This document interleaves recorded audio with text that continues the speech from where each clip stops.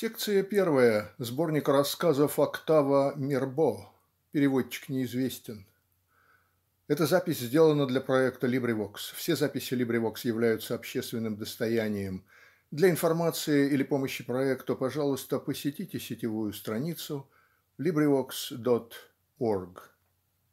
Моя хижина В одном из отдаленных от столицы департаментов находится мое маленькое владение в котором нет никаких украшений ни стеклянных шаров ни японских беседок ни неизбежного фонтана с бассейном из раковин голым амуром из загрязнившегося гипса и бьющей высоко вверх струей воды которая падает на цинковые арумы. Моя простая и незатейливая хижина стоит точно сторожка у опушки красивого букового леса зеленая и кудрявая листва которого красуется на солнце а перед хижиной простираются до самого горизонта зеленеющие поля перерезанные высокими изгородями. Ее окружает виноградник со своими красивыми фестонами и тонкими причудливыми узорами Жасмин, к которому примешиваются местами ползучие розы, закрывает ее фасад из потемневшего от времени кирпича. Сад, обнесенный деревянной резной покрытой мохом загородкой так мал что кажется по его дорожкам обсаженным буксусом и тимьяном с трудом проползут две улитки в ряд. Но что из того что мое владение так бедно и так мало? Разве не принадлежат также мне эти поля эти леса в которых поют птицы и это небо на котором беспрестанно мелькают совершающие свой причудливый полет стрижи? Разве я требую от этих полей и этих лесов чего-нибудь другого кроме удовольствия видеть их перед собою то есть наслаждаться их красотою и их благоуханием? Неподалеку от моей хижины по глубокому и каменистому руслу течет ручеек и вода его принимает зеленый цвет под сводом густо переплетшихся между собой ветвей ольхи. Сквозь грабины с искривленными и короткими стволами видны красные крыши соседней фермы пасутся коровы и их морды совсем закрыты высокой травой Стада овец рассыпались на краю большой дороги они поднимаются на холмы с общипанной травою и их стережет овчарка. Ах, как мне будет хорошо тут в этом маленьком глухом уголке обвеянном благоуханием всех запахов начинающей снова зеленеть земли.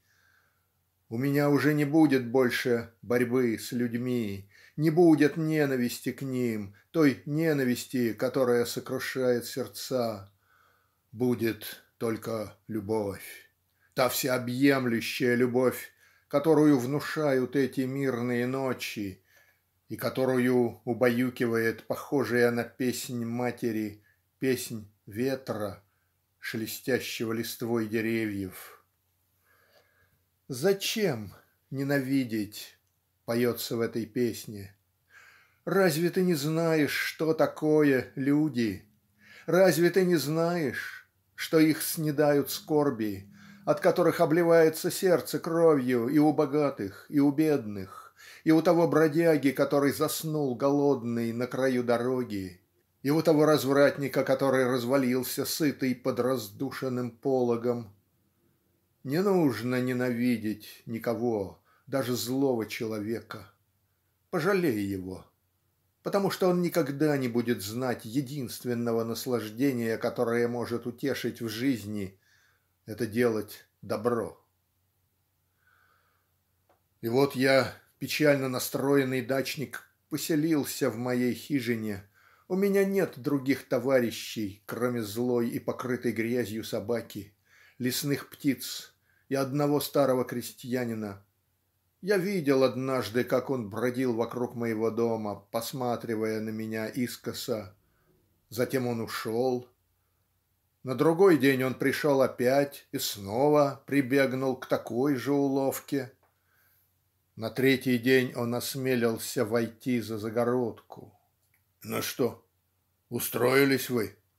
спросил он у меня, снимая с головы свой суконный картуз, который он, наверное, носил лет двадцать, потому что картуз весь порыжел от солнца. "Да, любезный", отвечал я. "Ну, это хорошо, это хорошо", он поправил на трильяже упавшую вниз веточку жасмина. "Говорят, будто вы приехали из Парижа".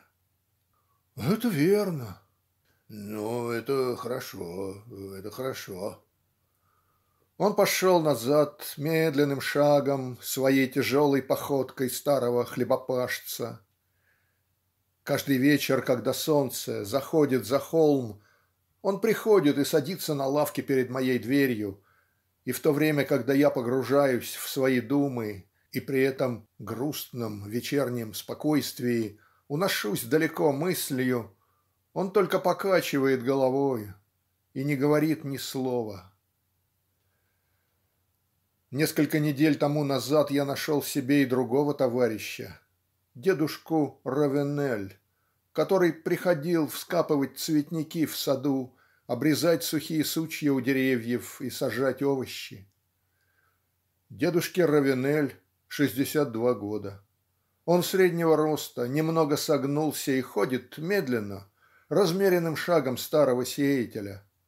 У него великолепная голова с очень резкими контурами, угловатая, сморщенная, крепкая и четырехугольная, с жесткими волосами неровные и поседевшие пряди которых падают ему на лоб до самых бровей. Его тело искривилось как ствол очень старого дуба которому всегда приходилось выносить сильные порывы ветра. Под его заплатанной одеждой торчат кости и узлы его мускулов как будто бы он готов пустить новые ветви. Его глаза отражают только проходящее облако Никакого горя, никаких обманутых надежд и никакой мысли не видно в этих загадочных зрачках которые благодаря покорности и молчанию сделались похожими на зрачки домашних животных. Его движения медленны важны широки как горизонт напоминают о высоте неба о священной тайне сотворения мира. Он пьяница почти всегда пьяный, он все-таки ходит, покачиваясь направо и налево. Но работать и пить в одно и то же время - это не особенно удобно. Если бы он не пил, то скопил бы деньжонок и жил бы теперь без заботы, как у многих других, даже таких, которые далеко не так способны на всякую работу, как он. У него был бы дом, перед домом сад, за домом поле, куры, утки, кролики, может быть, даже коровы, и он каждый год откармливал бы свинью. Теперь он мог бы жить на покое и помогать соседям в такое время, когда делают сидр. А у него не было ни дома, ни поля, ни кур, ровно ничего. И вот ему приходится ходить на паденную работу то к одним, то к другим, работать в саду, быть землекопом, каменщиком и тяжелым трудом добывать двадцать су в день, суп, подправленный свиным салом, и кружку пива. Он знает все это, но не страдает от этого. Впрочем, он не виноват в этом, а во всем виновата его вторая жена, потому что дедушка Равенель овдовел сорока восьми лет а так как ему надоело вести самому свое маленькое хозяйство то он женился во второй раз. "Да, я был глуп, глуп, глуп", он приходит ко мне каждый день в шесть часов утра, но он уже выпил, и от него пахнет водкой. "Ну, дедушка Равенель, вы опять пьяны". "Конечно, конечно отвечает этот бесхитростный человек почесывая у себя в голове. Рюмочку выпил конечно рюмочку выпил. Он спотыкается. Его нижняя губа отвисла ослабела и по ней течет слюна. Даже и в такие минуты его глаза не выражают ровно ничего в них нет никакого огонька который показывал бы что мозг его возбужден в нем не видно опьянения. В ваши года, дедушка Равенель, неужели вам не стыдно? Конечно, конечно. А вот что я вам скажу, это все моя жена, моя вторая жена. Ах, негодяйка! Ах, развратница! Потому что моя первая жена была святая женщина, святая. Жаль, что вы ее не знали. Святая женщина, да. Прямо-таки святая. Он плачет и рвет на себе волосы. Святая, настоящая святая. А умерла-то она от свиньи, которая околела от падучей болезни. Да я знаю, знаю эту историю. Подите лягте, вы лучше усните. Нет, нет, мне нужно вам рассказать. Рюмочку я выпил, это правда, но все же мне нужно вам рассказать. У меня была свинья, чудесная, чудесная свинья. Она и гуляла, и хорошо ела. Разрази меня Бог, если я лгу. И вот у нее сделалась падучая болезнь, как у человека, как у христианина, э, совсем э, почти как, как, как у христианина. Вот она каталась, вот она кривлялась, и у нее была пена. Наконец, это была уже не свинья, это было, это было, знаешь, что такое, а потом она околела. А моя первая жена и говорит, я буду ее есть. Что ж пропадать мясо А я сказал, мясо свиньи, которая пала от падущей болезни. Это, верно, яд. Надо бы зарыть его поглубже, поглубже. А ей-то, моей первой жене, было жалко зарывать в землю такое хорошее мясо. Чего же это яд? Это, это она-то мне говорит. А я говорю, может быть, она наелась чего-нибудь такого, и вот у нее заболел живот, а потом ей бросилось в голову. Когда же это бывает, чтобы свинья падала от падучей болезни? А моя первая жена и говорит, я все-таки сделаю фрикасе из мягкой части делай фрикасе из мягкой части, если хочешь, говорю. Но только я есть его не стану. И дедушка Равенель при этих тяжелых для него воспоминаниях рыдает, делает движения головой и руками и потом продолжает свой рассказ. «Подавиться мне вилами, лопатой или коловоротом, если я лгу. Вот моя первая жена и паяла мягкой части с картофелем. А потом я зарыл свинью на лугу у Батерро под осиной. Сначала-то с ней ничего не было. Она ходила так, как ходите вы, как хожу я, как ходят все. Но вот через десять лет, аккурат в тот самый день, у ней сделалось падучая болезнь, точь-точь как у свиньи. Ой, как ее ломала, ой, какая была у нее пена, ой, как она кричала, а потом и Бог душу отдала. Я не успел повернуться и вылить ей на лицо ведро воды. Это так же верно, как верно, что есть Бог, святой Иосиф и Пресвятая Дева Через десять лет эта свинина подействовала ей на живот, а потом и на голову. Вот она ее и задушила. Да.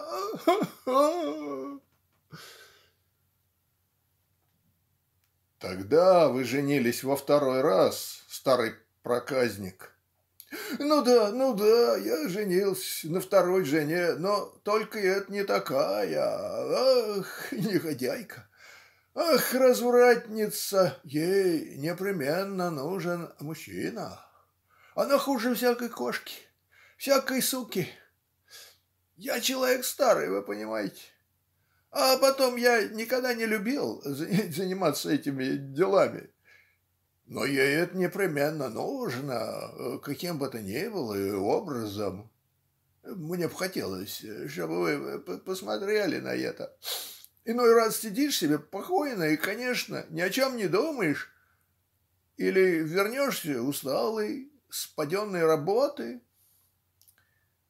«Дедушка Равинель», — говорит она мне, — «меня сжат точно огнем» а сама смотрит на меня такими глазами, которые горят, как свечка.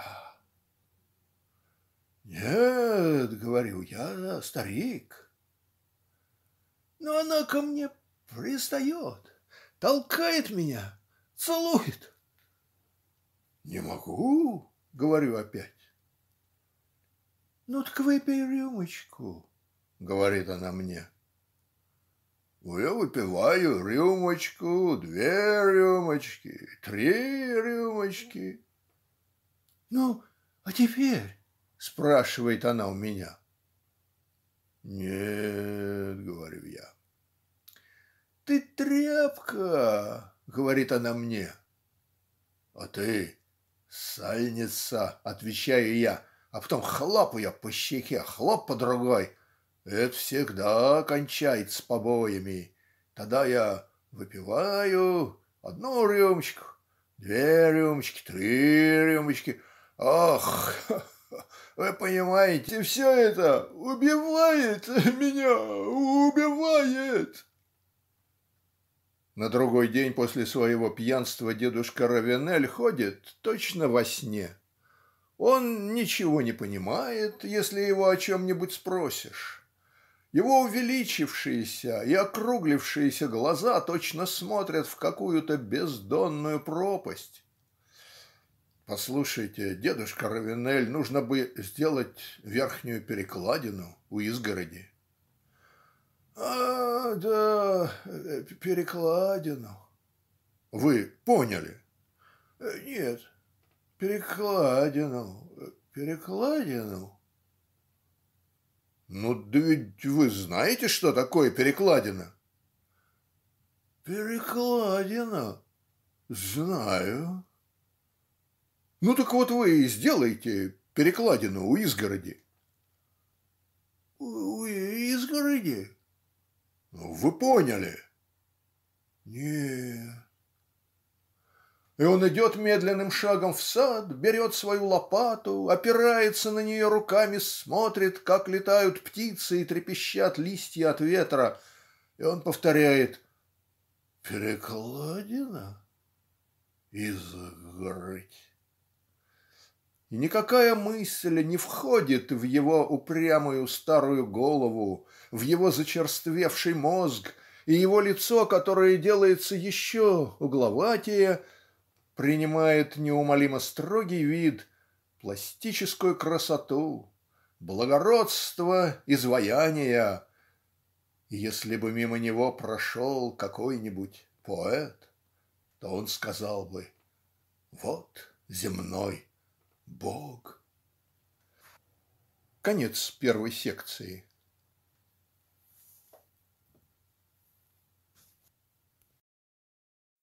Секция вторая сборника рассказов "Октава Мирбо".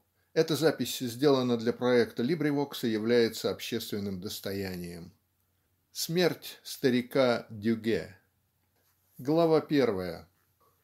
Прежде всего у него сделалась боль в животе. С тех пор не прошло еще и недели. Господи, Боже мой, да это был в четверг, на той неделе. Колики, колики, у него так и вертело в кишках.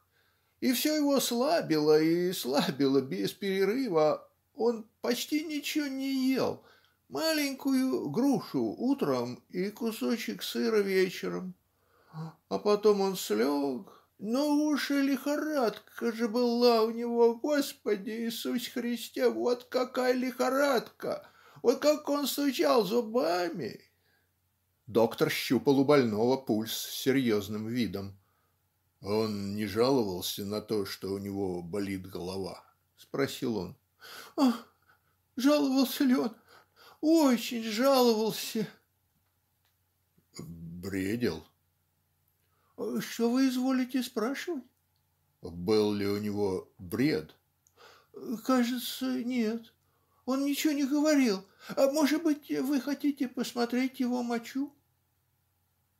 Доктор не ответил ей на это. Он поднял одеяло и несколько раз пощупал у старика Дюге живот сильно нажимая на него рукою. Старик Дюге лежал на спине раскрыв рот он не шевелился и только от времени до времени испускал глухие стоны. Доктор покачал головою и стал писать рецепт. Вы будете давать ему через каждые полчаса по столовой ложке этой микстуры наказывал он старухе Дюге которая проводила его до двери. В то время когда он отвязывал повод своей лошади и тщательно свертывал его она спросила у него "Что вы думаете о нем?" "Я думаю, что он не переживет ночи", отвечал доктор.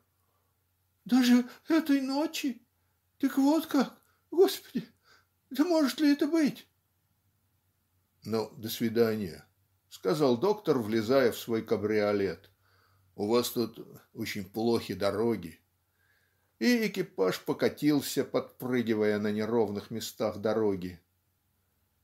Оставшись одна, старуха Дюге одной рукою почесала себе нос, а другою передвинула на бедро низ своего фартука и, подумав с минуту, решилась перейти через маленький находившийся около дома фруктовый сад у дальнего конца которого за изгородью видна была между яблонями покрытая соломой лачуга. Она позвала "Тетушка Гарнье! Тетушка Гарнье! Эй!"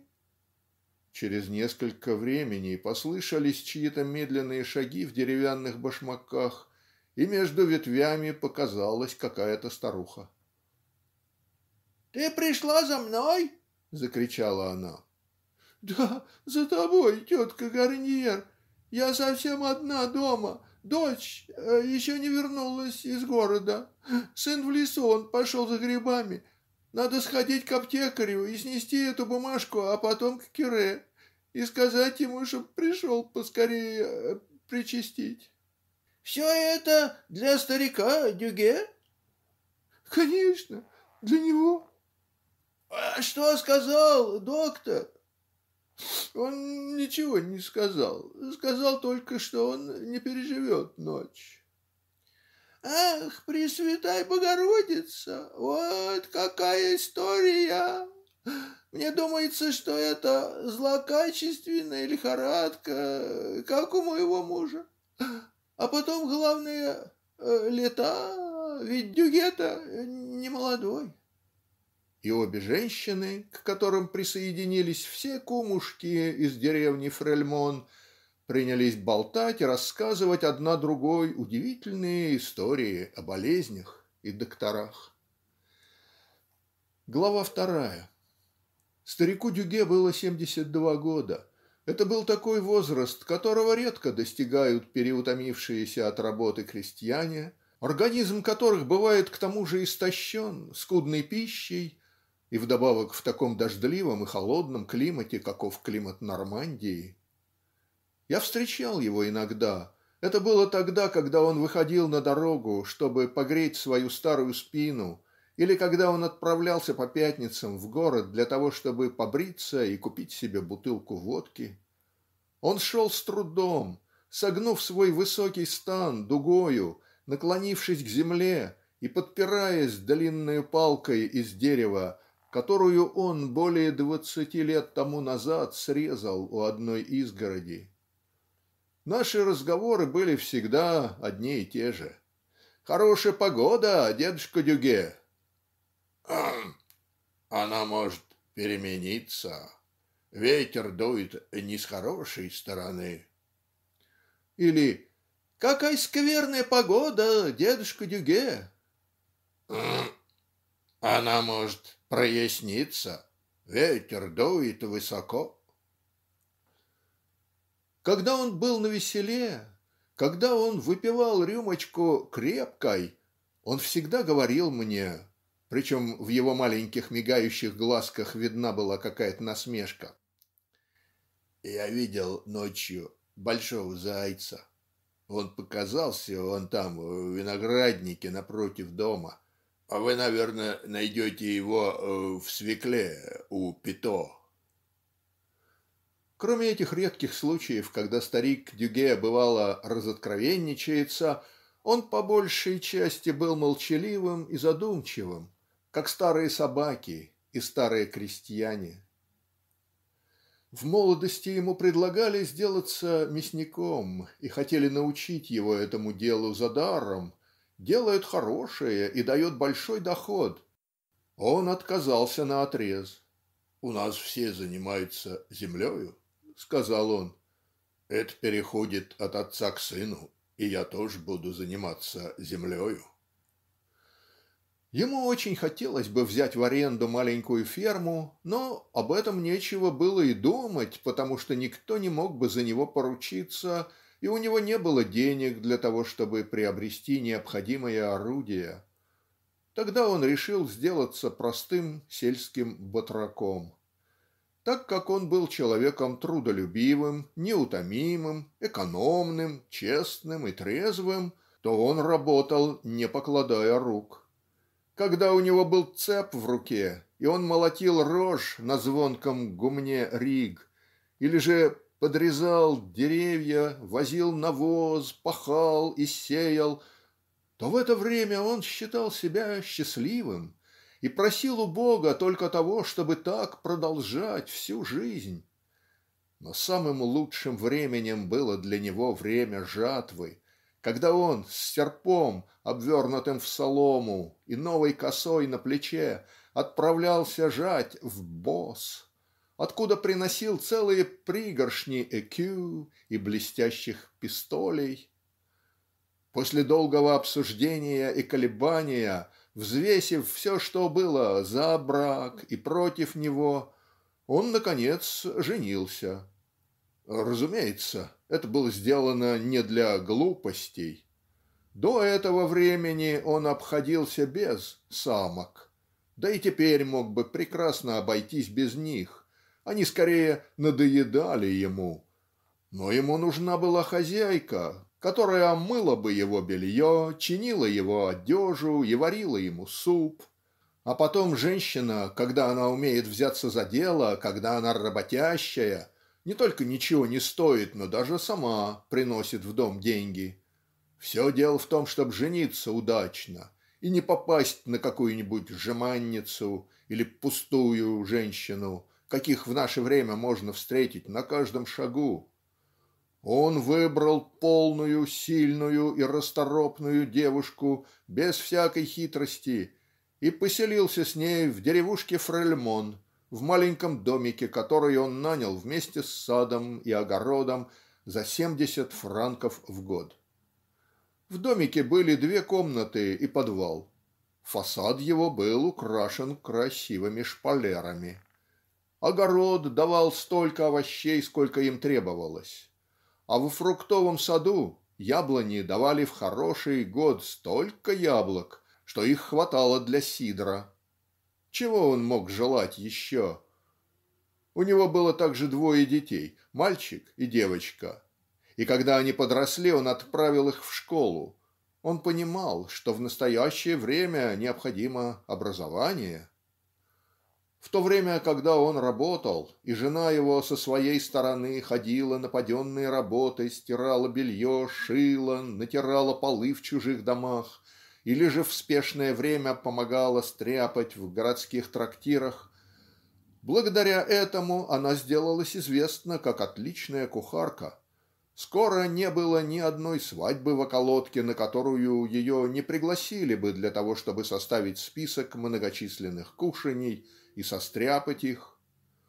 Это было очень прибыльно потому что в такие дни она получала четыре франка а кроме того и хороший обед. Потом с ней заигрывали молодые люди видя ее красивый бюст ее полные упругие щеки и смеющееся лицо. Дюге очень завидовал жене что она веселится на этих свадьбах а главным образом тому что она лакомится курами с прованским маслом и телятиной со щавельным соусом тогда как сам он довольствовался похлебкой и сыром. Но он не говорил ей ничего потому что она получала четыре франка.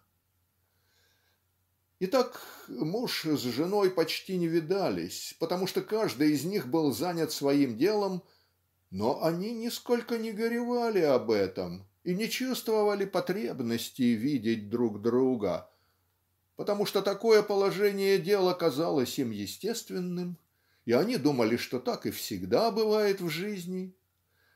По воскресеньям они бывали иногда вместе, но, сосчитав доход за неделю, они замолкали и уже не говорили больше ни о чем. Это не значило, что они дуются один на другого. Нет, но им не о чем было говорить между собою. Дюге пользовался этим днем отдыха для того чтобы подрезать свои шпалеры копаться в своем огороде вставить черепицу в крышу новую доску в дверь нарубить дров а жена уходила поболтать с деревенскими кумушками. Кроме воскресенья она оставляла четверг для стирки белья своего мужа своего собственного и белья детей присмотреть за которыми когда они возвращались домой из школы она поручала соседке. Так прошла бы и вся жизнь Дюге и он состарился бы счастливым если бы он не обманулся самым жестоким образом в своих надеждах и "одно большое горе" не наполнило бы его сердце горьким чувством и не отравило бы ему всю жизнь. Глава третья. Его тесть жил за пятнадцать лье от Фрельмона в деревне которая называлась Ле-Жарье Дюге ни разу не видал его после своей свадьбы и совсем не заботился о старике.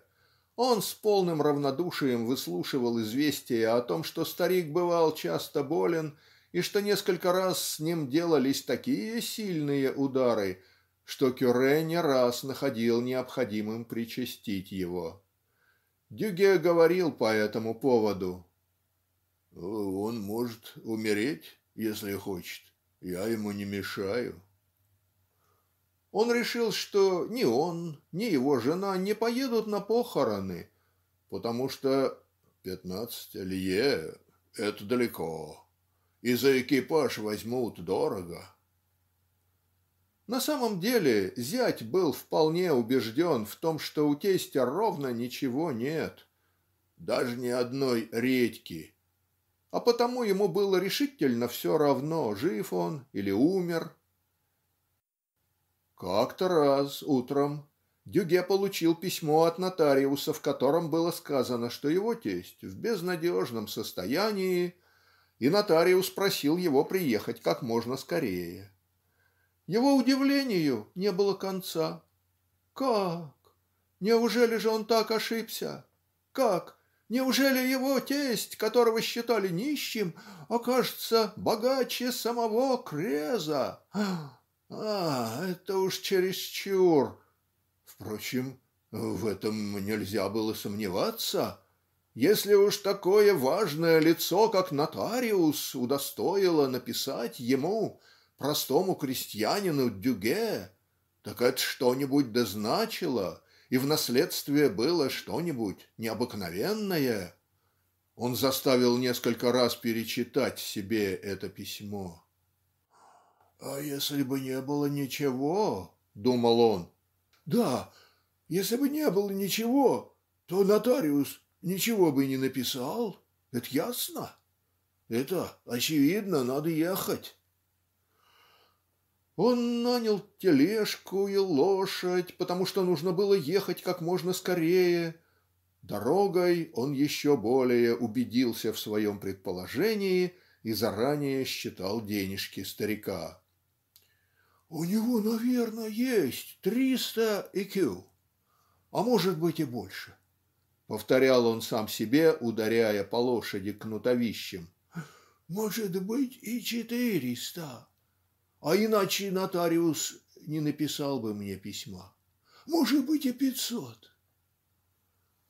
Он проехал первые дома в Лежарье и теперь всякого кто сказал бы ему что тесть оставил ему в наследство меньше тысячи ЭКЮ он наверное отколотил бы палкой. Когда он слез с тележки то у него сильно билось сердце и дом его тестя жалкая полуразвалившаяся лачуга показался ему великолепнее всех тех дворцов о которых говорится в волшебных сказках. Дюге постоял несколько минут точно ослепленный этим великолепием пожелтевшие листья орешника трепетали от ветра и им овладело необыкновенно приятное чувство ему показалось что блестящие луидоры звенят сталкиваются и сыплются на него золотым дождем. Он вошел, но едва не упал навзничь на пороге. В комнате сидел его тесть, живеханек и здоровеханек, и ел суп из глиняной чашки. От удивления и от негодования Дюге стоял на одном месте и не двигался он не мог ни войти в комнату, ни выйти наружу. Он был совсем уничтожен и похож на скупого, у которого украли деньги. Он проговорил, заикаясь: "Как? Вы, вы не умерли?" "Нет еще, зятек, нет еще", отвечал тесть, нисколько не смутившись и продолжая есть свой суп с важным видом и не спеша. "Ну, хорошо, так я уеду". Дюге опять влез в тележку. "Ну, проклятая кобыла! Ну, проклятая скотина!" Он погонял лошадь изо всех сил, бранился, посылал проклятия, бесился. "Ах, проклятая кобыла! Ах, проклятая скотина!" Неизвестно к кому относились эти бранные слова к лошади или к его тестю но так как на Дюге нашло бешенство то они относились и к тому и к другой. Лошадь приехала в Фрельмон с разбитыми ногами и на другой день пала. "Вот и плати двадцать пистолей", сказал себе Дюге. Но он утешал себя той мыслью, что придет же наконец такое время, когда околеет и его тесть. Этот инцидент нисколько не поколебал его уверенности. Напротив, он еще больше убедился в том, что его предположение верно. С каждым днем в его глазах наследство должно было увеличиться на сто ЭКЮ. "Как ты глуп, муженек!" говорила ему жена. "Ты напрасно вбил себе это в голову. Конечно, это гораздо лучше того, что думаю я. Но э, две тысячи кю, как ты говоришь, откуда может быть столько денег у этого старого нищего?" «Э, "Почем знать, почем знать?" отвечал упрямый Дюге. Он уже насчитал до трех тысяч ЭКЮ когда получил от нотариуса второе письмо. "Ну, этот последний удар-таки прихлопнул его", воскликнул с радостью Дюге. "Наконец, э, вот счастье, он умер по-настоящему". В самом деле, в письме было сказано, что тесть его наконец умер, и нечего бояться того, что он воскреснет. И вот Дюге опять нанял лошадь, тележку и снова поехал в Лежарье. На этот раз он не торопился, останавливался у всех кабаков на дороге и шутил со всеми встречными. "Ну, моя милая, "Ну, ну, моя девочка", говорил он нежным тоном, обращаясь к своей лошади потом он обращался к своему тестю и называл его на ты он чувствовал к нему большое расположение "Этот тестюшка ведь он все-таки был хороший человек. Ох, бедный старик!"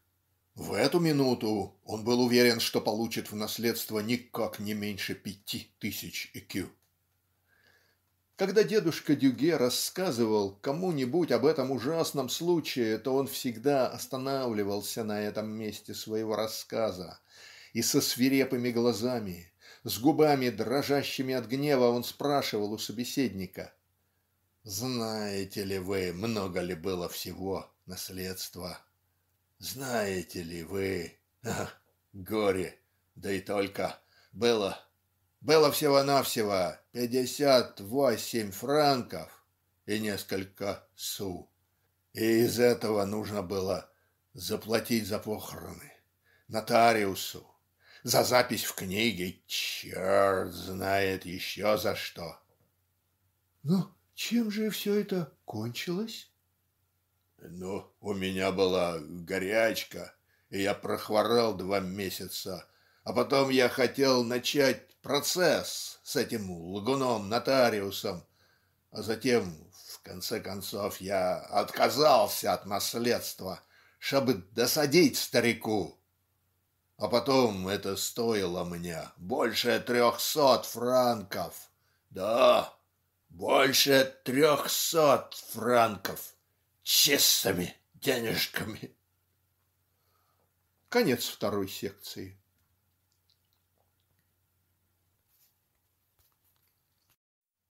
Секция третья сборника рассказов "Октава Мирбо".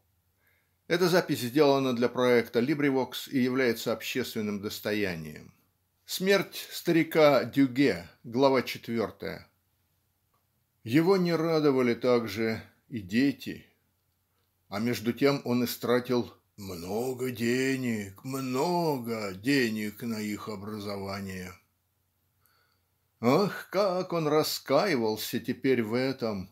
Да, он должен был бы поступать так, как и другие, и не посылать их в школу, но сейчас же заставлять их исполнять всякую тяжелую работу. Они, конечно, не умерли бы от этого. И это было бы, может быть, лучше, потому что тогда его сын и дочь не пошли бы по такой дурной дороге.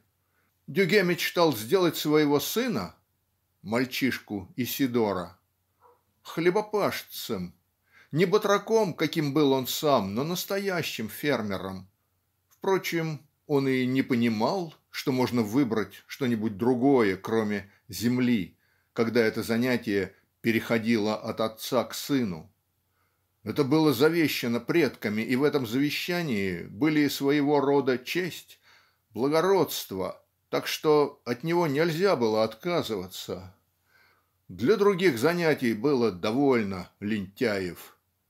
Поэтому он глубоко огорчился и был обманут в своих надеждах когда Исидор заявил что он непременно хочет поступить на место и быть лакеем так как мосье Батист лакей в замке этот гордый мужчина который ослеплял всех своими красивыми фраками с галунами и своими нанковыми панталонами цвет которых был желтее цвета масла.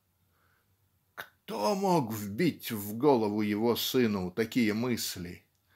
Сначала он стал его уговаривать старался объяснить ему что такое земля обещал ему что у него будет соответственная ферма, как у Тушей, которые снимают на аренду ферму у Пито. Но потом, так как Исидор все кричал, что он хочет быть таким, как мосье Батист, он начал усовещевать его кулаками. В конце года, после побоев вперемешку с теоретическими рассуждениями и несбыточных обещаний Дюге видя что это такое призвание которое устояло против рассуждений и становилось еще желаннее от ударов согласился чтобы его сын поступил в мальчики в замок под начало к этому самому мосье Батисту. Прислуга. Его сын стал прислугой. Теперь она кончилась, эта длинная цепь предков с мозолистыми руками, с согнутыми спинами, родившихся на этой земле, почитаемых теми людьми, которых они кормили, благословенных Богом, потому что они продолжали Его дело творения. Это было для него жестокой раной.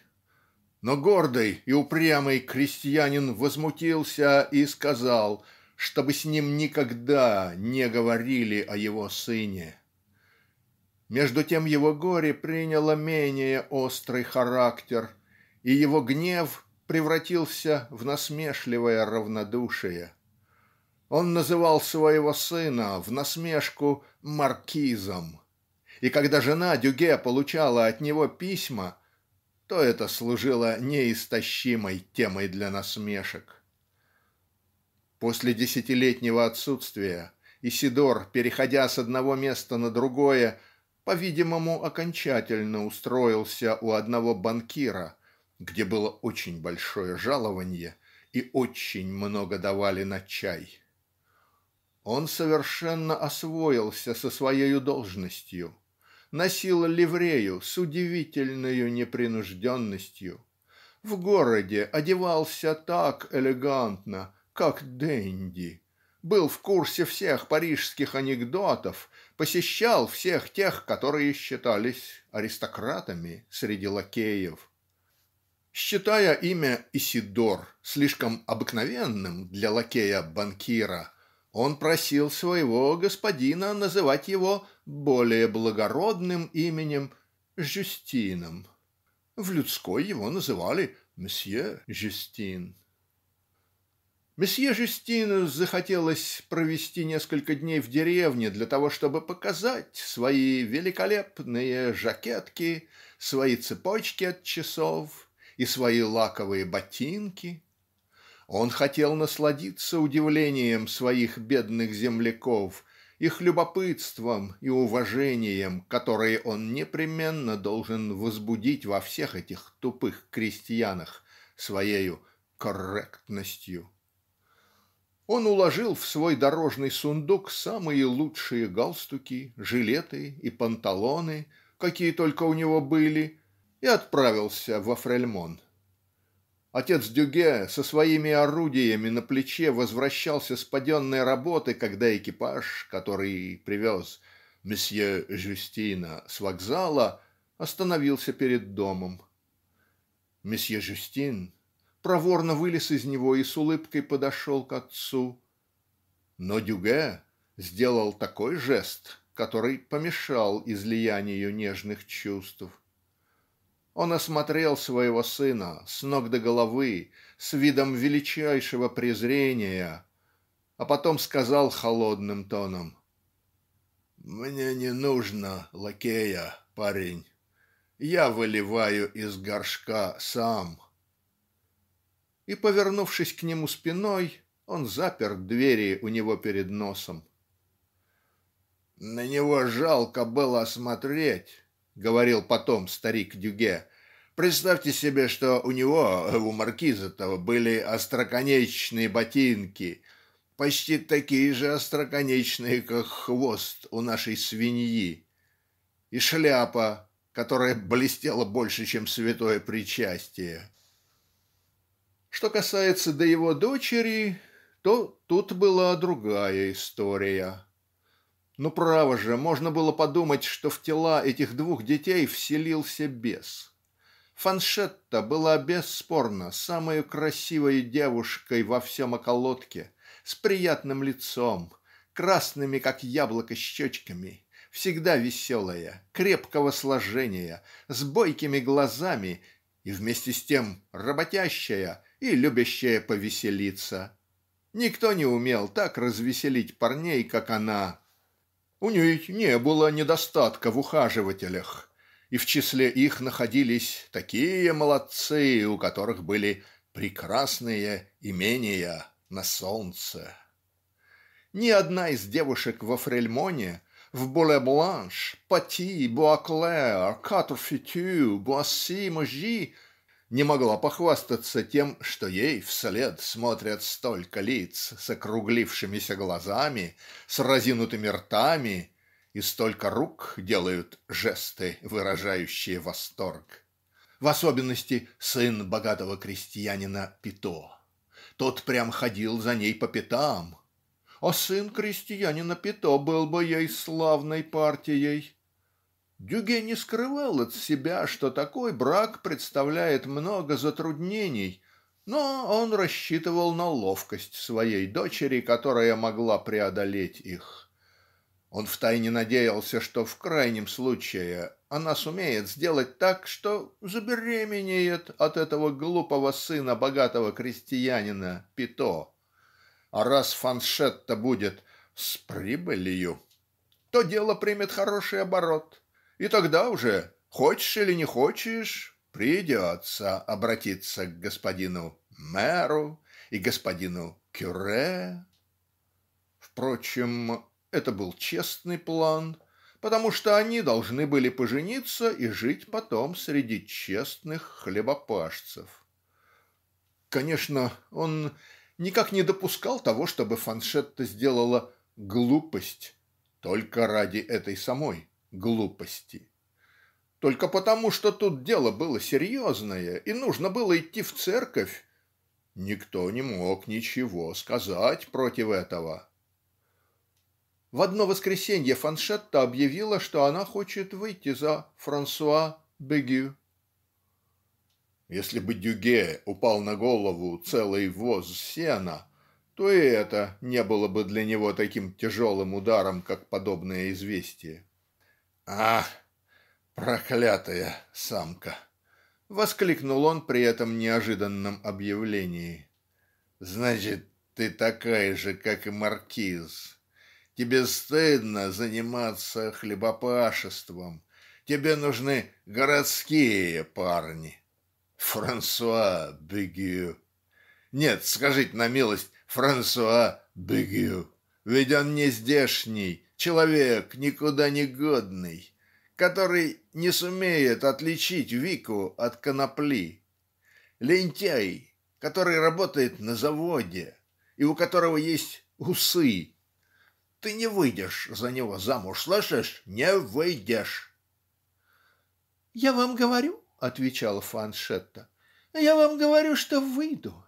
Он мне нравится. Да, я так хочу, я выйду за него, все-таки выйду, а потом вы напрасно так кричите, потому что мне наплевать на вас". А, тебе наплевать на меня, грубиянка. Ах, тебе наплевать на меня? Ну, погоди же. Дюге поднял обе руки для того, чтобы ударить ее. Фаншетта, опершись кулаками на бедра, с вызывающим видом и с сердитыми глазами смотрела своему отцу прямо в лицо. "Вы можете меня бить. Вы такой грубый", сказала она. "Да только вы ничего не сделаете. А потом, если вы хотите все знать, то я беременна, да. Беременна от него, да, да, я беременна от Франсуа Бегю". И подойдя к нему поближе и вытянув шею она выкрикнула ему это имя прямо в лицо. Он был оглушен этим точно ударом дубины это имя хлестнуло его точно стохвостая плетка. Дюге шатаясь отступил назад и опустил в отчаянии руки он уже ничего не понимал, у него в голове спутались все понятия о справедливости, о приличии, о браке, так что он не мог в них разобраться. Впрочем, несмотря на такое замешательство, у него все-таки оставалась надежда. Фаншетта, может быть, ошиблась. Он пробормотал. «Уверена ли ты в том, что беременна от него? Вспомни. Уверена ли ты, что не от сына Пито?» Фаншетта пожала плечами. Значит, вы считаете меня развратной? Вам, может быть, хотелось бы, чтобы я спала со всеми?" Нет, э, конечно, он не хотел этого. Но сын Пито был не все, черт возьми. Если уже она дошла до того, что спала с мужчиной, то почему же она не выбрала этого последнего, хорошего, честного человека, который был таким богобоязненным и которому принадлежала превосходная ферма? Нет, он никак не может допустить этого. И так все было кончено. Его прекрасным мечтам об устройстве своих детей не суждено было осуществиться. Оба они, и сын, и дочь, позорили его имя, один тем, что выливал из ночных ваз дворян, а другая тем, что влюбилась в какого-то негодяя, который пришел неизвестно откуда и проводит время на заводах, где делает неизвестно что. Хорош будет у него зятек, нечего сказать пьяница, развратный, мод и, конечно уж, республиканец, как и все эти заводские рабочие. О да, большая приятность. Кроме того, у этого Франсуаза Бегю были усы, не так ли? А раз у него были усы, то этим все сказано. Дюге, так же как и все крестьяне его типа, которые преклоняются пред старинными обычаями и строго охраняют традиции, ненавидел мужчин с усами, кто бы они ни были, землепашцы или рабочие. По его понятиям, усы изображали собой бунт, леность, общественный передел, все святотатственные стремления, которые из больших городов переходят и в деревни. Ужасный и совершенно новый порядок вещей, при одной мысли о котором на его крепкой четырехугольной голове от ужаса поднимались дыбом волосы. Порок, преступление, революция. Все, что тревожило его, когда у него было время думать, представлялось ему в символическом виде ощетинившихся усов. И это было верно, потому что с тех пор, как он помнит себя, у всех людей, не любящих земли, негодяев, опасных браконьеров, воров и людей, живущих с наложницами, каких только он видел во Фрельмоне и в других местах, были усы как у Франсуа Бегю. Наконец, точно так же, как он уступил фантазиям Исидора, он не стал противиться и тому, чтобы Фаншетта вышла замуж за Усатого, думая для своего утешения, что сам он не будет чувствовать тех побоев, которые будет наносить ей муж. Свадьбу справили довольно весело, была музыка, играли на скрипках, а жена Дюге приготовила вкусный ужин, за которым все гости напились до пьяна сидром в закупоренных бутылках и грушевкой. Глава пятая. Теперь этот недалекий человек состарился, на его голове с красным и изборожденным морщинами лицом совершенно поседели волосы, его высокий, угловатый и худощавый стан согнулся и все более наклонялся к земле, подобно лишенным сучьев стволам старых деревьев на холмах. Уже не было прежней силы в руках, которые дрожали от самой легкой ноши, и в ногах, которые очень скоро уставали. Наконец, он должен был оставить работу тот вечер, когда старик Дюге вернулся в последний раз с работы, он прежде чем сложить в подвал свои орудия, которые сделались теперь ненужными, пошел в сад, откуда через живую изгородь из подстриженного терновника видны были простирающиеся на далекое пространство поля под потемневшим в сумерки небом. Поля засыпали, все такие же могучие, все такие же прекрасные. К ним приливал сок, так как приливает кровь к жилам молодых людей.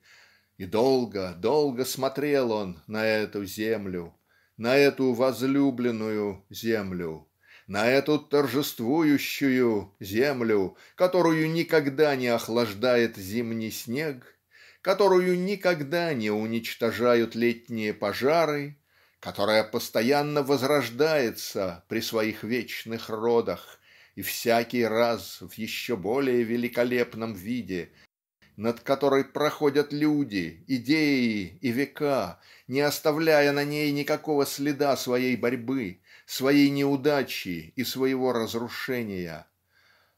Он смотрел на эту землю в которой он очень скоро сложит свои ослабевшие руки в которой будут лежать его чресла слишком устаревшие для того чтобы оплодотворять ее. Рожь тихо шевелилась шелестя своими колосьями. Овес похожий на легкий туман поднимающийся на лугах бледнел и переливался волнами. Местами краснел клевер чуть-чуть задетый последними лучами угасающего солнца. И при красном свете заката кое-где стоящие яблони с кривыми сучьями принимали фантастический вид или были похожи на безобразный профиль ведьм.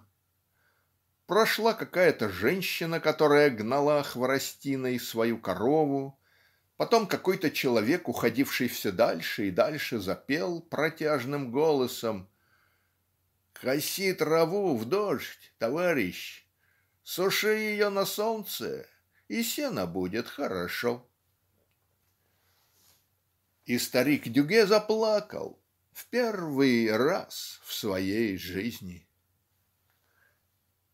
Конец третьей секции.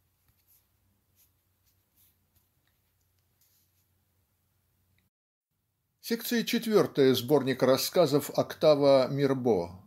Эта запись сделана для проекта LibriVox и является общественным достоянием. Смерть старика Дюге. Глава шестая.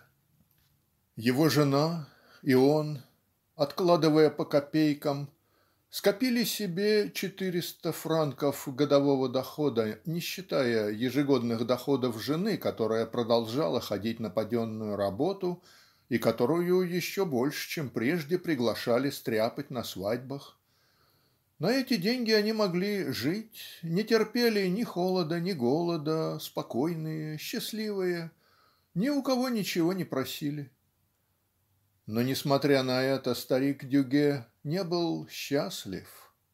Сначала он не знал куда ему девать время и дни казались ему очень долгими и скучными Чувствуя себя как-то неловко и не зная что делать он ходил из фруктового сада в огород полол там копал тут но этой работы которую он обыкновенно откладывал на воскресенье было ему слишком мало на всю неделю. Нет, жизнь капиталиста не подходила к нему, и он никак не мог привыкнуть к ней. Он старался придумать себе какую-нибудь работу которая помогла бы ему рассеять скуку сделал лестницу заменил старые перекладины в изгороди фруктового сада новыми из остатков леса которые у него нашлись выстроил сарай и когда все это было кончено он опять задал себе этот ужасный вопрос что делать? и не знал как разрешить его Тогда он придумал разводить кур и кроликов. Куры будут его развлекать. Он каждый день будет ходить за травой для кроликов, и время пройдет. Так как он был человек хороший, усердный работник и был известен во всем околотке за человека очень честного, то им заинтересовались владельцы замка, которые иногда поручали ему различные не особенно утомительные работы – например держать в порядке дорожки в саду подбирать сухие листья и служить натурщиком барышне которая рисовала масляными красками. Но несмотря на то что старик Дюге мало-помалу опять привык к постоянному делу он все-таки скучал. Он сильно тосковал о полях. В хорошую погоду он часто ходил в поле к своим товарищам которые косили или вязали снопы но возвращался с прогулки недовольным и его праздная жизнь казалась ему еще противнее. Ему приходили в голову мрачные мысли он становился все печальнее и горько сожалел о прошлом. Вместе с этим и характер его становился раздражительнее. Он был готов из-за всего спорить и браниться. Он сделался требовательным придирчивым сварливым злоязычным. Он который прежде так добродушно переносил постоянное отсутствие жены теперь сердился на нее за то что она бросает его что она сговорилась с детьми и хочет уморить его Разве ему приятно в его года после того как он сам столько бегал в своей жизни оставаться одному с утра до вечера? Точно он какая-нибудь несчастная паршивая собака.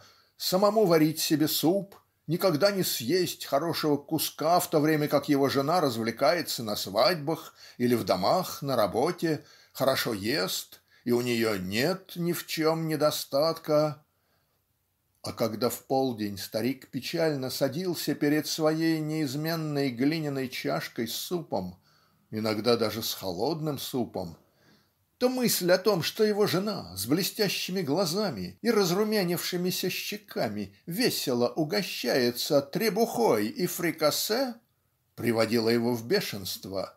И он говорил сам себе "А ей наплевать на меня но это не может так продолжаться, это не может так продолжаться. И тогда он помышлял о том, что уйдет куда-нибудь очень далеко, все бросит тут. Начнет совершенно один новую жизнь, будет работать. И подумывал даже о разводе. Ай, зачем только он женился? Зачем нужно было брать ему жену? Разве только для того, чтобы скучать и терпеть огорчения? В те дни, когда жена Дюге соглашалась остаться дома, он с самого раннего утра уходил с краюшкой хлеба в сумке и до самой ночи бродил по ельнику под тем предлогом, будто бы он собирает хворост. После трех важных событий в его жизни смерти тестя ухода сына и свадьбы дочери года проходили за годами но время не изглаживало в его памяти печальных воспоминаний и он продолжал говорить об этом с увеличивающимся день ото дня горьким чувством. Маркиз который становился все великолепнее приезжал во Фрельмон только два раза и то на короткое время. Что касается до мадам Бегю то она каждое воскресенье приходила к отцу вместе с усатым. Но старик, кажется, и не замечал их присутствия. Впрочем, во время этих надоедавших ему посещений он по большей части убегал в поле и там, вдали, находил себе какое-то неизвестное занятие. Кроме того, что он все еще сердился на Фаншетту за то, что она обманула его надежды, выйдя замуж за Франсуа Бегю, он не мог выносить новой манеры держать себя которую эта прекрасная дама переняла в городе.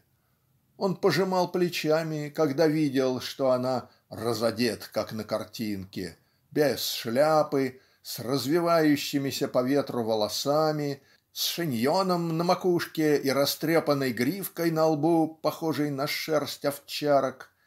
Когда она говорила то шепелявила и жеманничала как-то особенно раскачивала заднюю часть тела и подражала городским жительницам так что ему было жалко на нее смотреть. Иногда жена Дюге для того чтобы угостить свою дочь приготовляла хороший ужин зарезала цыпленка или делала рагу из кроличьего мяса. Тогда старик выходил из себя он запрещал брать своих кур и своих кроликов потому что все это принадлежало ему и никому другому а только ему потому что он заботился о них ходил за ними и хотел иметь удовольствие съесть их один или же продать их на рынке если бы ему вздумалось. Ах уж конечно не стали бы так хлопотать для него пришло ли его жене хоть раз в голову состряпать ему что-нибудь повкуснее? А, как бы не так. Все хорошее это был для нее и для других, но никогда для него. Нет уж довольно обжорам, лентяям и бездельникам объедать его. Пусть Фаншетта и Усатый едят суп, так же, как и он, а если это им не понравится, то они преспокойно могут сидеть дома и лакомиться чем им угодно. Он не будет им мешать, напротив, он будет очень рад, что избавился от них. И старик Дюге присаживался с ворчаньем к столу, к чашке с супом, который он ел с гордым видом. Этот суп, невкусный и холодный, был сильным протестом против вкусного рагу, который поедали другие, облизываясь от удовольствия. Затем он ложился, грозя выбросить за дверь и стол, и людей, если они не будут молчать и не дадут ему спать спокойно. Как бы то ни было, он хозяин в своем доме. В деревне стали очень много говорить о фаншетте.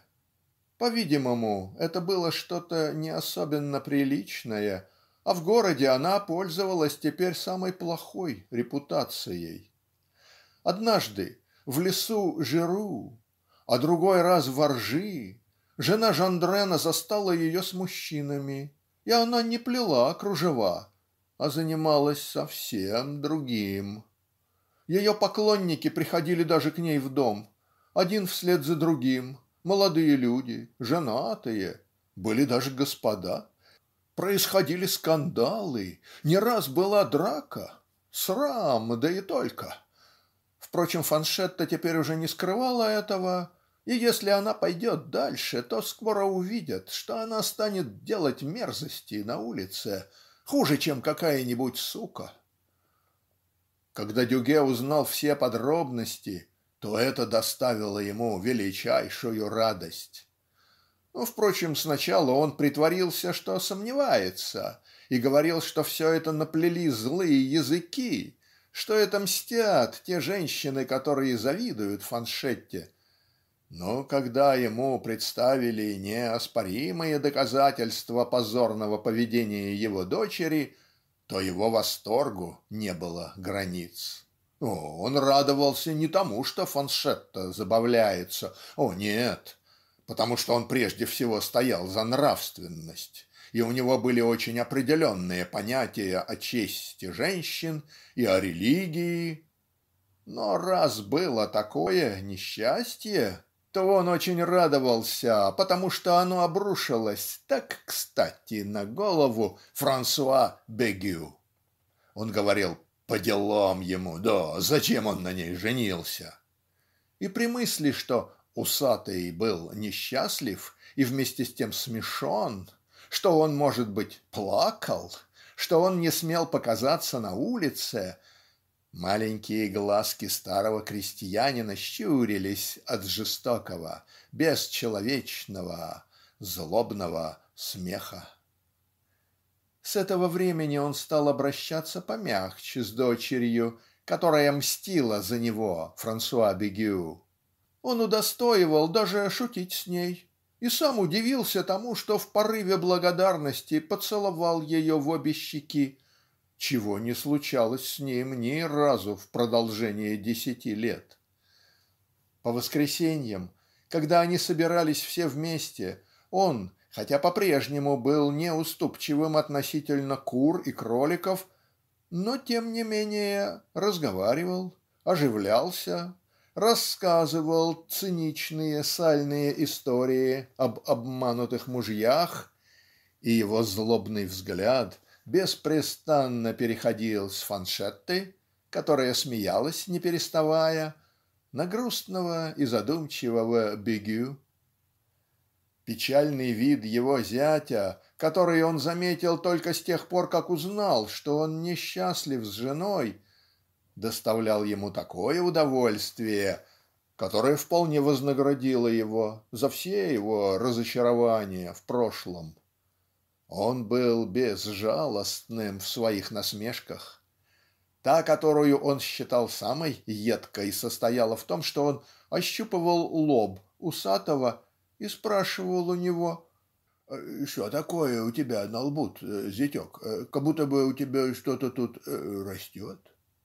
И несчастный Бигю, который конфузился всякий раз от шутки тестя, машинально поднимал руки к лбу, краснел и вращал своими кроткими, выражающими терпение, глазами, похожими на глаза быков, тогда как старик, помирая со смеху, повторял "И что же это такое у тебя растет?"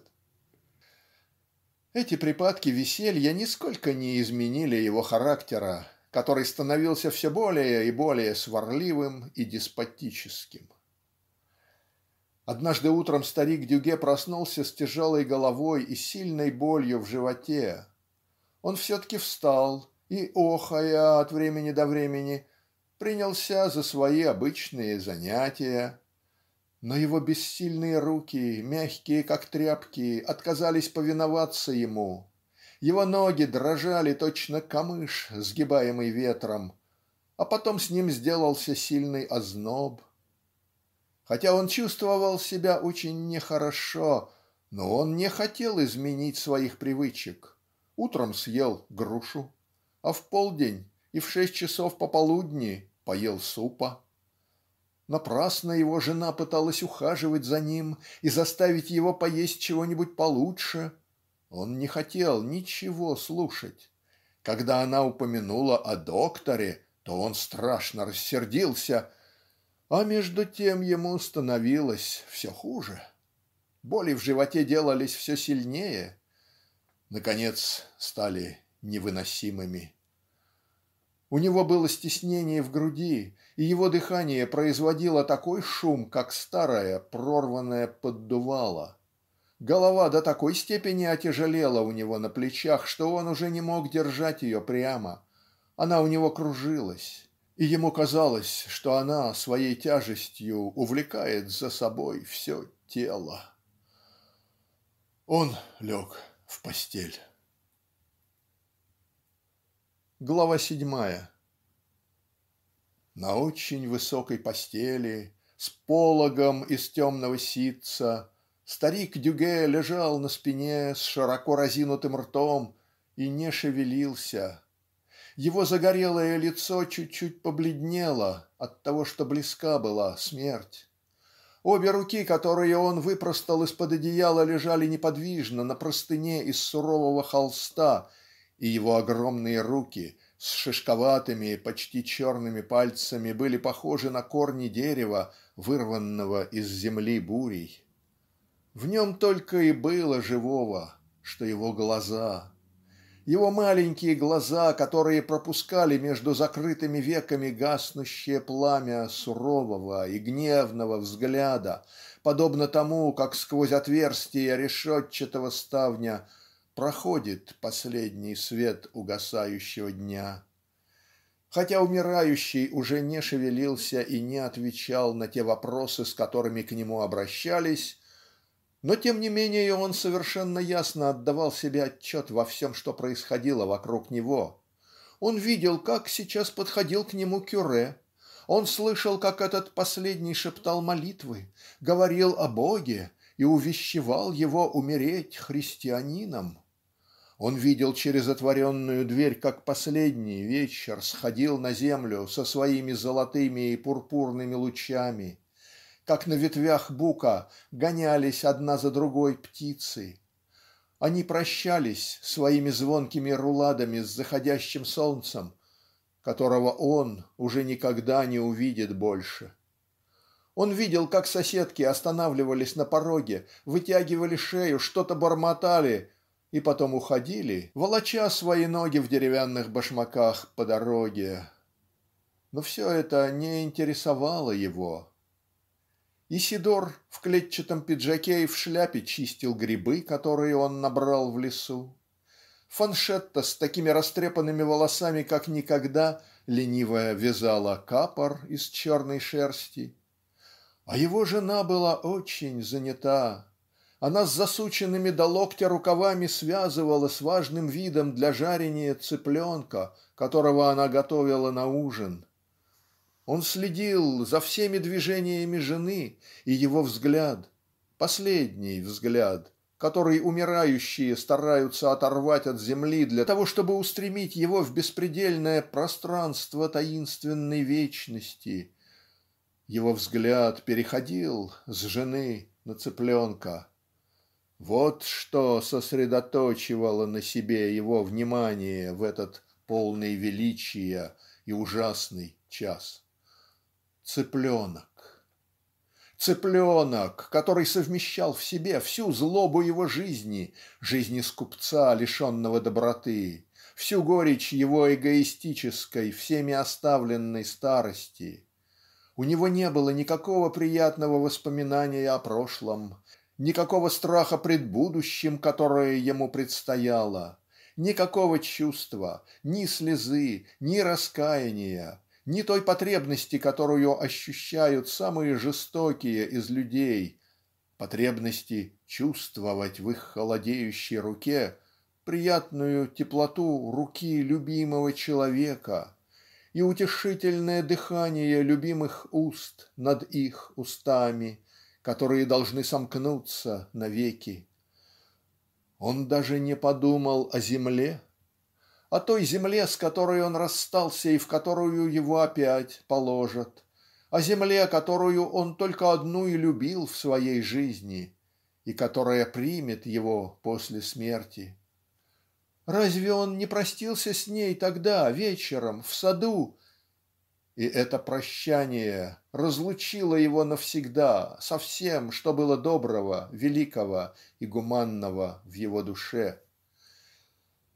Говорят, что ангелы прилетают с распростертыми крыльями к изголовью умирающих для того, чтобы услыхать их последнюю молитву и вознести ее на небо.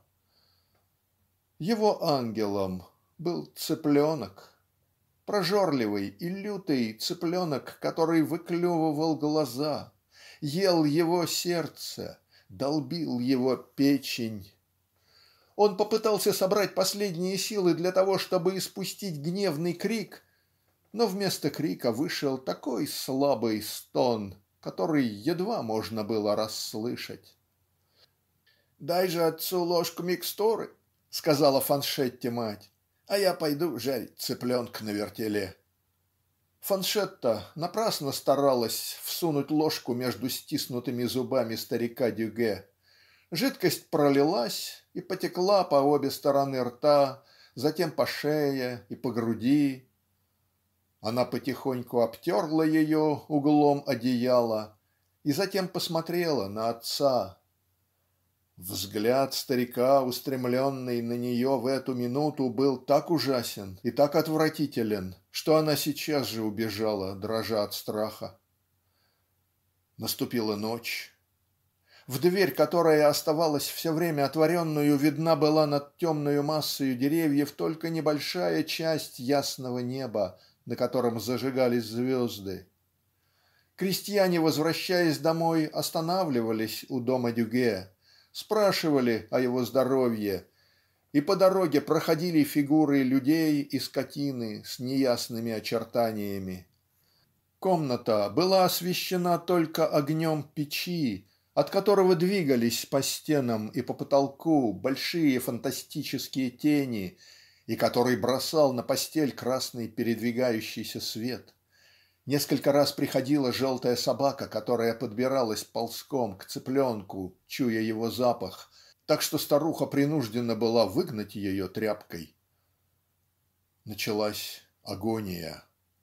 Сначала послышался небольшой хрип тихое и глубокое хрипение похожее на мурчанье кошки затем шум увеличился он сделался похожим на тот который производит кузнечное поддувало и прерывался свистом и икотой.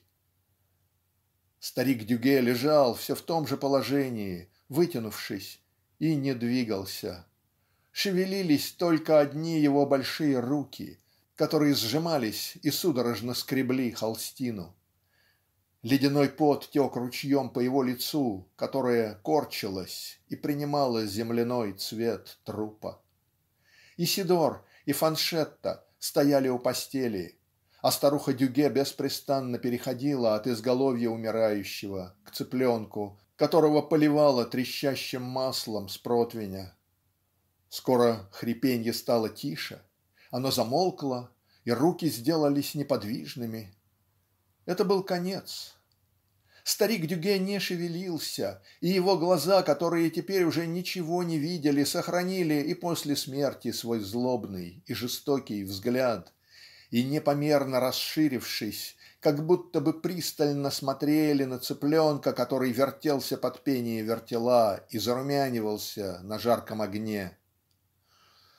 "Он умер", сказала старуха Дюге приложив руку к груди своего мужа. "Фаншета, подай-ка мне зеркало. Я все-таки подставлю ему под нос". Зеркало не потускнело конечно, он умер", повторяла старуха Дюге. Исидор и Фаншетта немного наклонившись над трупом отца подняли одну за другой его руки которые опять тяжело упали на постель. "Да, сказали они, он умер". Они все трое были очень смущены и несколько минут стояли молча. "Я не думала, что он так скоро умрет", заговорила старуха Дюге, покачивая головой. "Конечно, со стариком было трудно ладить, но все-таки его жаль". И указывая на мертвое тело, она прибавила почти с уважением: "Мы будем ужинать в соседней комнате". Конец рассказа "Смерть старика Дюге". Конец четвертой секции.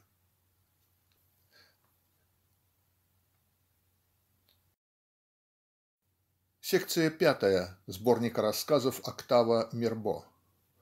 Эта запись сделана для проекта LibriVox и является общественным достоянием. У мирового судьи Камера мирового судьи помещалась в мэрии в нижнем этаже в зале выходившей окнами прямо на площадь. Это была комната без мебели с вымощенным плитами полом со стенами выбеленными известью. Она была разгорожена посредине чем-то вроде балюстрады из некрашенного дерева которая служила в то же время и лавкой для всех без разбора и для тяжущихся сторон и для адвокатов это в те дни, когда разбирались крупные дела. И для любопытных. В глубине залы, на низкой эстраде, сделанной из плохо сколоченных досок, стояли три маленьких столика, и перед ними три небольших стула. Средний из них был предназначен для господина мирового судьи. Тот, который стоял направо, для письмоводителя, а налево для судебного пристава. За этими столиками висело на стене изображение распятия в потерявшей позолоту рамке имевшее жалкий вид и засиженное мухами. Вот и все. Когда я вошел в залу то уже все собрались зала была наполнена крестьянами опиравшимися на свои ясеневые палки с черными кожаными ремнями и крестьянками с тяжелыми корзинами закрытыми крышками из-под которых высовывались красные гребни цыплят желтые клювы уток и уши кроликов. Ото всех их сильно пахло конюшней и хлевом. Мировой судья человек маленького роста плешивый с гладко выбритым красным лицом в грязном пиджаке внимательно слушал то что говорила какая-то старуха которая стояла в отгороженном и предназначенном для тяжущихся сторон месте сопровождая каждое из своих слов выразительными и сердитыми жестами. Письмоводитель с растрепанными волосами и одутловатым лицом сложив на груди руки и наклонив над столом голову казалось спал тогда как сидевший напротив него судебный пристав очень худой с очень длинной бородой и очень грязный что-то записывал на скорую руку на кучке грязных дел. Старуха замолчала. "Вы все сказали?" Спросил мировой судья. "Что извольте говорить, господин судья?" спросила истица, вытянув шею, которая была у ней вся покрыта морщинами, точно куриная лапка. "Я спрашиваю у вас, кончили ли вы вашу болтовню о стене?" повторил судья на этот раз громче. "Да, господин судья. То есть, прошу извинения, дело вот в чем. Это стена, к которой Жан-Батист Массе пристроил свои И она хотела снова повторить то же самое, но судья прервал ее. "Хорошо, хорошо, довольно, Мартина, мы пошлем повестку. Письмоводитель". Письмоводитель поднял голову, причем сделал ужасную гримасу. "Письмоводитель", повторил судья. "Послать повестку, запишите". А затем он начал считать по пальцам. "Во вторник э, мы вызовем его во вторник. Да, так, во вторник. Следующее дело". Письмоводитель, подмигнув глазом, просмотрел список, перевернул лист, потом опять перевернул его на первую страницу, а затем, проведя пальцем снизу вверх по списку, вдруг остановился. "Готельес Руссо!" выкрикнул он, оставаясь неподвижным. "Здесь ли Готелье и Руссо?" "Здесь", сказал один голос. "Вот я", сказал другой голос. И оба крестьянина встали с места и вошли за решетку. Они стояли с неуклюжими манерами напротив мирового судьи который протянув по столу свои руки положил крест-накрест их кисти с мозолистыми пальцами. "Говорите вы, Готелье. Ну, что еще вышло у вас, любезный?" Готелье покачался на ногах утер себе рот рукой посмотрел направо и налево почесал в голове плюнул и наконец скрестив руки на груди заговорил "Вот в чем дело, господин судья. Мы шли домой с ярмарки Сен-Мишель, и я и моя жена, а потом Руссо, все вместе. Я продал двух телят и, с позволения сказать, свинью. Ну, мы немножко и подвыпили. И мы ворочались в сумерках. Я пел, а Руссо все время дразнил мою жену. И жена все время говорила "О, перестань, пожалуйста, Руссо! Господи, да какой ж ты глупый! Ты точно ребенок!" И повернувшись к Руссо, он спросил "Ведь так было дело?" "Да так", отвечал Руссо. "На половине дороги, продолжал после небольшой паузы Готелье, я вижу вдруг, что моя жена поднимается вверх по косогору, перелезает через низкую изгородь, за которой идет большой ров. "Куда ты идешь?" спрашиваю я. "А не твое дело", отвечает мне она. "Хорошо, говорю, а мы с Руссо идем дальше. Прошли мы с ним несколько шагов, гляжу, и Руссо тоже поднимается вверх по косогору, шагает через низкую изгородь, за которой идет большой ров. "Куда это ты идешь?" спрашиваю я. "И не твое дело", отвечает он мне. "Хорошо, говорю, и иду своей дорогой". И он снова повернулся к Руссо и спросил: "Ведь так было дело?" "Да, так", ответил Руссо. "А я все иду своей дорогой", продолжал Готелье. "Иду, иду, иду, а потом обертываюсь назад и вижу, что на дороге нет никого. Я и думаю, это странно. Куда ж они запропастились? Я ворочаюсь назад. Что-то очень долго, думаю себе, мы немножко подвыпили, это правда, но что-то очень уж долго. А вот прихожу я на то место, с которого Руссо поднялся по косогору, и тоже перелезаю через изгородь и смотрю в ров. Господи, говорю я сам себе, да ведь это Руссо с моей женой. Извините, пожалуйста, господин судья, но я точно так и сказал себе. Среди присутствующих послышался кое-где смех, но Готелье не обратил на это никакого внимания. Он продолжал. Так вот, Руссо был с моей женой, с позволения сказать, и вот как он дрягал во рву ногами. Не, надо было только видеть, как он дрягал ногами, этот проклятый Руссо. А сукин сынок негодяй, ух, бездельник, эй, парень, кричу я сверху, эй, Руссо, послушай, скотина ты. Я кричал это во все горло, но сколько я ему не кричал, ничего не помогло. Тогда я сам спускаюсь в ров, схватываю Руссо за шиворот, за блузу. «Постой!» — говорит он мне.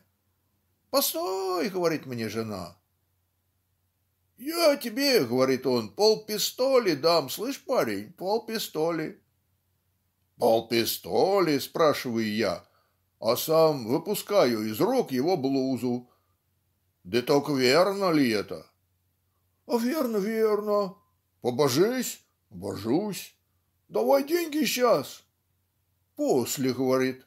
«Ну хорошо», — говорю, и вот я опять иду на дорогу. Готелье и в третий раз потребовал, чтобы Руссо подтвердил его слова. «Ведь так было дело». «Да, так», — отвечал Руссо. Очень довольный этим, Готелье возвысил голос. «Вы слышите, господин судья? Вы слышите? Он обещал! Он божился! Потом он вместе с моей женой опять пришел на дорогу, а я сидел тут и поджидал их. «Давай полпистоли», — говорю я. А он мне в ответ «Завтра, завтра, а сейчас со мной нет и двух льярдов». Может быть, это была и правда, я ничего не сказал. И вот мы пошли опять по дороге все вместе, и я, и моя жена, и потом Руссо. А я опять стал петь, а Руссо опять начал дразнить мою жену. А она ему все время говорила, перестань же, Руссо, господи, да чего ты глуп, это и точно ребенок. А когда мы расходились, то я сказал Руссо, помни, парень, ты мне побожился. Побожился, и он пожал мне руку, сделал глазки моей жене и потом ушел.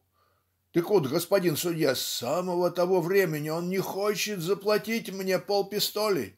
Да еще к довершению всего, не дальше, как вчера, когда я потребовал от него долг, он назвал меня рогоносцем. Проклятый рогоносец, ты можешь себя обшаривать. Вот что он сказал мне. Он опять повернулся к Руссо и спросил. «Ведь так был дело. На этот раз Руссо как-то смешно покачался на ногах и ничего не ответил. Мировой судья был сильно озадачен. Он тер себе рукой щеку, смотрел то на письмоводителя, то на судебного пристава, как будто бы прося у них совета. Очевидно, он был в недоумении и не знал, как решить это дело сказал он. Затем он несколько времени думал. "Ну, а ты, жена Готелье, что скажешь об этом?" Спросил он у толстой женщины, которая сидела на лавке с корзиной между коленями и следила за рассказом мужа с таким серьезным видом, что на нее тяжело было смотреть. "Я? А я ни о чем не скажу", отвечала, встав с места, жена Готелье. Но что касается до того, что он обещал и божился, господин судья, он обещал дать полпистоли, обманщик. Судья обратился к Руссо. Так как же, парень, ведь ты обещал, не правда? Ты ж побожился? Руссо со смущенным видом вертел в руках свой картуз. "Да, конечно, сказал он. Ну вот что я скажу вам, господин судья. Пол пистоли я не могу заплатить, это слишком дорого. Это не стоит, ей-богу, не стоит. Но надо же как-то-нибудь уладить это дело. Пол пистоли, может быть, это и действительно немного дорого. Э, послушай ты, Готелье, может быть, тебе довольно будет ЭКЮ? "Нет, нет, нет, нет, я не возьму ЭКЮ, пол пистоли, потому что он побожился". "Ну подумай, любезный, ЭКЮ это деньги, а потом Руссо, кроме того, угостит тебя венцом. Ну что ж, ты согласен?" Оба крестьянина посмотрели друг на друга, почесывая у себя за ухом. "Ну, ты согласен на это, Руссо?" спросил Готелье. "Конечно, отвечал Руссо. Ведь мы с тобой приятели". "Ну, ладно". Они пожали друг другу руки. "Следующее дело", сказал громким голосом судья, в то время как Готелье, его жена и Руссо вышли медленными шагами из камеры, согнув спины и махая руками. Конец пятой секции.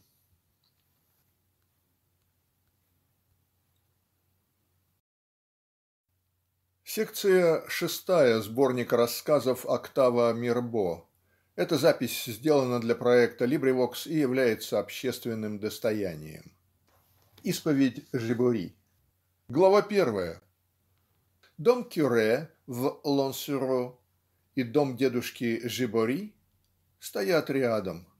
Последний низенький, почерневший от времени и покачнувшийся, а первый двухэтажный с красивым фасадом, выкрашенным желтой краской и с белыми ставнями. Оба сада, отделяющиеся один от другого тонкой изгородью из терновника, спускаются к Рилле, узенькой и неглубокой речке, вода которой тихо журчит в этом месте между камышами и тростником.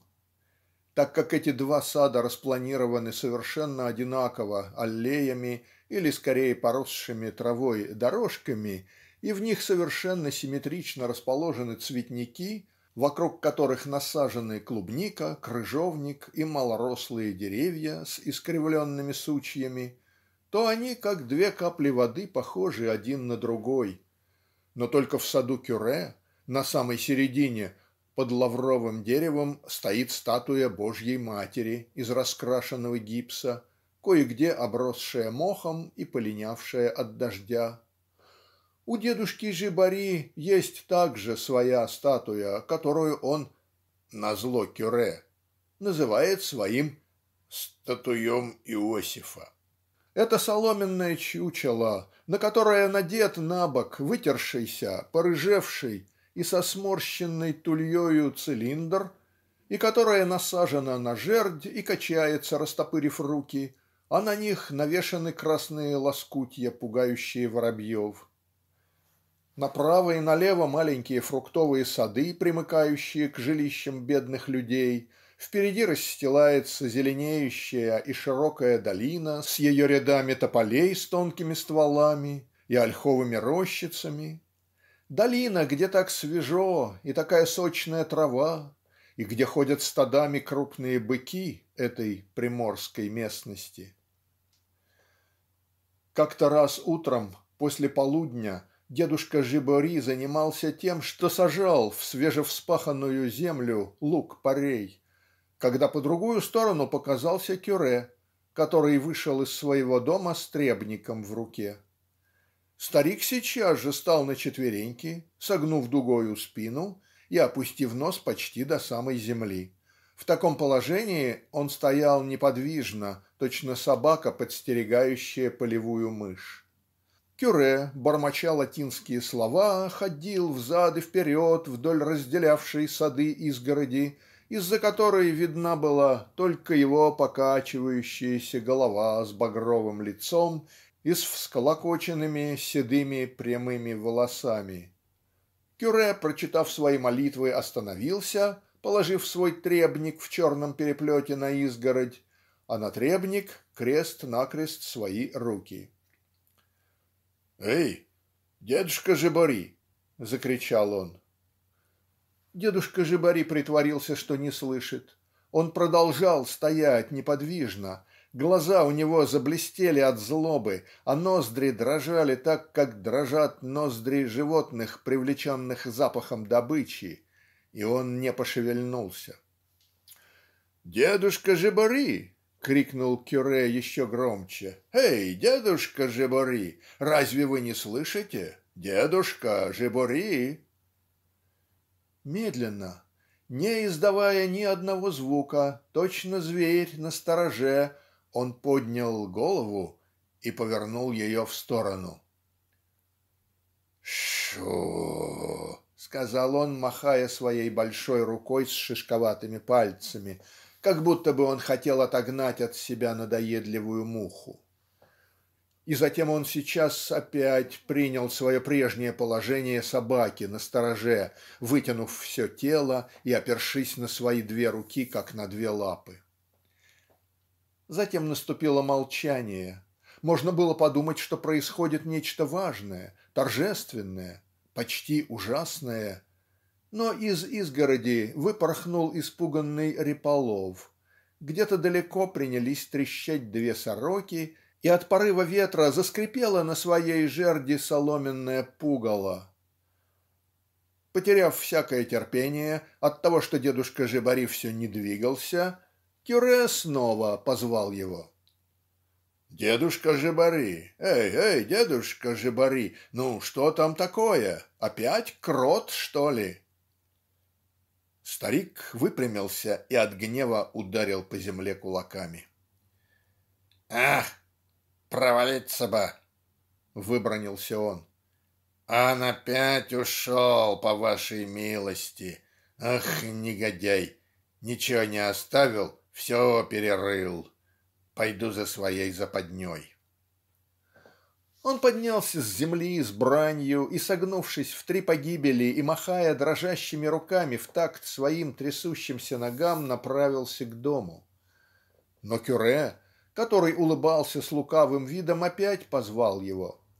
«Скажите, пожалуйста, дедушка Жибори, от чего происходит то, что всякий раз, как я выйду в сад, вы непременно подстерегаете крота. А я почем знаю, отвечал старик грубым тоном. Может быть, это от вас. Черт возьми, крот и потом кюре это, конечно, одно и то же. Пойду за своей западней. Да подождите немножко, дедушка Жибари. Ну, мы об этом говорить не будем. А как вы себя чувствуете? Вполне хорошо. Силы нет, господин Кюре, силы нет. Ноги у меня слабые, а потом голова, да и весь я. Вот как у меня вертит внутри, ах, черт возьми, у меня вертит точно на мельнице.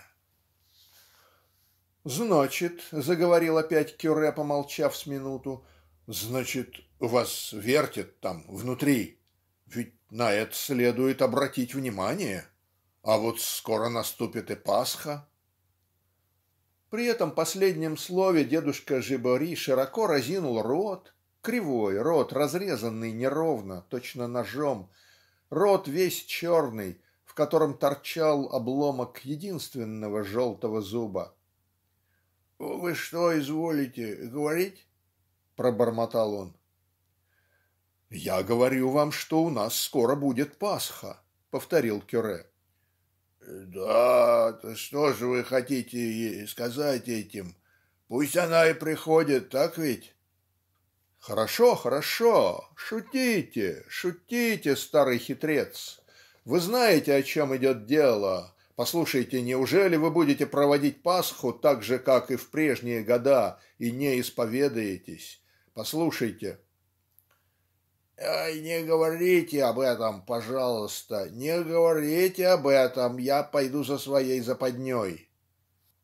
Тогда Кюре заговорил властным тоном. "Выслушайте меня, дедушка Жебори", сказал он с важностью.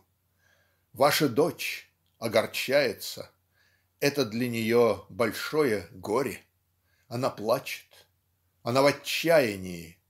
Вы причиняете ей большое горе тем, что вы такой безбожник".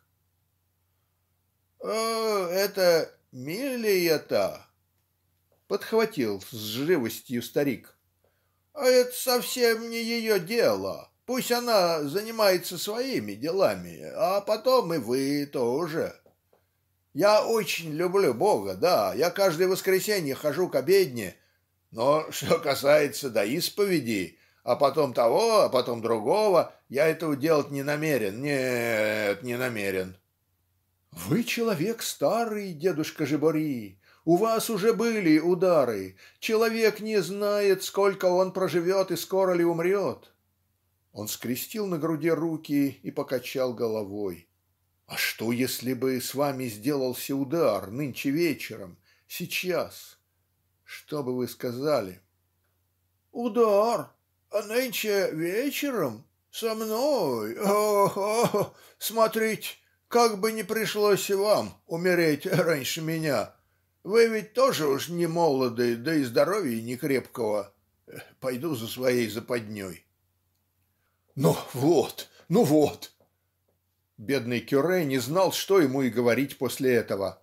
Ответы дедушки Жибари, которым придавало еще больше выражения злоба, светившаяся в этих маленьких мигающих глазах, это упорное спокойствие насмешливого грубого человека сбивали его с толку, раздражали и пугали, как будто бы он находился в присутствии самого черта. Ему хотелось бы разбранить его но он сдержался боясь чтобы старик не рассвирепел еще больше а также и в надежде на то что ему удастся наконец привести к раскаянию этого старого закоренелого грешника. Птицы перелетали с одного низкорослого дерева на другое распевая на солнце а там внизу тихо журчала река вода которой задевала качающиеся от ветра стволы камыша Вдруг рыжая кошка, которая пробиралась по грядке, где недавно был посажен латук, пустилась бежать со всех ног, в два прыжка перескочила через сад, пролезла через отверстие в изгороди и скрылась. Кюре был в большом смущении и придумывал, как бы половчее снова завязать разговор. Он вынул из кармана своей рясы табакерку, взял из нее щепотку табаку и отряхнув несколькими щелчками свою руку вдохнул в себя понюшку и громко отфыркнулся. "Послушайте, дедушка Жебори", сказал он вдруг. "Вы человек хороший. Я сделаю вам одно предложение. О, ну да, одно прекрасное предложение". И он начал барабанить пальцами по своему требнику мотив псалма. Старый крестьянин навострил уши. Он посмотрел на Кюре глазами, в которых было написано недоверие. Кюре продолжал. «У меня остается еще одна бутылка старого вина, только одна бутылка старого вина, но такого старого, которому больше двадцати лет.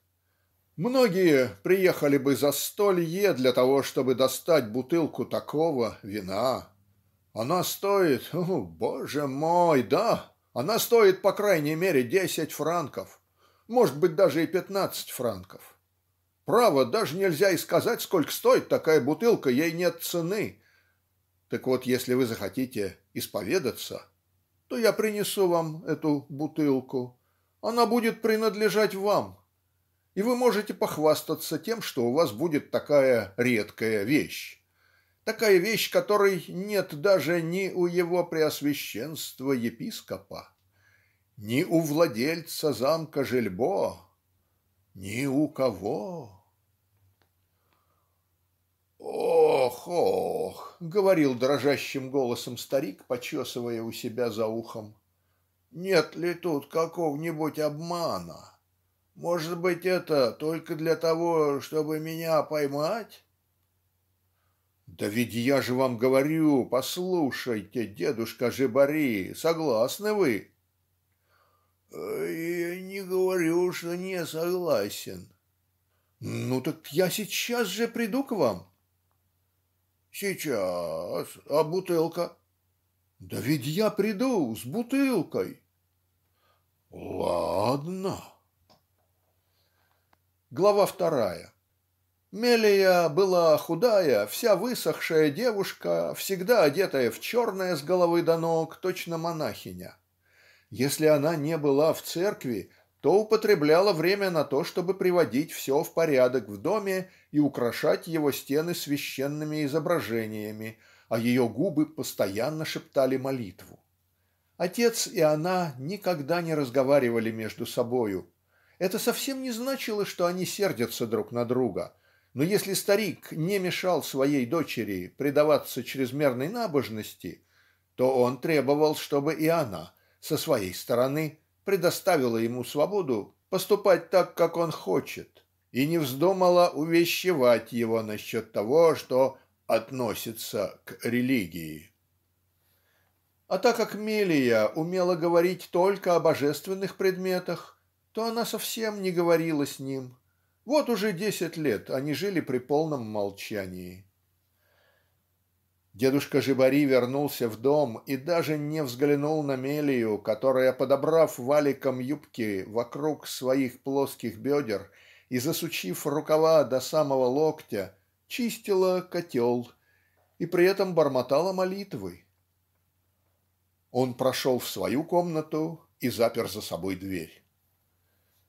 Через четверть часа он услыхал голоса в соседней комнате слышен был шепот и сдерживаемые восклицания а когда он отворил двери то увидел кюре который улыбался так и сиял и держал в руке бутылку. "Ох, ох, дедушка Жибари!"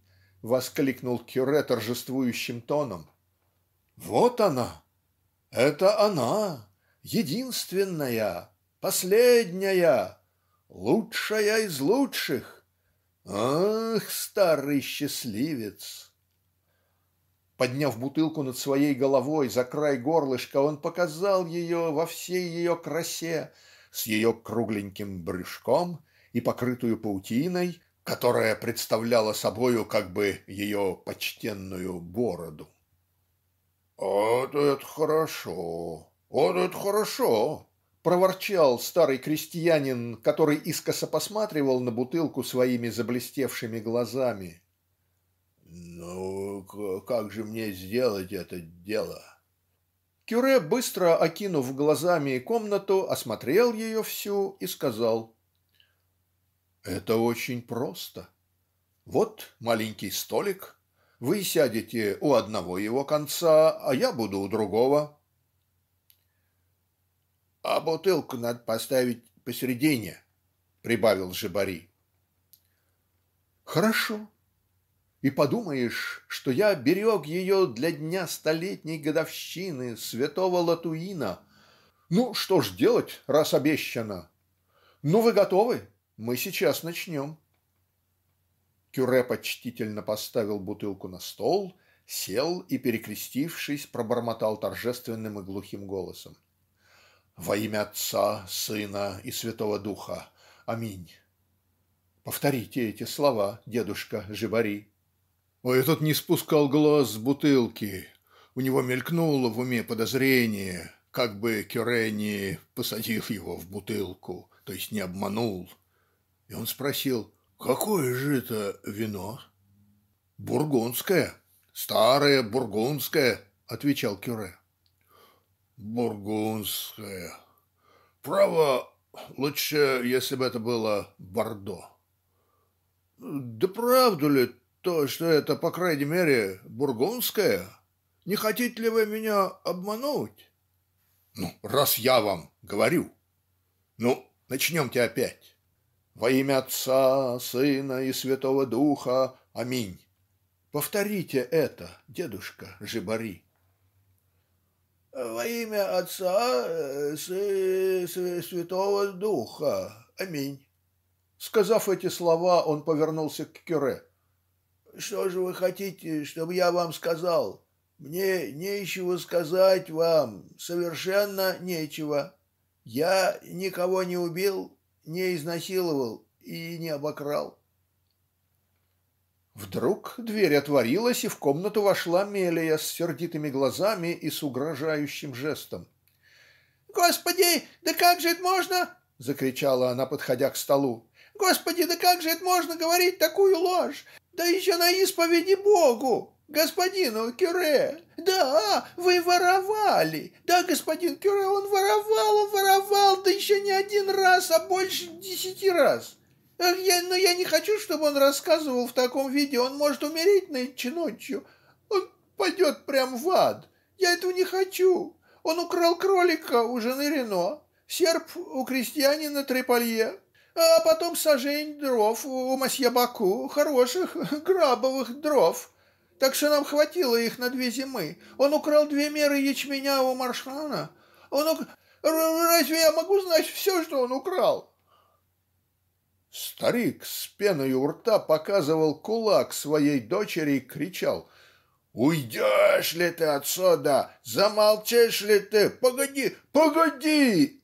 Он хотел встать, но в торопливости так толкнул стол, что бутылка наклонилась, покатилась по столу и раньше, чем Кюре успел удержать ее, упала на пол по которому при звоне разбитого стекла разлилась красная жидкость. Все трое стояли с минуту в ужасе, пораженные, с разинутым ртом и вытаращенными глазами, следя взглядом за тонкими извилистыми красными струйками, которые текли все дальше, разделялись, соединялись и исчезали в трещинах пола. «Проклятый плут!» — выбронился Кюре, ударив кулаком по столу. «Пресвятая Богородица!» — взмолилась Мелия, сложив свои руки. «Я пойду за своей западней». Вот все, что сказал дедушка Жибори, который совсем встал и пошел медленными шагами из комнаты волоча свои деревянные башмаки и размахивая руками. Конец шестой секции.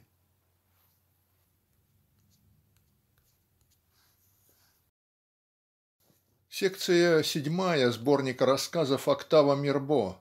Эта запись сделана для проекта LibriVox и является общественным достоянием. Горе крестьянина Пито. Глава первая. Крестьянин Пито запрягал в конюшне своих лошадей, приготовляясь выехать на пашню, и при этом ворчал, бронился и плевал. Фонарь, в котором вместо стекла была вставлена роговая пластинка, освещал потолок, с расщелившихся досок которого висели растрепанные клочки сена а на грязных стенах забрызганных навозной жижей двигались принявшие огромные размеры тени скотины. У двери конюшни появилась работница Луиза. "Эй, хозяин!" позвала она. "Хозяин!" "Ну, что там еще?" спросил Пито, собирая веревочные постромки и завязывая их в один большой узел. "Что там еще?" Подите скорее сюда, а я не знаю, что такое сделалось с перепелкой. Она не хочет вставать. Сколько я не била ее башмаком под зад, она не двигается. А потом она дышит. Она дышит. Господи, как она дышит!» «Что же это? Что же это ты говоришь, что она не хочет вставать, эта корова?» «Да, не хочет». «Что же, что же, подожди меня!" Пито отцепил фонарь и пошел за работницей. На дворе только что рассветало. Это было очень холодное пасмурное утро и стоял туман один из тех желтых ноябрьских туманов при которых не видно ни земли ни неба туман в котором едва можно различить контуры деревьев и домов контуры эти затем исчезают и смешиваются со сгустившейся бесцветной атмосферой представляющей собой печальный образ небытия.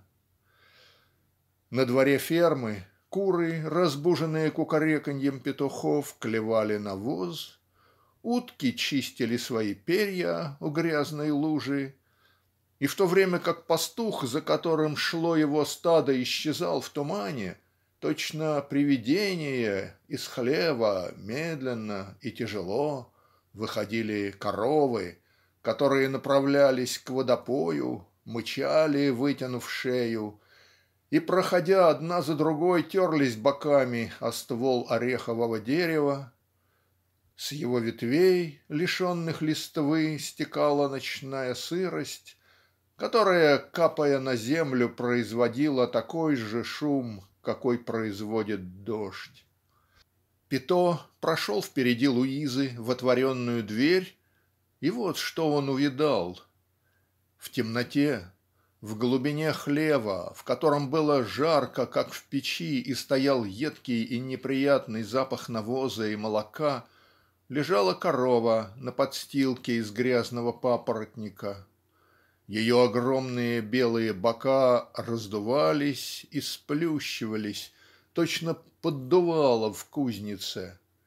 Ее бедра испещренные рыжими пятнами были запачканы мочой и зеленоватым калом и из ее морды протянутой на грязной подстилке выходило какое-то свистящее и короткое дыхание.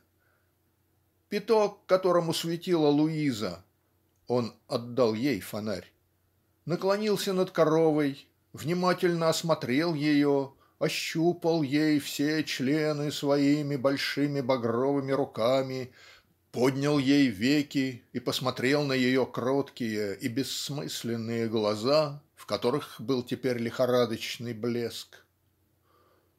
"Ну, перепелочка", сказал он с нежностью. "Ну, моя красавица, перепелочка, что ж с тобой, моя милочка, где у тебя болит, скажи, моя королева, где тебе больно?" Он взял из яслей свеклу, которую разломил пополам, и, обнюхав сначала оба куска, подал их один за другим корове, которая отвернула голову, а сама и не пошевелилась. "Что же это?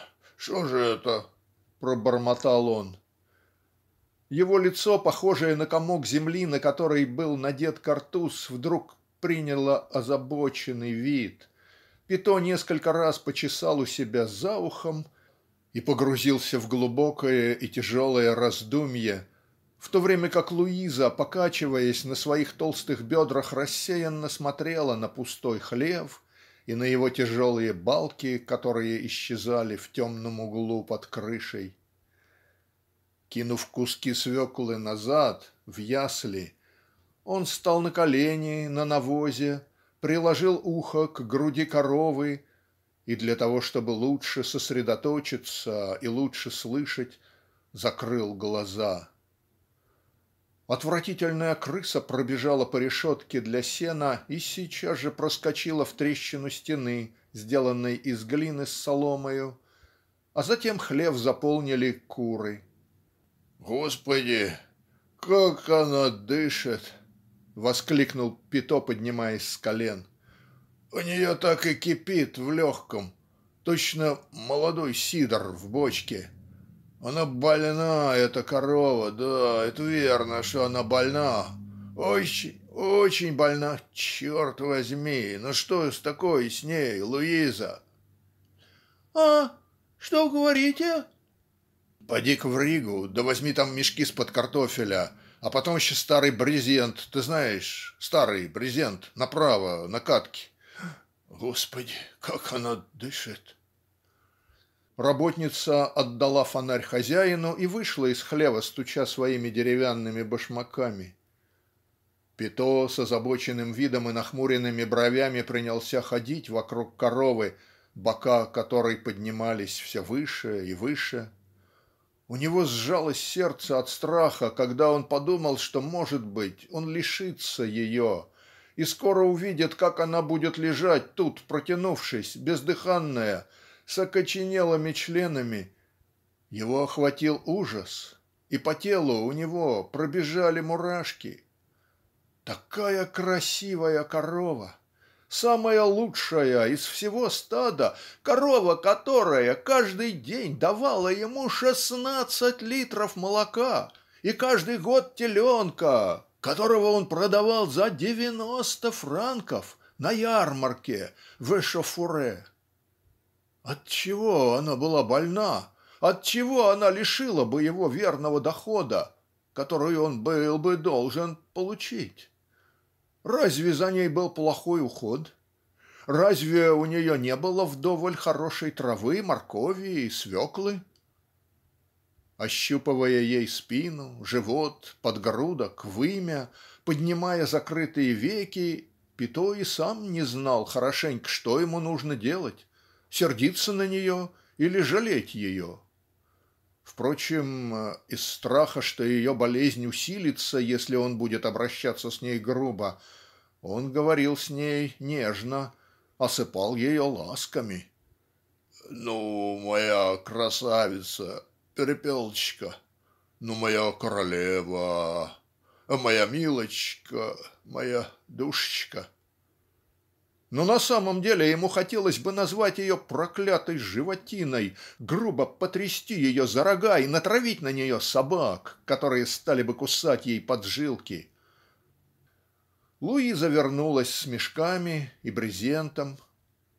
Оба они очень осторожно обвернули ими корову с нежностью закутали ее как ребенка. "Ну, моя бедная перепелочка", говорил Пито. И всякий раз Луиза отвечала на эти слова "Ну мой херувимчик, мой цыпленочек, мой поросеночек, ну моя бедная перепелочка". Глава вторая. "Замолчишь ли ты, скверный мальчишка?" Кричала жена Пито, которая, сидя на корточках перед большим котлом с засученными до локтя рукавами рубашки, мяла в руках картофель, который она потом обваливала в отрубях и обмакивала в сметану. "Погоди, погоди, вот я тебя отшлепаю, будешь ты у меня так орать!" Но крики, которые шли из маленькой, плетеной из ивовых прутьев колыбели, стоявшей между двумя кроватями в этой комнате не прекращались и вдруг послышались какие-то хриплые звуки точно хрипенье ребенка которого душат. "Ах, проклятый мальчишка! Ах, горлан!" закричала фермерша. "Да замолчишь ли ты?" Перед большой печью, выкрашенной сажей, сидела на задних лапах любимая собака Рике и пристально смотрела на догоравшую вязанку хвороста, а две кошки спали, растянувшись во всю длину на теплой золе. Жена Пито подошла к колыбели, в которой не переставал кричать ребенок. Было тяжело смотреть на его худенькое бледное сморщившееся и делающее ужасные гримасы лицо. Его глаза были закрыты дряблой кожей и полоса где сходились закрытые ресницы казались раной из которой сочится кровь. Крики с трудом вырывались из его сжавшегося горла и все его тело судорожно передергивалось от конвульсий под простыней из небеленого холста. "Когда ж ты перестанешь плакать, а, скверный мальчишка?" сказала фермерша, которая, наклонившись к колыбели, подняла ребенка и встряхнула матрац, набитый мекиной и запачканный испражнениями. "Ну, прибавила она, кладя ребенка снова. "Ну спи. Если б тебя слушать, то пришлось бы оставить всякое другое дело и возиться только с тобой". Она отошла от колыбели, стала на колени перед печью и развела опять огонь, который был готов погаснуть. Собака поднялась и стала ходить по комнате, обнюхивая пол. Кошки проснулись, потянулись и влезли на стул. В эту минуту в комнату вошел Пито, за которым шла Луиза. "Я думаю, что Перепелка больна", сказал он, покачивая головой. "Очень больна, да, очень, очень больна". Фермерша, которая дула на головешке, быстро выпрямилась. "Что ты говоришь? Что такое ты говоришь?" спросила она, немного побледнев. "Я говорю, что Перепелка очень больна, вот что я говорю. Очень, очень больна". "Что ж с ней сделалось?" "Да не знаю. У нее что-то в легком. Она ничего не ест а потом она пухнет. А потом она тяжело дышит, подтвердила Луиза.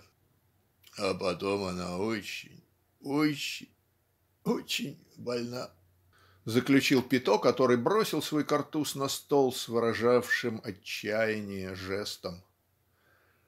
Жена Пито была так поражена этим, что не сказала ни слова. Для нее было ужасно слышать, что ее красивая корова, дававшая так много молока, перепелка, тяжело дышала, пухла, ничего не ела, была очень больна. Это известие совсем ошеломило ее. Впрочем, она скоро пришла в себя и, бросив на Пито сердитый взгляд, закричала она пухнет, она тяжело дышит, а ты стоишь-то точно дурак и только чешешь у себя в голове. Ты, может быть, думаешь, что ветеринар – это только для собак, дуралей ты?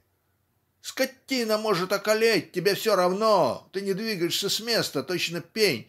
Подложил ли ты ей хоть свежей соломы? Ты, Господи!» Ребенок снова начал кричать и колыбель скрипела от усилий этого бедного маленького существа которое боролось с болезнью. В его крике то слабом как стон то пронзительном и раздирающем душу то глухом как предсмертное хрипение слышалась просьба о помощи. Но ни отец, ни мать не слыхали этого призыва, который выражался только криком. Они продолжали смотреть. Взбешенная жена Пито жестикулировала и говорила «Если ты будешь стоять тут досмотреть на меня с разинутым ртом, то разве это ей поможет?»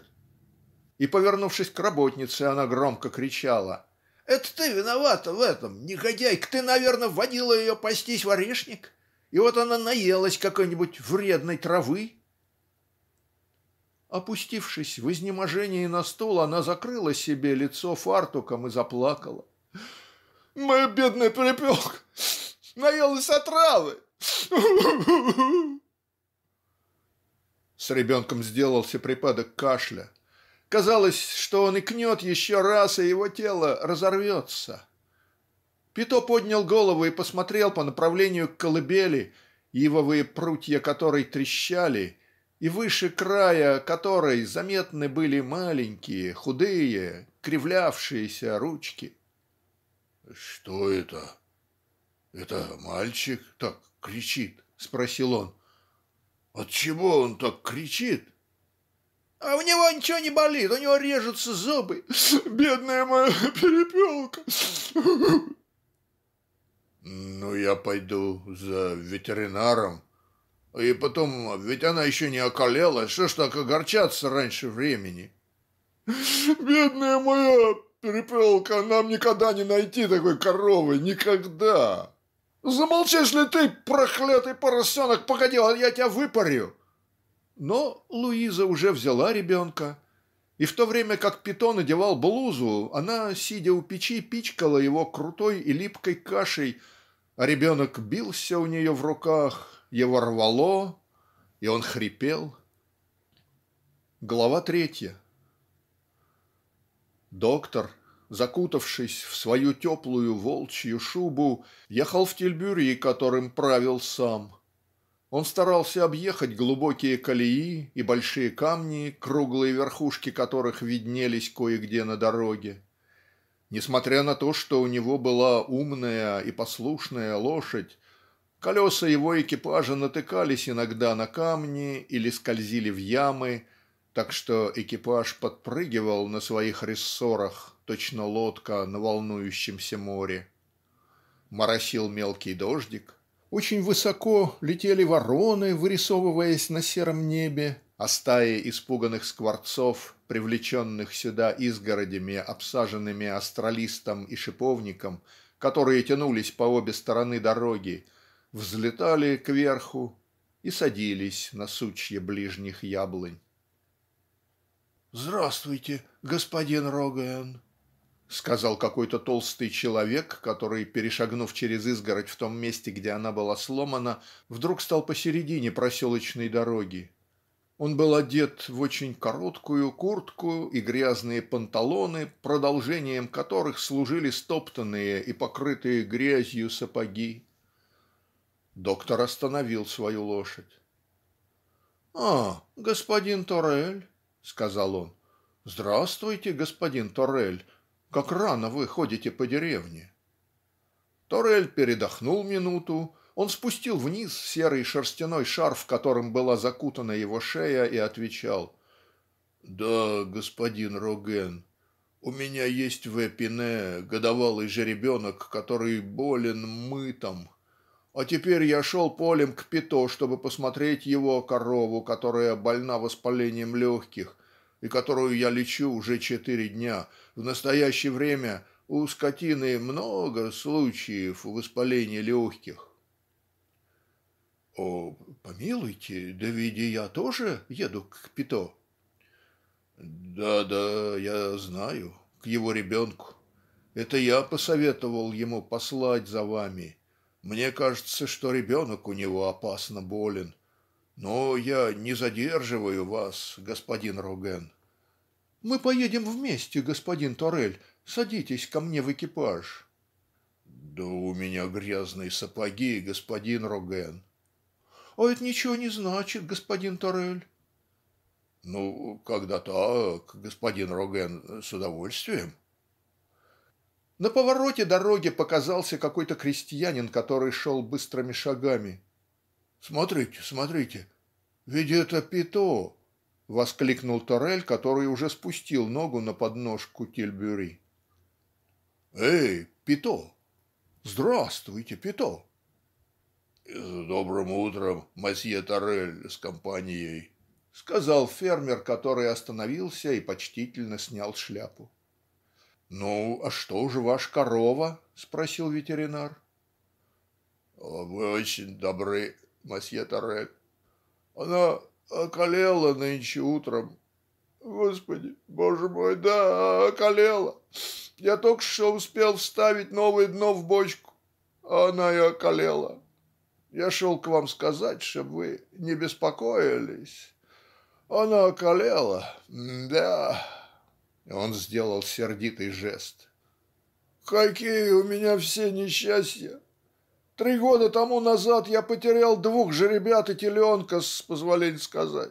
В прошлом году у нас околела жеребая кобыла, а в этом году я и сам не знаю, от чего это, но у меня погибли все куры, а теперь вот корова, прекрасная корова.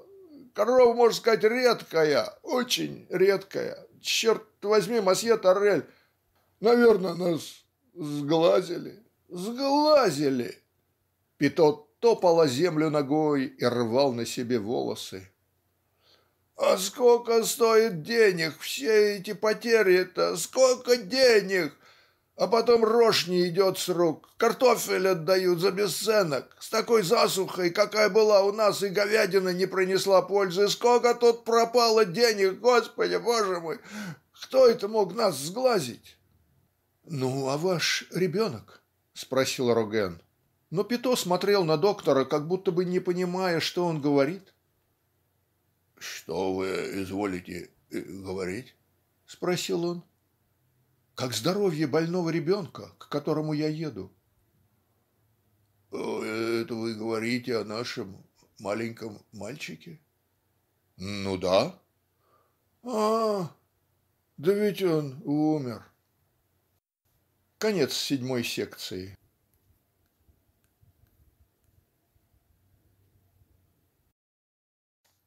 Секция восьмая сборника рассказов Октава Мирбо.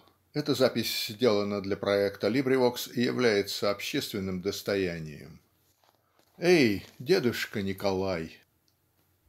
Мы шли целых два часа, показавшихся нам очень долгими, по полям, под лучами солнца, падавшими с неба точно огненный дождь. Пот тек ручьями у меня по телу и меня мучила жажда страшная жажда. Напрасно я искал ручейка, свежая вода которого журчит под листвой, или же родника, какие можно встретить в этой местности, маленького родника, который спит в своей нише из покрытой мохом земли. И я приходил в отчаяние. Язык у меня высох и в горле палило огнем. "Мы дойдем с вами до Гертодьера, той фермы, которую вы видите вон там", сказал мне мой спутник. "Дедушка Николай даст нам хорошего молока". Мы пошли через поле, лежавшее под паром, и комья земли рассыпались под нашими ногами в красную пыль. Потом, пройдя мимо засеянного овсом поля, на котором волновавшийся от легкого ветерка овес принимал синеватые оттенки, мы пришли во фруктовый сад, где под тенью яблонь лежали и спали пестрые коровы. На конце сада находилась ферма на дворе, образуемом четырьмя жалкими строениями, не было ни души, если только не считать цыплят, клевавших навоз, который лежал около овчарни и плавал в грязной навозной жиже. После напрасных попыток отворить затворенные и чем-то заставленные двери мой спутник сказал "Наверное, все в поле". Впрочем, он крикнул "Дедушка Николай! Эй, дедушка Николай!" Но никто не отзывался. "Эй, дедушка Николай!" Этот вторичный зов только напугал кур, которые разлетелись во все стороны с клохтаньем и махая крыльями. "Дедушка Николай!"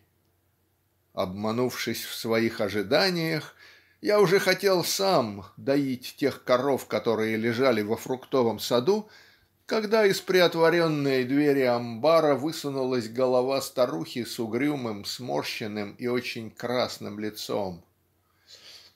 "Что нужно?" закричала крестьянка.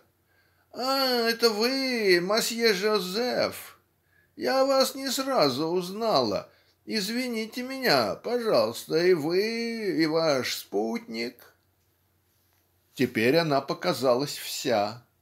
К голове у нее плотно прилегал бумажный колпак, кончик которого был откинут на лоб, часть плеч и шея, костлявые и сморщенные, можно сказать, кирпичного цвета, до такой степени они загорели от солнца выходили из складок широкой рубашки из толстой холстины сдерживаемой у пояса коротенькой почти детской юбкой с черными и серыми полосами.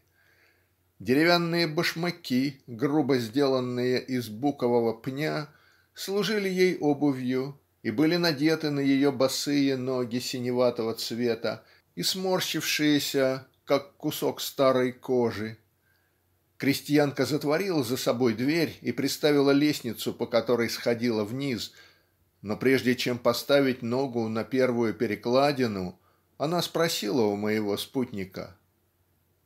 "Это вы кликали моего мужа, дедушку Николая?" "Да, бабушка, это я".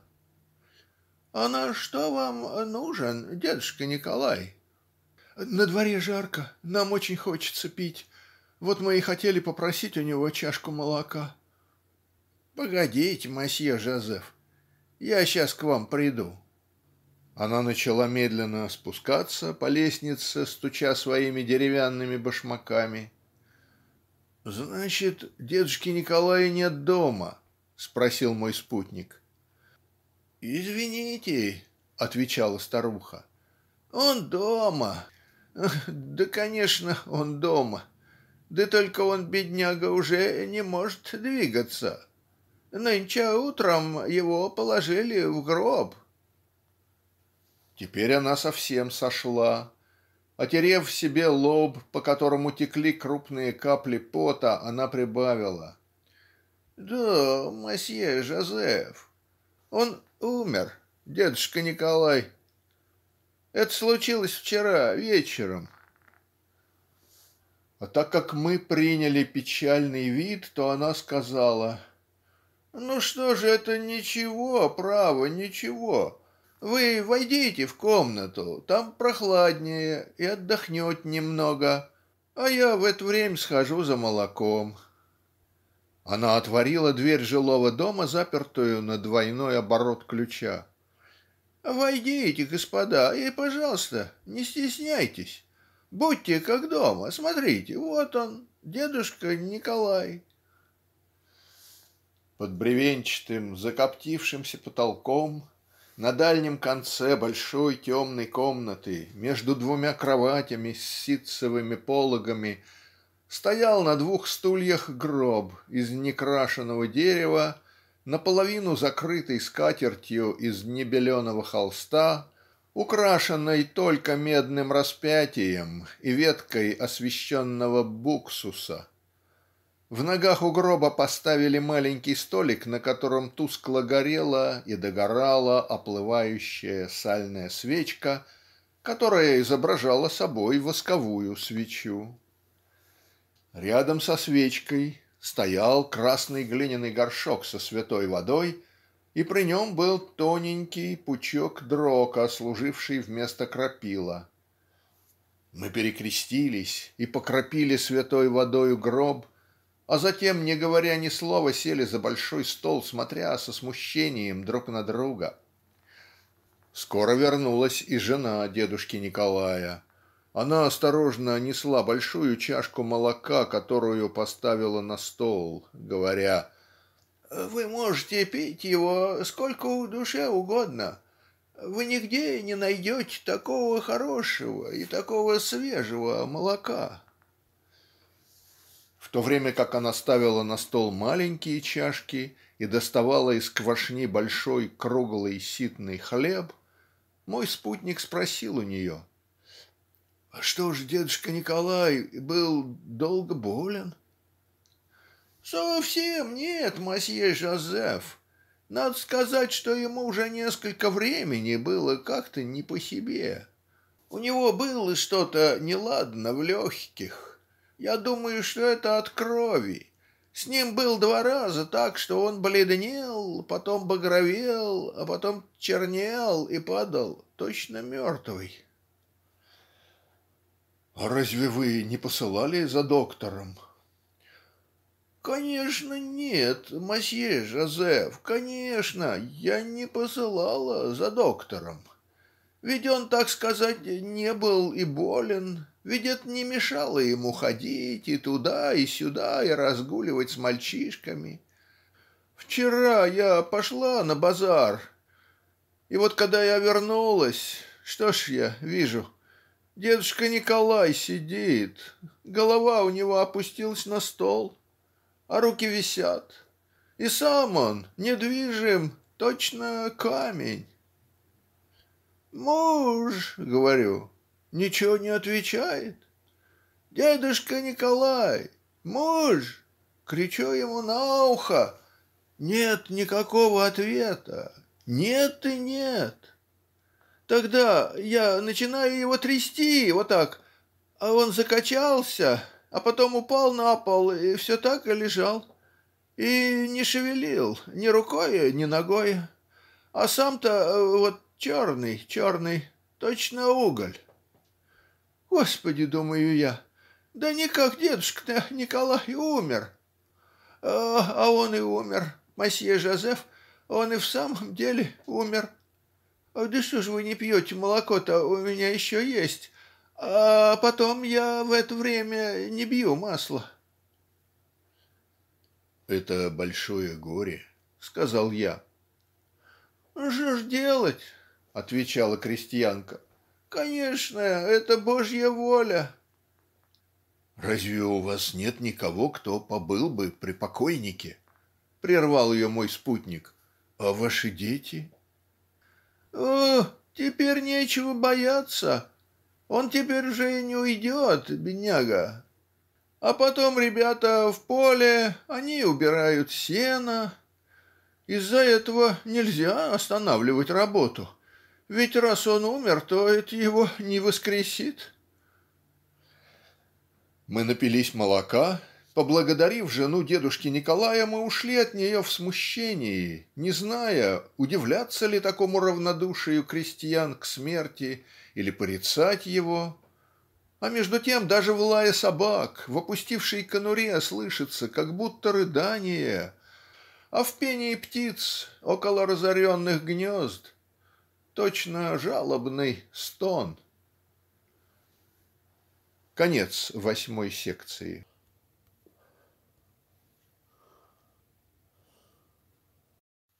Секция девятая сборника рассказов «Октава Мирбо». Эта запись сделана для проекта LibriVox и является общественным достоянием. Смерть собаки. Глава первая. Ее хозяин звал ее Турком. Это была худая собака, желтой шерсти, с понурым видом, со строконечной мордой, с короткими, плохо подрезанными ушами, из которых всегда сочилась кровь, и с хвостом, который поднимался над ее спиною, как покрытый паршами вопросительный знак. Летом турок ходил в поле, стерег коров, лаял на дорогах, на экипажи и на пешеходов, за что ему приходилось получать много ударов ногой и камнями. Его самой большой радостью было выпугнуть зайца из жнива, на котором уже пробивался молодой клевер, и заяц бежал перед ним, а он гнался за этим зайцем через изгороди, канавы, ручейки и рвы, делая огромные прыжки и мчась, что есть духу, после чего он возвращался домой запыхавшись с поднимающимися боками с высунутым языком и весь в поту. Зимою в то время когда скотина лежала в оцепенении на своей теплой подстилке турок лежал в своей конуре. Это была старая бочка жалкого вида и без соломы и он лежал в ней целый день свернувшись в комок или же подолгу чесался. Он питался ненаварным и вонючим супом. Это было что-то вроде помоев с салом. И этот суп приносили ему утром в глиняной чашке с отбитыми краями. И всякий раз, как на двор входил какой-нибудь незнакомый ему человек, он бросался на него, делал прыжок во всю длину своей цепи и рыча показывал свои зубы. Он сопровождал также своего хозяина на ярмарки, когда тому нужно было продать теленка или купить свинью. Он бывал с хозяином и тогда, когда тот останавливался в городских трактирах. Одним словом, он, как и все собаки, был послушным, верным и несчастным. Глава вторая. Однажды, это было поздно вечером, возвращаясь с одной из отдаленных ярмарок со своим хозяином который остановился в деревянном кабаке он потерял его. В то время как его хозяин пил одну за другой рюмки стоящие три су шесть сантимов собака бродила вокруг кабака и с жадностью раскапывала кучи отбросов для того чтобы отрыть кость или какое-нибудь другое такое же лакомство. Когда она вернулась в кабак, стыдясь того, что она убежала, и ожидая, что ей за это достанется, она нашла тут только двоих полупьяных и совершенно незнакомых ей крестьян, которые выгнали ее пинками ноги. Турок ушел. Деревня стояла у перекрестка. К ней вело шесть дорог. По которой из них бежать? Казалось, что бедная собака была совершенно озадачена. Она насторожила уши для того чтобы услыхать по ветру знакомые ей шаги к которым она так привыкла обнюхивая землю как будто бы для того чтобы открыть на ней еще свежий запах следов. Затем Слегка вздохнув два раза, она быстро побежала, но вскоре она остановилась в тревоге и вся дрожа. Теперь она пошла по стороне дороги осторожно наклонив нос до самой земли. Она проходила только несколько метров по проселочным дорогам выводящим на большую дорогу поднимаясь на косогоры обнюхивала пьяных лежавших у рвов затем поворачивала назад и возвращалась по своим прежним следам осматривая всякую кучу деревьев всякий куст хвороста. Наступала ночь. Поля направо и налево от дороги утопали в фиолетовой тени. Так как взошла и поднялась на безоблачном небе луна то турок сел на задние лапы вытянув шею и смотря прямо на небесное светило он долго долго выл для того чтобы его услыхал хозяин которого он потерял. у у Но кругом была глубокая тишина.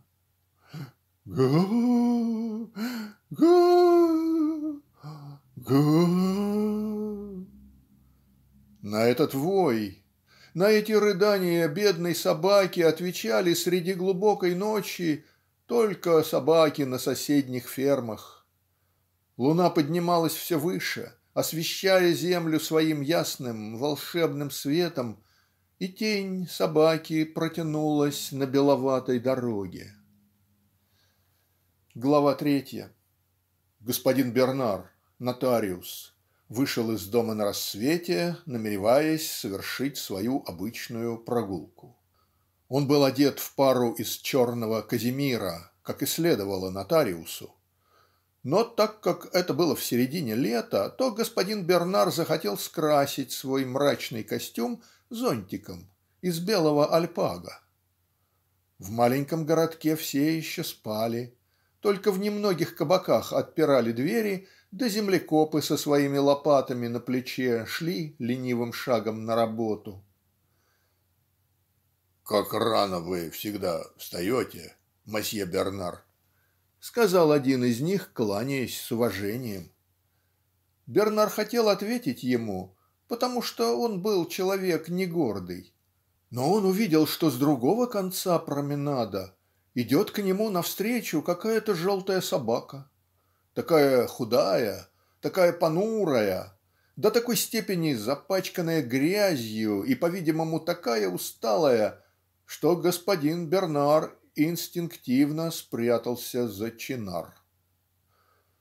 Собака эта была турок, бедный, жалкий турок. "О, подумал господин Бернар, это такая собака, которой я не знаю. Ого!" В маленьких городках жители знают всех собак точно так же как все жители знают друг друга и появление незнакомой собаки это такое же важное и обеспокоивающее событие как и появление незнакомого человека.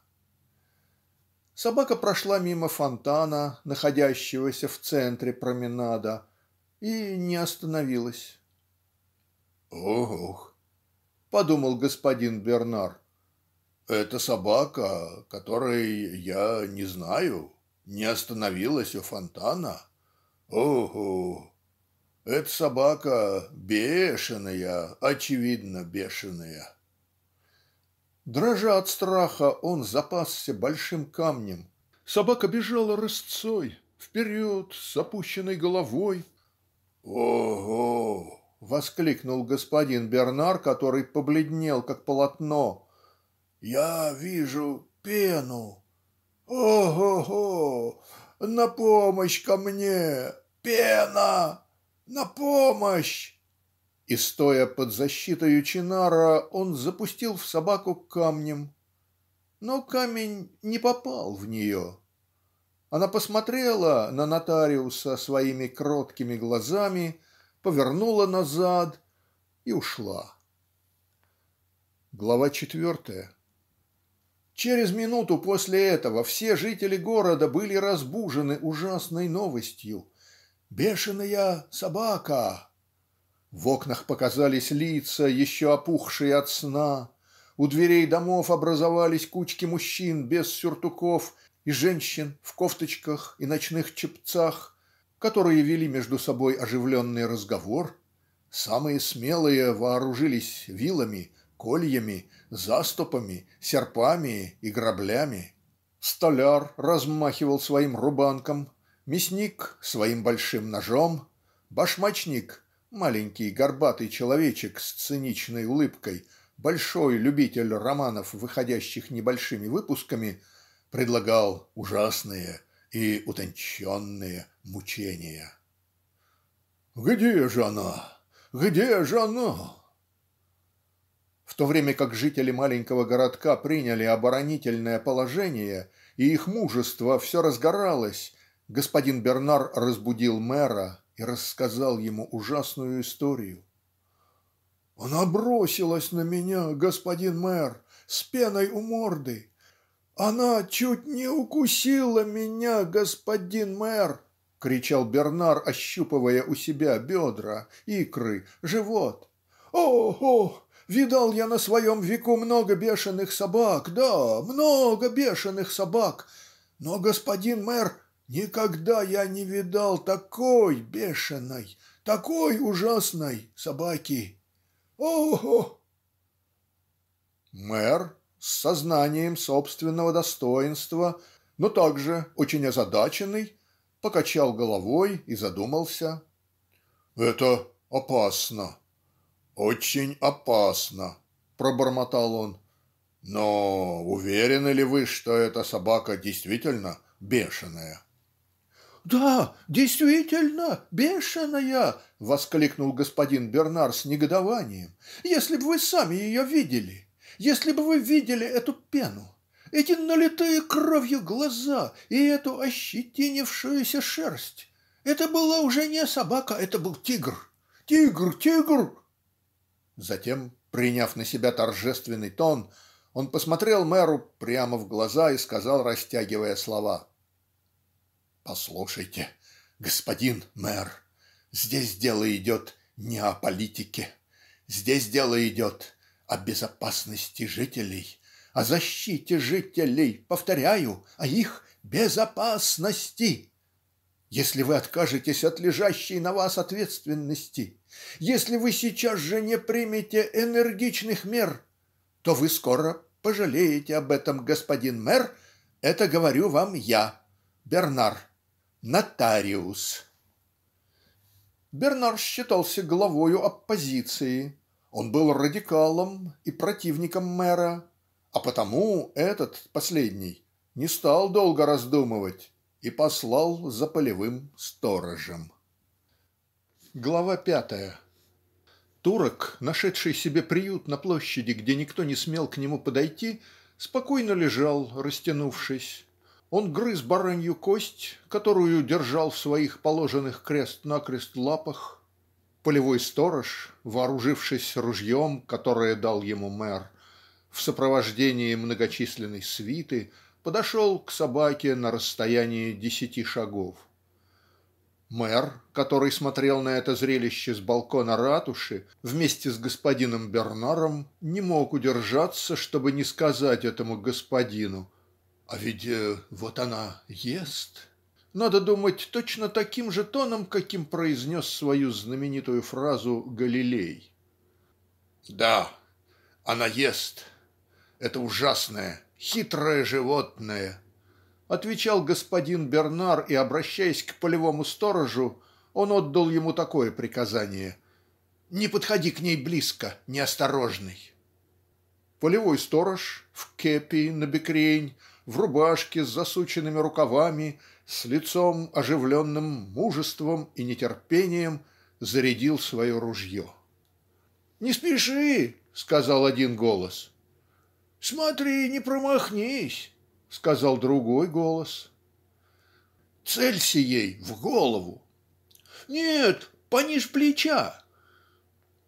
"Смирно", сказал полевой сторож, которому, наверное, мешала кепи, потому что он быстрым движением руки сбросил его с головы, и оно упало за ним прямо в пыль. И он прицелился в собаку, в эту бедную, эту жалкую собаку, которая, оставив свою кость, смотрела на толпу кротким и робким взглядом и, по-видимому, не понимала, чего хотели от нее все эти люди. Теперь шум затих, и наступила тишина. Женщины заткнули себе уши, чтобы не слыхать выстрела. Мужчины прищурили глаза, и все плотнее прижимались друг к другу. Этой толпою овладела мучительная тревога в ожидании чего-то необыкновенного и ужасного. Полевой сторож все прицеливался. Паф, паф. И в то же время раздался болезненный, раздирающий душу и протяжный вой. Вой, который раздался по всему городу. Собака встала, она побежала, хромая на трех ногах, и оставляла после себя небольшие капли крови. И в то время как собака бежала и бежала все дальше изумленный сторож смотрел на свое ружье озадаченная толпа смотрела на полевого сторожа а мэр разинув рот смотрел на господина Бернара который был в ужасе и негодовании. Глава шестая Турок бежал целый день, ужасно ковыляя на своих трех ногах, истекая кровью и останавливаясь по временам для того, чтобы зализывать свою рану, а затем, спотыкаясь опять, отправлялся в путь. Он бежал по дорогам, по полям, по деревням. Но везде уже была известна новость, наводившая ужас новость, что появилась бешеная собака у нее мутные глаза, шерсть ощетинилась, из ее пасти течет смешанная с кровью пена. И вот деревни вооружились, на фермах везде видны косы, везде в нее швыряют камнями, бьют ее палкой, стреляют в нее из ружья. Теперь все ее тело представляет собой только одну большую рану ужасную рану живого истерзанного тела из которой кровь льется на пыльную дорогу окрашивает в красный цвет траву и те ручейки которые она переплывает. А она все бежит и бежит натыкаясь на камни на кочки на кусты травы. Ее постоянно преследуют криками кричат что ее надо убить к вечеру она прибегает на поле засеянное рожью к высокой и спелой ржи золотистые колосья которой тихо качаются от ветра.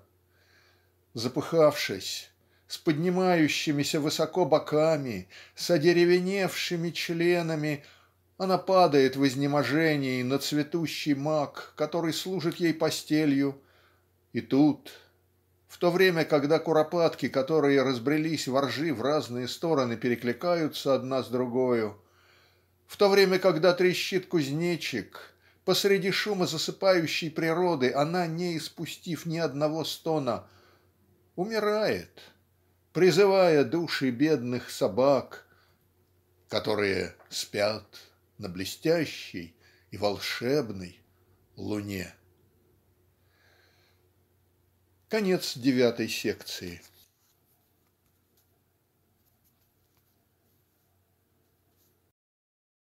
Секция десятая сборника рассказов Октава Мирбо. Эта запись сделана для проекта LibriVox и является общественным достоянием. Агрономия. Глава первая.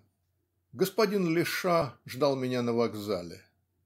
"Ах, вот и вы наконец!" воскликнул он. Я очень рад. Вы видите, сказал я, что я сдержал свое слово. Хвалю, я люблю, когда держат свое слово. Идите сюда, а ваш билет, давайте ваш билет. Ну, нам надо поскорее садиться в экипаж. Есть с вами багаж? Нет? Тем лучше. Мы пройдем вот тут. Господин Леша, схватив меня за полу теплого пальто, заставил пробежать с ним через весь вокзал и притащил меня таким образом к своей коляске, которая стояла вместе с другими экипажами на небольшой площадке, обсаженной акацией. "Садитесь, садитесь, черт возьми!" закричал он мне. И, обратившись к кучеру, он сказал повелительным тоном "Ну поезжай-то только скорее. Ты знаешь, что если меня обгонит кто-нибудь из этих дураков, то я тебя прогоню. В замок, скорее!" Лошади били ногою землю от нетерпения. Они потанцевали с минуту на своих тонких ногах, наклонив голову, а затем экипаж покатился по дороге. Господин Леша, став на колени на сиденье и наклонившись над верхом, внимательно следил за другими экипажами, которые ехали за нами вереницей один за другим и представлялись небольшими облачками пыли. "Будь осторожен", говорил он время от времени кучеру. Будь осторожен, черт возьми!" Но мы мчались во весь дух. Представлялось, что поля направо и налево бежали сломя голову. Через несколько минут экипажи наших соперников казались уже не более как маленьким серым пятнышком на белой дороге, а потом исчезло и это самое серое пятнышко.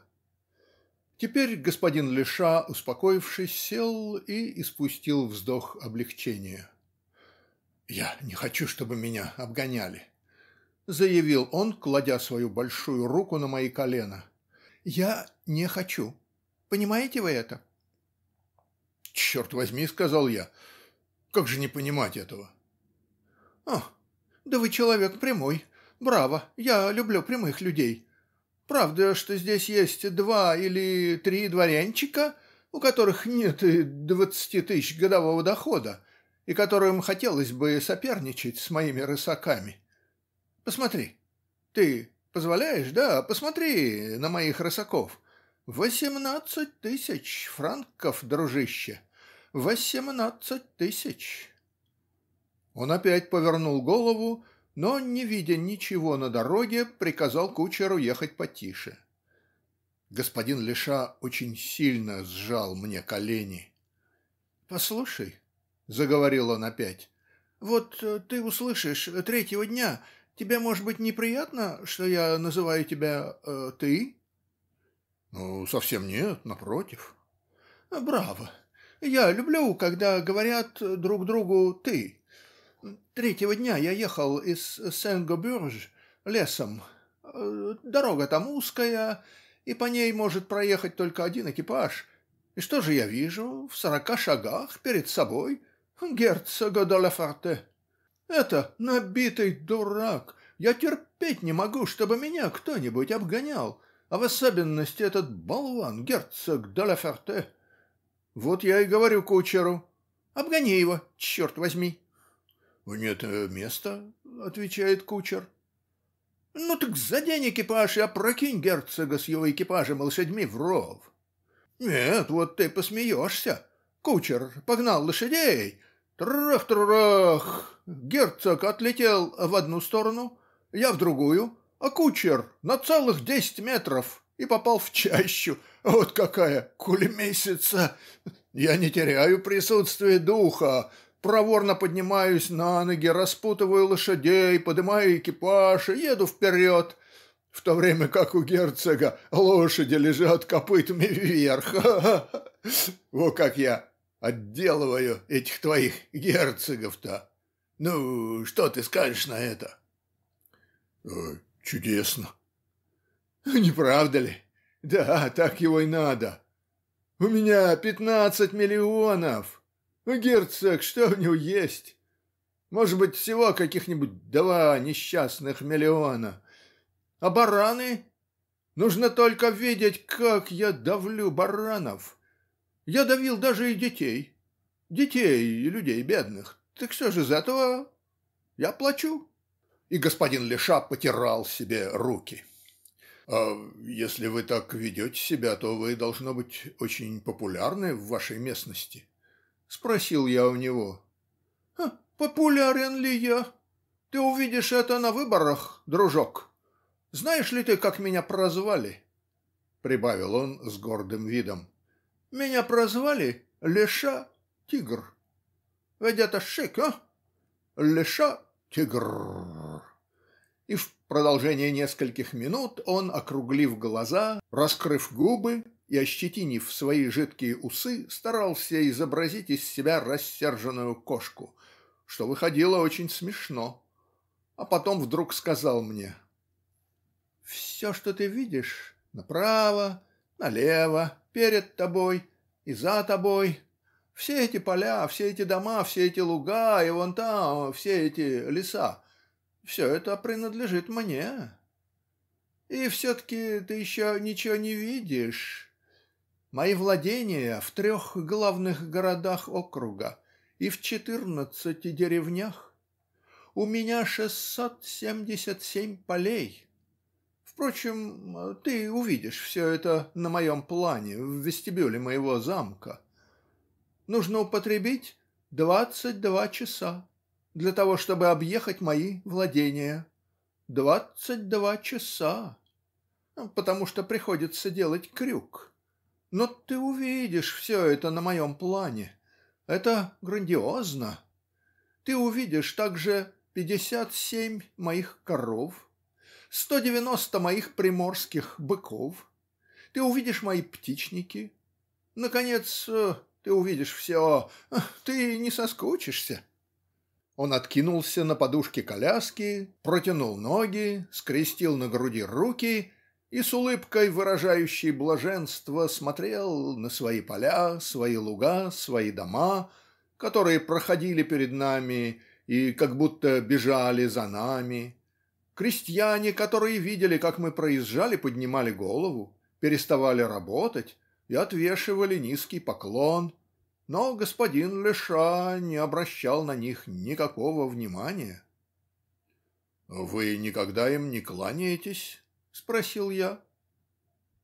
"Этим-то людям", отвечал он мне тоном, в котором слышалось презрение, и пожимая плечами. "Послушайте, вот что они заставляют меня делать".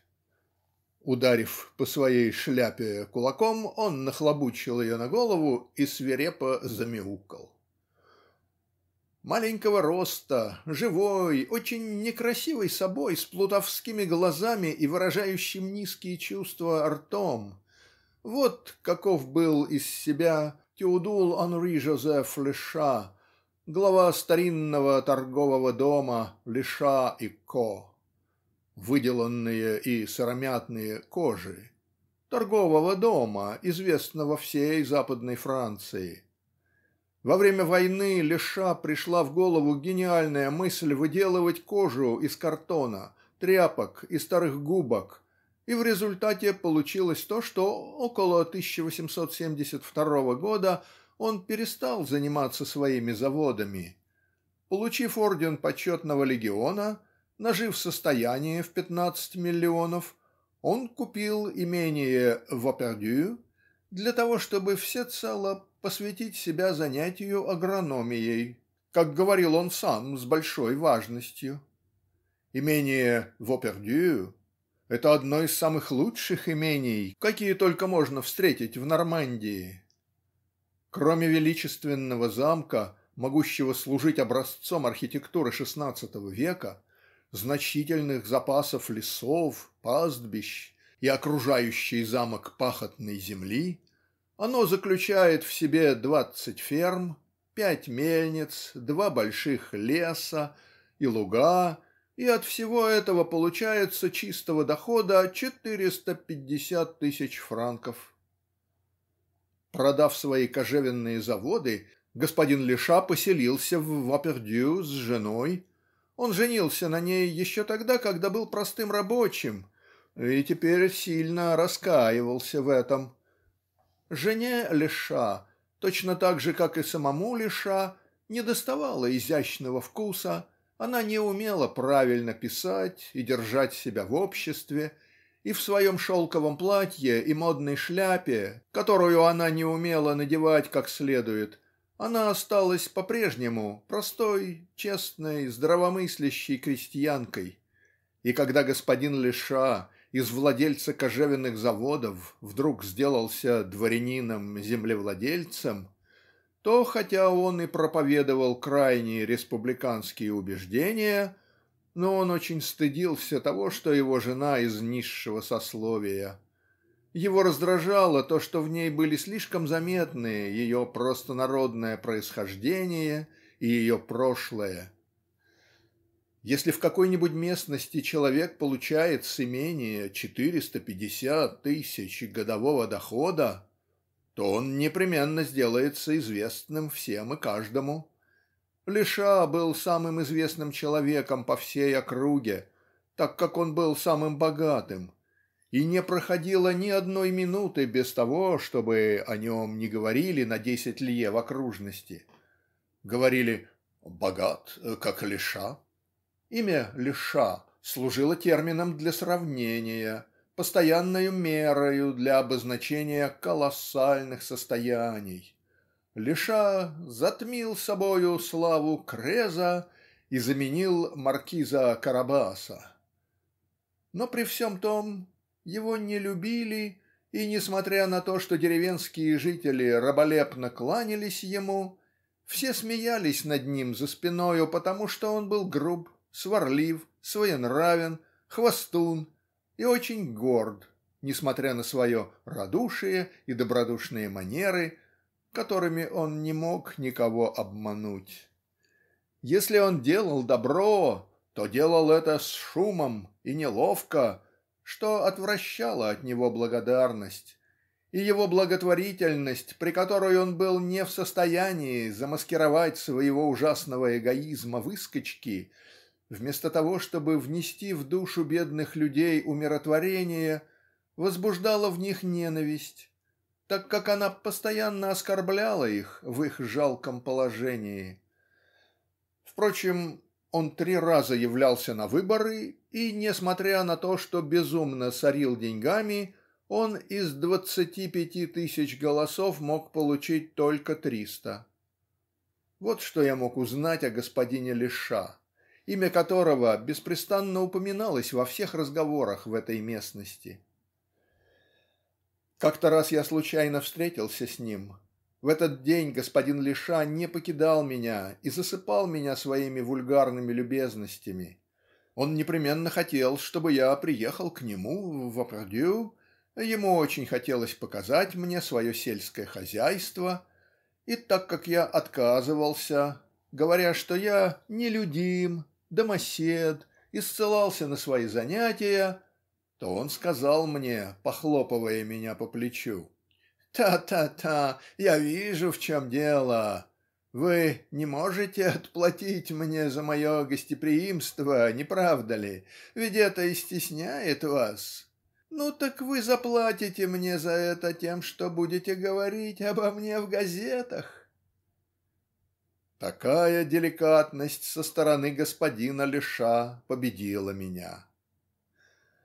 Коляска ехала по великолепной вязовой аллее на конце которой замок Вопердю освещенный солнцем выставлял на показ свои наклонные крыши с историческими гребнями и свой красивый фасад из белого камня с розовыми украшениями. "Ну вот мы и приехали, дружище, воскликнул господин Леша. Ну что ты скажешь? Каков у меня вид? Конец десятой секции.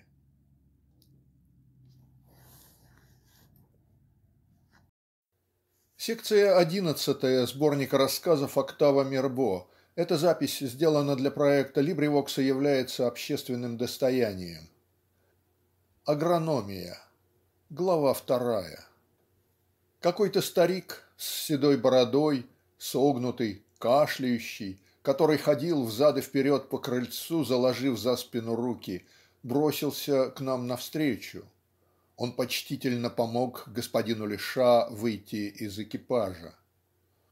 "Ну, дедушка Фонтенель, ходил ли ты за ветеринаром для коровы?" "Да, господин Леша", Прежде всего сними шляпу. Где это видано, чтобы слуги говорили с господами в шляпе? Хорошо. Ну и что же сказал ветеринар?" "Он сказал, что корову нужно зарезать, господин Лиша". "Он дурак твой, ветеринар зарезать такую корову, которая стоит пятьсот франков. Ты сделаешь мне удовольствие, дедушка Фонтенель, и отведешь корову сам, ты понимаешь, сам, к костоправу в Сен-Мишель, и сделаешь это сейчас же. Ну, проворней, ваше сиятельство". Старик поклонился и пошел, но Леша вернул его назад, крикнув ему "пст", так как кличут собак. "Я позволяю тебе, сказал он, надеть на голову твою шляпу и даже твою корону, если ты не продал ее со всем остальным. Теперь отчаливай". И повернувшись ко мне, этот шут Леша объяснил мне, что старик был у него управляющим что его настоящее имя было граф де ла Фонтенель что он приютил его у себя разорившегося без всяких средств для того чтобы спасти его от нищеты. "Да, дружище", так закончил он свой рассказ. "Это дворянин, граф. Вот как я третирую их, ваших графов-то. А у меня с дворянством не церемонится. Разве не по моей милости живет на свете этот вельможа, а? Ну, войдем. Вестибюль был огромный. Громадная лестница, украшенная перилами из старого дуба, вела в верхние этажи. В отворенные двери видны были целые анфилады комнат, где стояла неизвестно чем обитая мебель, которая была покрыта чехлами, а люстры были завернуты в металлический газ. Напротив входной двери занимал целую стену план имения. Огромная карта, раскрашенная яркими красками.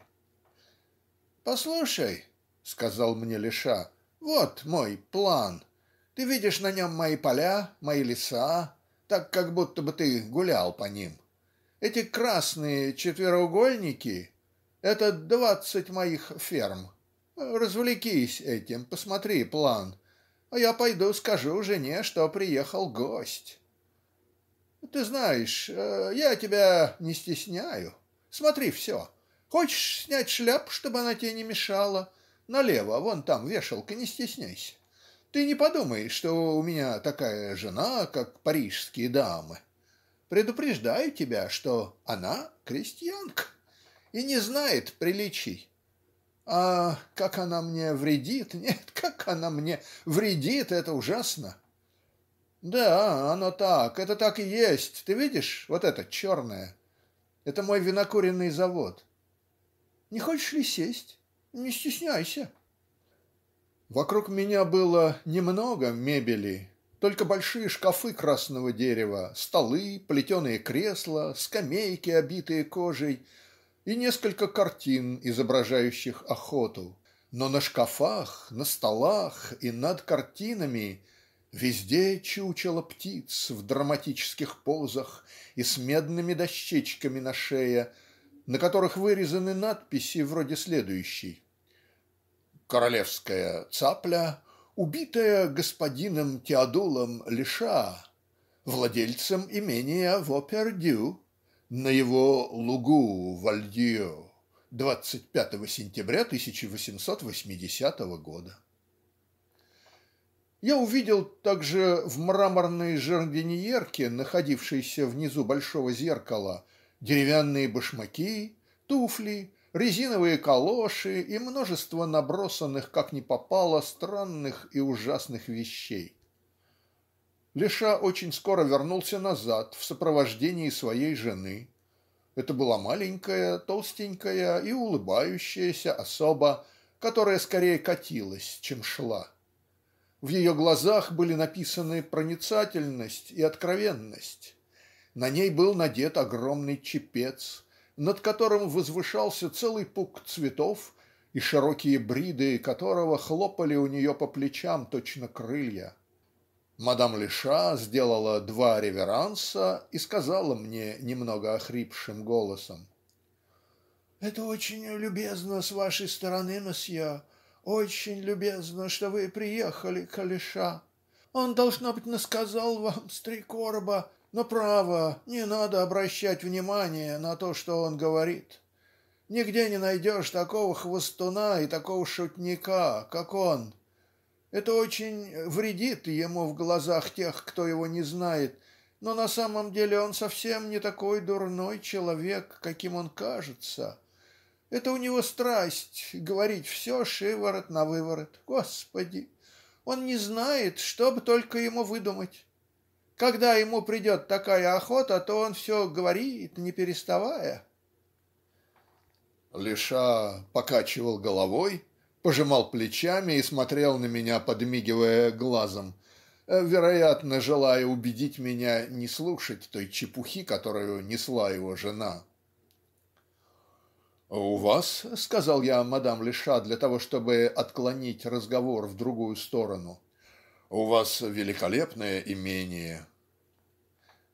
Мадам Леша вздохнула. "Оно слишком велико, видите ли, я никак не могу приучиться жить в таких больших зданиях. Тут заблудишься, а потом это обходится так дорого. Да, Леша хотел во что бы то ни стало сам обрабатывать землю. Он не хочет делать так, как другие. И вот у нас каждый день новые выдумки, паровые машины, опыты. Мало того, что на это уходит много денег, я хорошо знаю, что рожь не продается, никто ее не покупает и нет никакой прибыли жать ее. Но вот Леша вдруг выдумал посеять тут рис. Он сказал сам себе «Рис хорошо растет в Китае, отчего же он не вырастет и у меня?» Разумеется, он не вырос. Да и совсем другим такая же история. Вошел лакей. "Ну, парень, готов ли завтрак?" спросила она.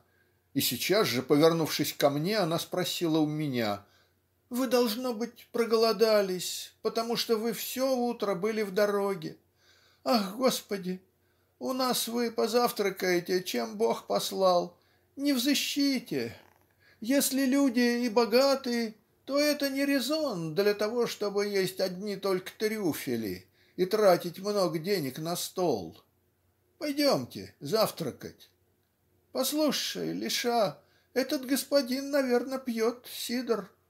Конечно, он пьет сидр, подтвердил решительным тоном Лиша, который потащил меня в столовую, повторяя мне шепотом на ухо.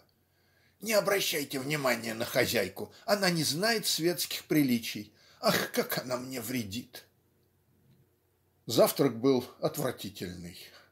Он состоял из остатков старого кушанья, очень странно приправленных. Я обратил особенное внимание на блюдо, составленное из маленьких кусочков когда-то жареной говядины, телятины, которую подавали раньше с белым соусом, цыпленка из фрикасе, которое подавали бог знает за сколько дней перед этим, все это плавало в жидком щавельном соусе, и блюдо это показалось мне самым новомодным винегретом. Пять или шесть винных бутылок, почти пустых, стояли в ряд на столе перед Леша, который время от времени сливал остатки из них в мой стакан, заявляя при этом всякий раз, что он раскупоривал хорошее вино только по воскресеньям, а в будни только тогда, когда у него бывали званые обеды. Озадаченный тем, что я видел и слышал в продолжении целого часа, я, по правде сказать, не знал, как держать себя в присутствии этих двух жалких существ, которые, благодаря тревожащей ум иронии жизни, потеряли разум от миллионов. Мною овладевала глубокая грусть и в то же время мне становилось тошно от зловония этого богатства приносящего только вред и соединенного со скряжничеством. К этому присоединилось еще горькое сознание бессилия человеческого правосудия сознание бессилия прогресса и социальных революций которые привели только к Леша и к его пятнадцати миллионам. Итак, только для того чтобы дать возможность Леша валяться как свинье в награбленном им золоте в этом нечистом золоте люди сеяли на все четыре ветра в продолжение веков семена идей и кровавая роса падала с вышины возводимых народом эшафотов на старую истощенную и бесплодную почву. И мне казалось, что я вижу в открытое венецианское окно столовой, которое служило как бы рамой для картины, для отлогих склонов волнообразных лужаек и для высоких густых лесов, принявших синеватый оттенок, мне казалось, что я вижу, как со всех сторон горизонта тянутся одни за другими ряды проклятых нищих и обездоленных судьбою людей, которые подходят и разбивают себе члены и череп о стены замка Вапердю. Я молчал все время. Я не находил ничего, что мог бы сказать. Вдруг Леша воскликнул когда я буду депутатом, да, когда я буду депутатом". Он докончил свою мысль тем, что начал вертеть над головою свою вилку. Жена смотрела на него с сожалением и несколько раз пожала плечами. "Когда ты будешь депутатом?" повторила она. "Депутатом? Это ты-то? А, да, депутатом. Ты слишком глуп для этого". Затем она обратилась ко мне, призывая меня в свидетели. "Я спрошу у вас, месье, но можно ли со здравым смыслом говорить подобные вещи? Вот он, как вы его видите, баллотировался три раза, и все три раза он не мог собрать больше трехсот голосов. Мне было бы стыдно на его месте, право, так. Но знаете ли вы, во что обошлись нам эти триста голосов? В шестьсот тысяч франков, месье. Это так же верно, как и то, что эта бутылка стоит здесь. О да, я подошла, уверяю вас. Шестьсот тысяч франков, ни одним су не меньше. Это значит, что на каждый голос приходится две тысячи франков и он еще говорит, что будет опять баллотироваться. Послушайте, вы не можете себе и представить, что он выдумал сделать на последнем празднике 14 июля. Это было, как он говорит, манифестацией. Ну так вот, он велел выкрасить в три цвета стволы всех деревьев в аллее. Леша улыбался. Он потирал себе руки и, по-видимому, радовался тому, что упоминали об одном из его подвигов, об одной из тех высоких идей, которые иногда выходили у него из головы. Он смотрел на меня, ожидая увидеть в моих глазах одобрение, восторг. "О, ловко, а?" спрашивал он меня. "Но разве женщины понимают что-нибудь в том, как надо вести народ?"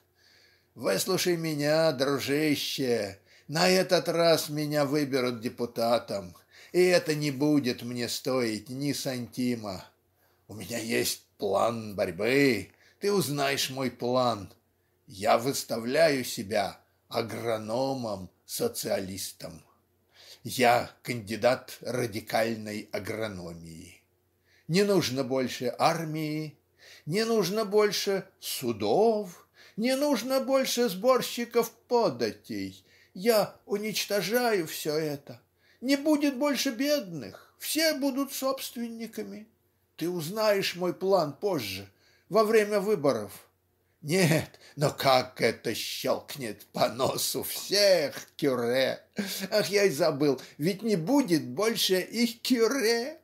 Ведь это кюре помешали мне пройти, потому что я вольнодумец и не причащаюсь. Они попляшут от моего плана борьбы, эти сумасброды!" При этих словах мадам Леша вспылила и закричала "Замолчи! Я запрещаю тебе называть так священников и отзываться так дурно о религии при мне, ты слышишь? Господи, с ним, да это хуже, чем с детьми. Не подумайте, что он безбожник, месье, но когда он с гостями, то он никогда не может не похвастаться. Да ведь чуть и где у него кольнет, он так и думает, что ему пришел конец, и немедленнее минуты посылает за священником. Если бы только слушать его, бедняжку, то Кюре не выходил бы от нас, то и дело причащал его. Право, так. Леша, чтобы скрыть смущение, которое он чувствовал при упреках своей жены, барабанил пальцами по краю своей тарелки и, глядя на потолок, следил за полетом мухи, насвистывая небрежно какую-то арию. Затем он кашлянул и сразу переменил разговор. "Жаль", сказал он мне. "Жаль, что ты не приехал в замок две недели тому назад я танцевал канкан. -кан. И вот ты увидел бы, умею ли я танцевать канкан. -кан. как в Париже, дружище. И ерзая на своем стуле, он выставил вперед руки и делал ими какие-то смешные движения. Ах, похвастайся, похвастайся еще и этим, сказала со вздохом мадам Леша потому что это от тебя, по милости твоего канкана, у нас нет рубашек. Посудите сами, масье, мы каждый месяц принимаем гостей из города. Это все очень любезные господа, и их дамы тоже. В особенности господин Гатинель, скупщик закладных, большой весельчак. Это правда, что он умеет посмешить компанию, Представьте себе, что он играет на рояле ногами, носом, всем чем угодно. И играет очень хорошо. Он всегда смешит меня, этот господин Гатинель, а потом все, что он говорит, это так смешно. Так вот, две недели тому назад этот господин приехал к нам со своими дамами. После обеда они стали танцевать, и я, право, не знаю, что это пришло им в голову, было очень жарко, если вы помните. И, Господи, Боже мой, как они вспотели! Вот как они вспотели! Впрочем, мы отворили все окна, но в воздухе чувствовалось, что будет сильная гроза. А потом, когда люди так бесятся, было очень весело. А когда бывает весело, то время проходит скоро, не правда ли? И обо всем позабываешь. Мы забыли, в каком часу отходил поезд. Я подумала, господи, придется оставить их всех ночевать, а это немалая забота. Хоть у нас и много комнат, но часто не достает постельного белья, а нужно было постельное белье на шестнадцать человек, ведь от этого можно совсем потерять голову. Тем хуже. Наконец мы кое-как разместили их, но только представьте себе, ведь дело этим не кончилось. Всем этим гостям нужно было дать также и рубашки, потому что их собственные рубашки были такие мокрые, такие мокрые, что хоть выжимай. Леша дал свои рубашки мужчинам, а я дала свои дамам.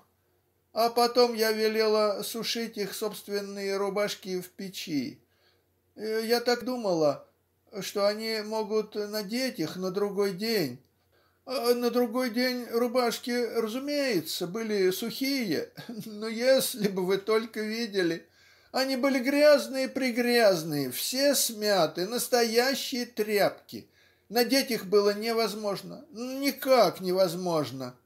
И тогда Леша снова дал свои денные рубашки мужчинам. Все они уехали очень довольные. Так вот, месье, после этого прошло уже две недели, а они все не присылают назад наших рубашек. Вы можете сказать все, что вам угодно, но я нахожу это неделикатным. хотя у нас и много белья, но ведь шестнадцать рубашек это целое приданое". Завтрак был кончен. Мы встали из-за стола и Леша взяв меня под руку потащил очень скоро за собою говоря что хочет показать мне свое сельское хозяйство. И мы отправились. Отделавшись от своей жены Леша снова сделался веселым оживленным словоохотливым и хвастался еще больше чем прежде. Он умолял меня не верить ни одному слову из того что она рассказывала за завтраком и клялся честью что он был вольнодумцем что он не верил ни в Бога ни в черта и что хотя он был социалистом но в сущности презирал народ. Он также сказал мне по секрету, что в городе у него была любовница, на которую он тратил много денег, и что все красивые девушки в деревне были от него без ума. "Ах, бедная жена", сказал он в заключение. "Как я ее обманываю! Как я всех их обманываю!" Мы побывали на скотном дворе, в конюшнях, на птичьем дворе он не пропустил ни одной коровы, ни одной курицы, называл кличку каждого животного, говорил, сколько оно стоит, и перечислял главные его качества.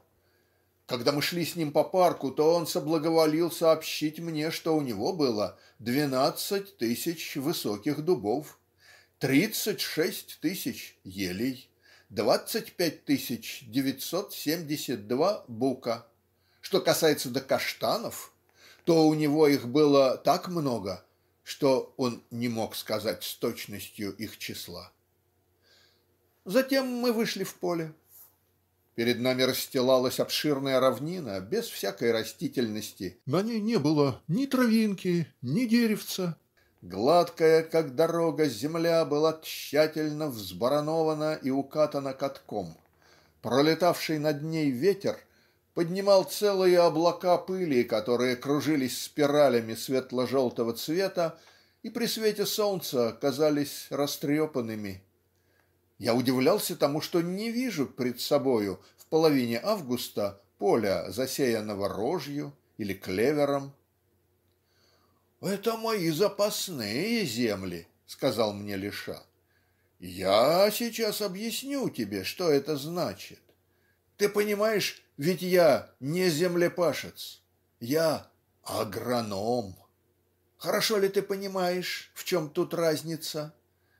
Это значит, что я обрабатываю землю как человек интеллигентный, мыслитель, экономист, а не так, как крестьянин. И вот я видел, что все сеют рожь, ячмень, овес, свеклу. Но какая может быть в этом заслуга, и в сущности говоря между нами, к чему все это служит? А потом рожь, свекла, ячмень, овес – все это так старо, так избито. Нужно что-нибудь другое. Все идет вперед. И почему же только ради того, что все отстали, я, Леша, владелец Вопердю, с пятнадцатимиллионным состоянием, агроном, социалист, должен быть также отсталым человеком? Нужно быть человеком своего века, черт возьми. И вот я избрал новый способ культуры. Я сею рис, чай, кофе, сахарный тростник. Какой переворот! Но ты должен отдать себе ясный отчет во всех последствиях этого. Ты как будто не понимаешь? Я при своей системе совершенно уничтожаю колонии и в то же время уничтожаю и войну. Это тебя озадачило? А, ты никогда не думал об этом. Теперь уж не нужно будет ехать на край света за этими продуктами. Теперь их можно будет получить у меня. Ва-пердю. Вот где настоящие колонии. Это Индия, это Китай, Африка, Танкин. Только, признаюсь тебе, все это еще не выходит из земли. Нет. Мне говорят, климат не годится. Вот вздор какой! Климат тут ничего не значит. Удобрение, вот в чем все дело. Мне нужно удобрение, и я ищу его. У меня есть химик, для которого я выстроил вон там, за лесом, павильон и лабораторию. Это он ищет уже три года. Он еще не нашел, но найдет. Так вот то, что ты видишь там, это рис. Все это рис. А я думаю вот что. Птицам надоела рожь, которую они клюют так давно. Они набросились на рис и не оставили ни одного зернышка. Вот что я думаю. А потому я велю истреблять их всех. Ты можешь смотреть сколько угодно. Во всем моем имении нет ни одной птицы. Я употребил хитрость. Я плачу два су за каждого убитого воробья. Три су за лесную канарейку, пять су за малиновку, десять су за соловья, пятнадцать су за щегленка. Весною я даю двадцать су за гнезда с яйцами. Их приносят мне из окрестностей дальше, чем за десять лье. Если это распространится, то через несколько лет я уничтожу всех птиц во Франции. Пойдем, я покажу тебе очень любопытную вещь. И вертя своей тростью в воздухе, он зашагал по рисовому полю, останавливаясь по временам для того, чтобы сорвать травку, и, рассмотрев ее, бросал, говоря «нет, это парей». Через час ходьбы по пыльной и горячей земле мы дошли до обширного зеленого поля, которая от самого края большой дороги поднималась отлогим склоном до опушки леса. И я подобно действующим лицам в классических трагедиях остановился в остолбенении. На светлом фоне люцерны выделялся клевер темно-фиолетового цвета, причем ясно вырисовывались все буквы, которые составляют имя Теодул Леша. На этой зеленой скатерти не только можно было прочесть это имя, но оно казалось живым. От ветра, который качал верхушки травы, она переливалась, как волны, иногда увеличивая буквы имени, а иногда суживая их, смотря по своему направлению и силе. Леша, который так и сиял, смотрел на свое имя оно трепетало, танцевало и бегало, и на этом море яркой зелени виднелись кое-где, точно звезды, цветы мака. Он наслаждался тем, что смотрел на это волшебное имя, раскинувшееся под небом, выставленное на показ прохожим, которые, конечно, останавливались перед этим именем, читали его и произносили с каким-то таинственным страхом. Он шептал в восхищении, произнося отдельно каждый слог. «Теодул Леша! Теодул Леша!» С лицом, сияющим торжествующей радостью, он обратился ко мне. «Хороша выдумка, а? Представь себе, что я выписал знаменитого садовника из Парижа для того, чтобы засеять это поле, потому что, ты, конечно, понимаешь, здесь никто не был способен на такой фокус. Не правда ли ведь лестно видеть свое имя, написанное таким образом? Увидя это имя, всякий сейчас подумает, это, наверное, не какой-нибудь выскочка. А потом, если бы все подписывали таким образом свои поля, то не было бы споров о праве собственности, не правда ли? А у меня есть и другие, еще более грандиозные идеи. Пойдем вот здесь. Мы прошли мимо поля, засеянного люцерной, и вошли в лес через молодняк каштанов. И когда мы дошли до широкой аллеи, выровненной граблями, точно аллея в парке, мы увидели, что идет какая-то бедная женщина, у которой сгибалась спина под тяжестью связки хвороста. За ней шли двое маленьких детей в лохмотьях и босоногие. Леша весь побагровел. В его глазах блеснуло пламя гнева, и, подняв свою трость, он кинулся на бедную женщину. "Нищая! Воровка!" Кричал он. "Что ты тут делаешь у меня? Я не хочу, чтобы у меня в лесу собирали хворост. Я не хочу этого, негодная бродяга. Ну, бросай мой хворост. Что ж ты не бросаешь мой хворост, когда я приказываю?" Он схватил связку за ивовый прут, которым она была связана, и так сильно потряс ее, что женщина вместе со связкой покатилась по дороге. "Кто позволил тебе ходить по моим аллеям твоими грязными ногами? Говори. Ты, может быть, думаешь, что это для тебя я велел выровнять их граблями, эти мои аллеи, а, старая воровка? Что ж ты мне не отвечаешь, когда я говорю с тобой?" Женщина, которая все еще лежала на земле, стонала. "Добрый господин, я не сделала вам никакого вреда. Мы всегда подбирали хворост, и никто из человеколюбия ничего не говорил нам. Мы такие несчастные". "А, никто тебе ничего не говорил", отвечал на это свирепый землевладелец, размахивая своей тростью. "Разве я никто я-то? Я господин Леша, ты слышишь? Господин Леша, которому принадлежит Вопердю. Вот тебе воровка, вот тебе нищая". Трость поднималась и опускалась на старуху, подбиравшую хворост.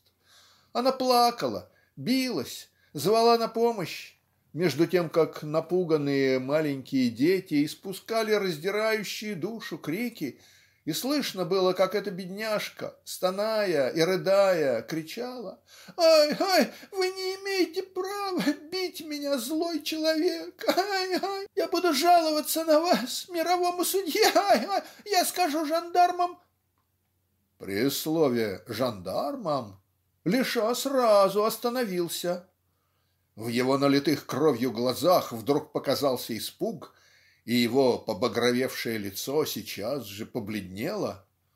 Он вынул из своего портмоне золотую монету и почти с умоляющим видом всунул ее в руку старухе.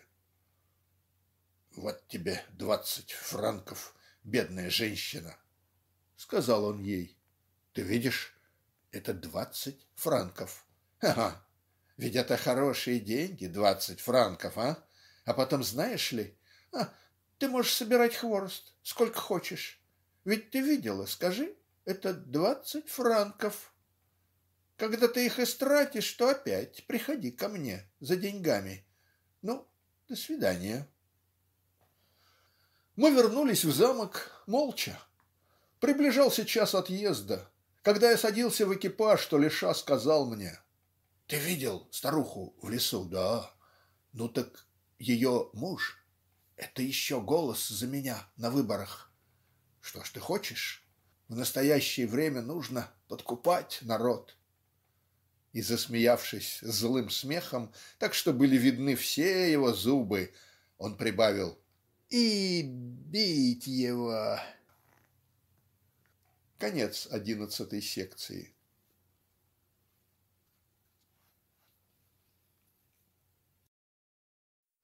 Секция двенадцатая сборника рассказов Октава Мирбо. Эта запись сделана для проекта LibriVox и является общественным достоянием. Покойница. Крестьянин Паувре вылез из своей тележки у лавки своего зятя Пьера Гаслена, привязал свою лошадь к большому железному кольцу, приделанному у края тротуара, и попробовав раза три крепок ли узел повода он вошел в мясную лавку пощелкивая своим кнутом. "Есть тут кто-нибудь?" закричал он. Собака, которая спала, протянувшись во всю длину и загораживая собою порог, поднялась, заворчала и опять улеглась подальше. В лавке не было ни души, а так как это пришлось в четверг, то на полках почти не было говядины. На отрубке лежала четверть туши быка, почти черная и покрытая жужжащими мухами, На одном из подвижных крюков, спускавшихся с потолка, висело рассеченное посередине телячье сердце. В одном из углов на дне медной лохани лежали кости с кровью и куски желтоватого жира все это начинало уже портиться и распространяло отвратительный запах мертвечины от которого делается тошно в больницах и моргах. "Есть тут кто-нибудь?" повторил Пуавре. "Эй, Гаслен, где ты?" Гаслен вышел из кафе Гадо, находившегося как раз напротив мясной лавки по другую сторону улицы. Он обтер себе рот рукой, закурил погасшую трубку и прибежал, говоря "Вот я, вот э, я". Он был без шляпы, с румяным, толстым и свежим лицом, с засученными до локтей рукавами рубашки его белый полотняный фартук запачканный красными пятнами закрывал его всего начиная от голубого фуляра завязанного очень слабо на шее до деревянных башмаков надетых на босые ноги. Его нож висевший на стальной цепочке болтался у его левой ноги он подошел к своему тестю и протянул ему руку. "Как ваше здоровье?" "Я здоров, зятюшка, совсем здоров". «А "Что, дать овса вашей лошади?" "Да нет, черт возьми, она напилась и наелась нынче утром. Я приехал с э, Шесанской ярмарки, зятюшка". "Ну что ж, хороша была ярмарка?" Пуавре покачал головой и отвечал только "Так себе, так себе. Не так, чтобы очень хороша, да и не дурна. Цены еще держатся". А потом, переменив тон "Ну что же, когда я приехал в Монсанье, то маленький мальчик Август сказал мне о несчастье". "Да, да". "Так вот я не распрягал. Я только дал четыре литра овса моей лошади. Вот я и приехал. Вы, может быть, выпьете?" "Да не откажусь. У меня в глотке так сухо, как в печи. Так это правда. Это не обман, что твоя жена умерла?" Мясник взял свою трубку и выбил из нее пепел о каблук своего деревянного башмака. "Она действительно умерла нынче ночью в два часа. Ну, может быть, и в половине третьего. Около этого времени. Да". "Нынче ночью", сказал Пуавре, покачивая головой. "Вот, вот, вот, скажи, пожалуйста, что же это такое с ней сделалось? Какая-нибудь тяжкая болезнь? Удар?" Гаслен объяснил: "Нет, это был совсем не удар, Пуавре, нет, совсем не удар. Она умерла от живота, Живот у нее все раздувался, раздувался. Она кричала, кричала. О, Господи, как она кричала, а потом она умерла. Вот как она умерла, но я никак не могу выбить у себя из головы одной вещи. Какой, зятюшка? Ну вот какой. Недели две тому назад, а может, двенадцать дней, может быть, больше, может быть, и меньше. Ваша дочь сказала мне, я знаю, что, кажется, она назвала меня свиньей, пьяницей, потому что мы кутили с парнем Баку и с парнем Мотте. Тогда я сказал ей, чтобы она оставила меня в покое, ну, ласково, без сердца, по-дружески, да. Ну вот она начала еще больше надоедать мне своими глупостями, стала говорить и то, и другое. Ну тогда я дал ей плюху, а потом ударил ногой в живот. Ну вы, конечно, понимаете, Пуавре, что это только так, для шутки. Без злобы я не хотел сделать ей вреда. Потом мы помирились. На другой день она стала жаловаться и говорила "Я не знаю, что такое у меня в животе. У меня, наверное, что-нибудь да есть в животе какой-то зверь, большой зверь, который грызет меня". Но это не мешало ей приходить, уходить, отпускать товар покупателям. На третьего дня ее прихватило сильнее. Она слегла в постель, она начала пухнуть. И вот как она кричала! Наконец она умерла. Черт возьми! Я никогда бы не подумал, что если ударить женщину ногой в живот так просто для шутки, не в сердцах, то она может умереть от этого. Пуавре почесал у себя в затылке и повторил в раздумье "Вот, вот, скажите, пожалуйста". И он прибавил с огорченным видом, но при котором заметна была в то же время и покорность судьбе. "Но ведь это от нас.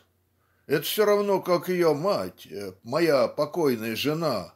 Она умерла в самое короткое время. На нее упало дерево. Ты знаешь, это проклятое большое ореховое дерево на ферме. "Да-да", сказал со вздохом Гаслен. "Вы, может быть, захотите посмотреть на вашу дочь? Она там наверху, Пуавре". Пуавре отвечал "Конечно, зятюшка, пойдем посмотрим на нее". Они оба прошли через комнату за лавкой, поднялись по темной лестнице и остановились у приотворенной двери. Тесть сказал зятю "Входи вперед, ты". "Нет, вы, Пуавре". "Нет, зятюшка, нет, входи ты". И они вошли в комнату на цыпочках. Пуавре снял с головы картуз с видом глубокого уважения и начал вертеть его в руках. Его маленькие глазки округлились, сделались огромными его губы закрывали его рот, образуя две выдающиеся вперед складки, что придавало его лицу какое-то странное выражение комического испуга и сдерживаемого волнения. Он осмотрел всю комнату. На постели лежала женщина с запрокинутым, страшно вытянувшимся и побледневшим лицом, с неподвижным телом покрытым простынею из-под которой торчали выдающиеся его части принявшие форму трупа.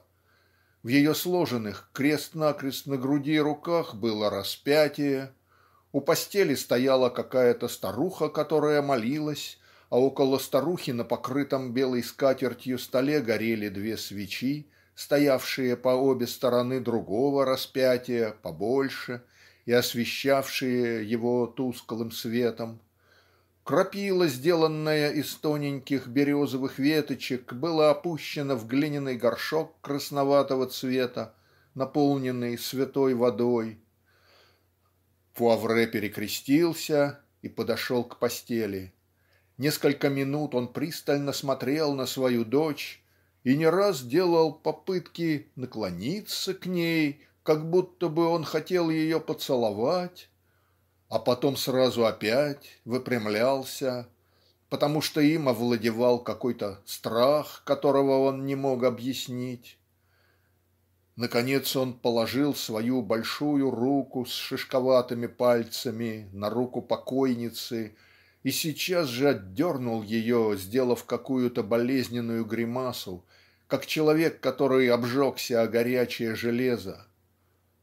Он опять подошел к своему зятю который стоял посредине комнаты и не пошел дальше и сказал ему шепотом "Ну конечно она умерла. Она холодная, Господи, какая она холодная!"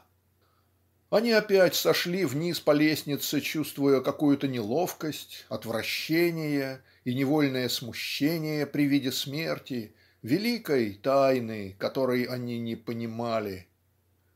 "Господи, какая она холодная!" повторил Пуавре сопровождая этим восклицанием глухой стук который производили его деревянные башмаки на ступенях лестницы. На что Гаслен отвечал "И желтая, и желтая". Придя в лавку, они посмотрели друг на друга. "Вы, может быть, выпьете стаканчик, чтобы подкрепиться?" спросил зять. Тесть поблагодарил. "С удовольствием, с удовольствием. И подумать, что всего каких-нибудь пять дней назад она была совершенно здорова. Вот, вот, вот, вот. Скажите, пожалуйста.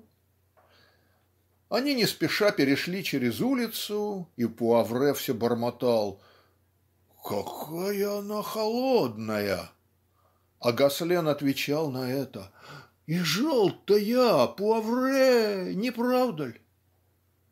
В кафе, сев за стол, на котором стояла бутылка вина, они первое время молчали Пуавре наполнил стаканы. "За твое здоровье", сказал он. "За ваше, Пуавре", отвечал Гаслен. Потом они долго говорили о ценах на мясо, о качествах пастбищ, о шоссонской ярмарке.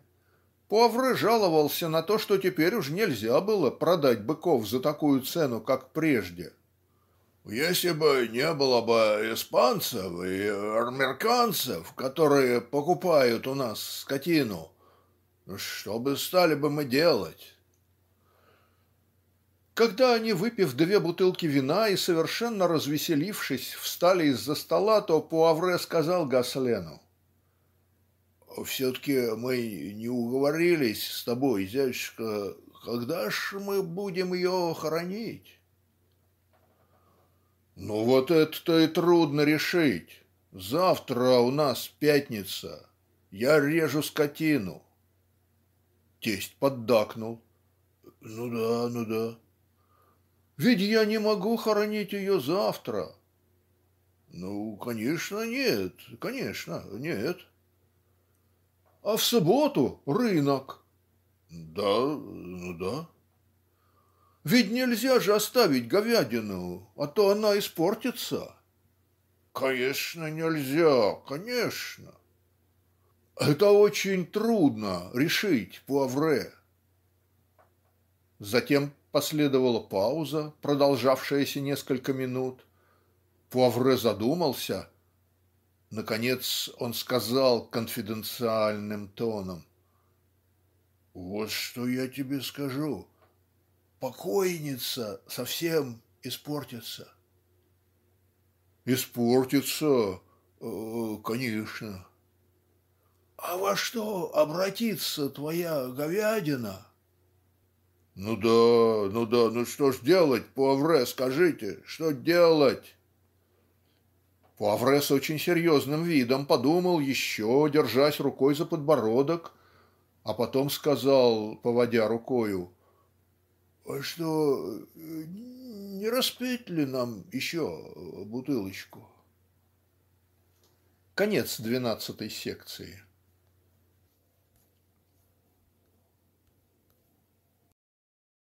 Секция тринадцатая сборника рассказов Октава Мирбо. Эта запись сделана для проекта LibriVox и является общественным достоянием. История моей лампы. Так как дни становятся гораздо короче, а вечера продолжительнее, то моя служанка объяснила мне, что нужна лампа, потому что у меня нет ничего для освещения, кроме медных подсвечников. Я побежал в соседнее местечко для того, чтобы купить себе лампу, и зашел в магазин к Альбарету, который торгует всевозможными товарами. Это прекрасный магазин, который он сам выкрасил голубой краской и сам украсил изображением славы на фронтоне.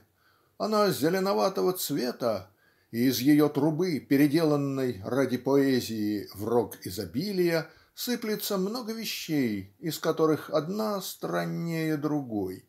Впрочем, что не пришлось бы покупать, эту вещь нужно спросить у Альбарета, и она, наверно, найдется у него. Альбарет булочник, шорник, плотник, зеленщик, он торгует старым железом, он маляр, торговец галантерейным товаром, книгопродавец и столяр. Он чинит соломенные стулья и замки, покупает старые кости, разбитое стекло и кроличьи шкурки, продает крепкие напитки и табак. Нет такого ремесла, за которое не взялся бы Альбарет ко всеобщему удовольствию и к которому он не чувствовал бы себя способным. Он берется даже за дело костоправа, и в этой местности можно встретить очень много несчастных людей которым этот единственный в своем роде и вместе с тем популярный человек сломал руки или ноги. Поэтому Альбарет пользуется репутацией умного человека. Но зато у него не было ламп, и я думаю, что у него их никогда и не было. "Вы не найдете здесь лампы", сказал он мне. Я как нарочно продал последнюю лампу третьего дня, но это ничего не значит. Я скоро поеду в город и привезу вам оттуда прекрасную, прекрасную лампу с белой горелкой и с голубыми украшениями. Ведь такая и нужна. Ах, эти лампы! Их продают не по тысячам и не по сотням, но все-таки они входят в моду.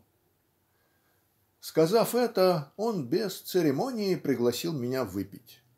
Я поблагодарил его и отказался, и мне показалось, что он рассердился на меня за мой отказ. Впрочем, он проводил меня до улицы и осыпал учтивостями. Я уже прошел несколько шагов по улице, но услыхал, что он кричит "Послушайте, месье, какая лампа вам нужна? Керосиновая?" "Нет, для Алиина". "Ой, извините, пожалуйста. Хорошо. Завтра я привезу вам алииновую лампу". Альбарет был толстяком. Он сильно пыхтел и всегда улыбался. У него было румяное одутловатое лицо тройной подбородок узкие плечи огромный живот и волосы зеленоватого цвета которые падали у него прямыми прядями на лоб. Он и зимой и летом всегда был в одном и том же костюме в каком-то бархатном двубортном пиджаке разорванном и засаленном в панталонах из полинялой голубой нанки и в шелковом картузе вроде тех которые называют трехъярусными картузами. Такие картузы носят во многих местностях в Нормандии. Но только Альбарет в качестве умного и имеющего важное значение человеку увеличивал по своему желанию число и вышину ярусов для того чтобы ему было больше чести.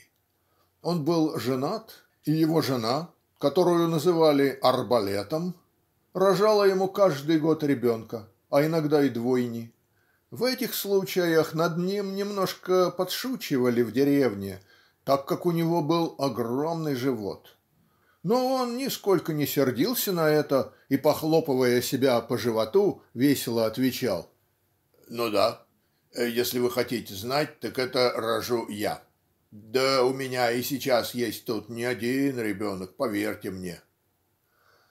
Удивленные такими речами насмешники хлопали Альбарета ладонями и кулаками что как известно служит в деревне выражением восторга и говорили лукаво посматривая друг на друга "Этот проклятый Альбарет! Этот проклятый Альбарет!" Этот проклятый Альбарет был моим давнишним знакомым. Однажды мне понадобилось вставить стекло в одном из окон моего дома и само собой разумеется я обратился с этим к Альбарету Сначала он пришел один. Как только он вошел, то сейчас же сел, отдувался, обтирался и попросил пить. Он выпил две пинты сидра, одну за другой, после чего осмотрел разбитое стекло, снял мерку в вышину и в ширину, пошутил со служанкой, а затем, выпив еще пинту сидра, ушел, обещая прийти на другой день. И действительно, Альбарет пришел на другой день в сопровождении двух помощников. Один из них нес стекло и линейку, а другой молоток, алмаз, замазку и шпильки. Сам Альбарет не нес ничего, кроме своего картуза, который, как мне показалось, был в этот день еще выше, чем раньше.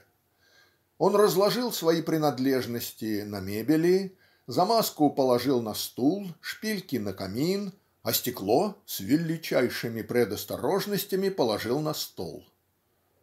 "Хорошо", сказал он. Мы вставим стекло.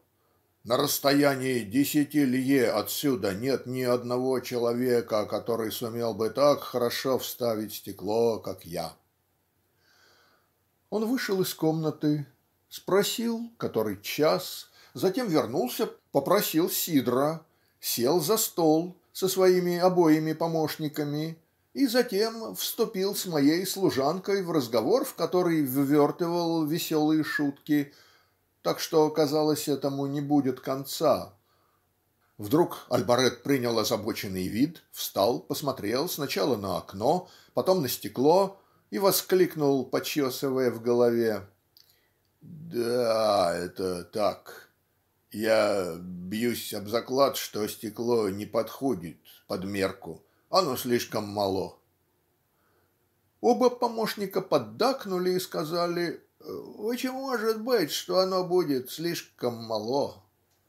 Альбарет прищурил один глаз, подошел поближе к окну, потом отступил назад, делая рукой такие жесты, как будто бы он снимал мерку. Черт его возьми, если оно слишком мало. Ведь это сейчас видно, не достает. Боже мой, не достает половины толщины лезвия ножа. Или, скажем, пяти миллиметров. Не так ли, парни? Помощники, покачивая головами, пробормотали. "Очень может быть, что не достает пяти миллиметров" и Альбарет, повернувшись ко мне, сказал "Я бьюсь об заклад, что не достает пяти миллиметров". "Вам легко убедиться в этом", сказал я ему. "Приложите сначала стекло к раме". Но Альбарет понимал это дело не так. Он почесывал у себя в голове переходил от рамы к столу и от стола к раме повторяя "А я бьюсь об заклад, что не достает пяти миллиметров". Наконец я выйдя из терпения схватил стекло и приложил его к раме. Оно подошло как раз. "Это все-таки странно", говорил Альбарет. Я готов был прозакладывать свою голову. О, оно подходит. Оно подходит, это проклятое стекло, не так ли? Нет, но это все-таки странно. Я приду вставлять его завтра. Я был принужден вставить стекло сам. Так вот Альбарет обещал принести мне лампу но после истории со стеклом я не мог не беспокоиться об этом важном деле. Прошло два дня, а Альбарет не показывался. Наконец, на третий день Альбарет пришел ко мне с торжествующим видом. "Вот лампа и Алиин и все остальное!" закричал он, увидав меня. "Ах, ну это прекрасная лампа! Это то, что только есть самого лучшего в этом роде и мне кажется, что она освещает, так как солнце. Подождите, я сейчас покажу вам это. Славная покупка, право, так. Он распаковал лампу, жестянку с олеином, стекла, фитили и вынимая каждый предмет делал техническое замечание вроде следующего "Это фитили надо обрезать их концы". Он вертел и повертывал лампу на все стороны а потом сказал "Внимание! Мы сейчас заведем инструмент". Его большое румяное лицо улыбалось от удовольствия он налил олеин нажал рукою на горелку и завел лампу. "Посмотрите", повторял он, "как это мило, приятно. Это все равно как карманные часы". Но едва только он выпустил из руки ключ как этот последний начал вертеться с быстротой передаточного колеса а Алиин выходя из отверстия и производя такой шум который слышится тогда когда льют масло выливался и тек желтыми струйками по резервуару лампы украшенному цветочками. "Она испорчена, ваша лампа", сказал я Альбарету, физиономия которого выражала величайшее изумление. Но он скоро оправился и пожал плечами. "Испорчена эта лампа", отвечал он. "Вот вы увидите. Нужно, чтобы она приняла в себя олеин. Через пять минут вы сами удивитесь, когда увидите, как она будет гореть. Напротив, это отличная лампа, ведь я знаю в этом толк. Великолепная лампа". Мы подождали пять минут Затем был сделан новый опыт, но в результате получилось то же самое явление.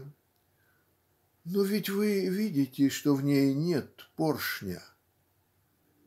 Альбарет посмотрел на меня с сожалением. "Но если бы у нее не было поршня, месье, то это была бы не лампа, а это отличная лампа. Только нужно, чтобы она напиталась олеином а когда она напитается олеином через десять минут вы увидите что нигде нет такой лампы как эта. Нет поршня. Вы хотите пошутить? Нет поршня. Да как же это может быть? Подождите четверть часа.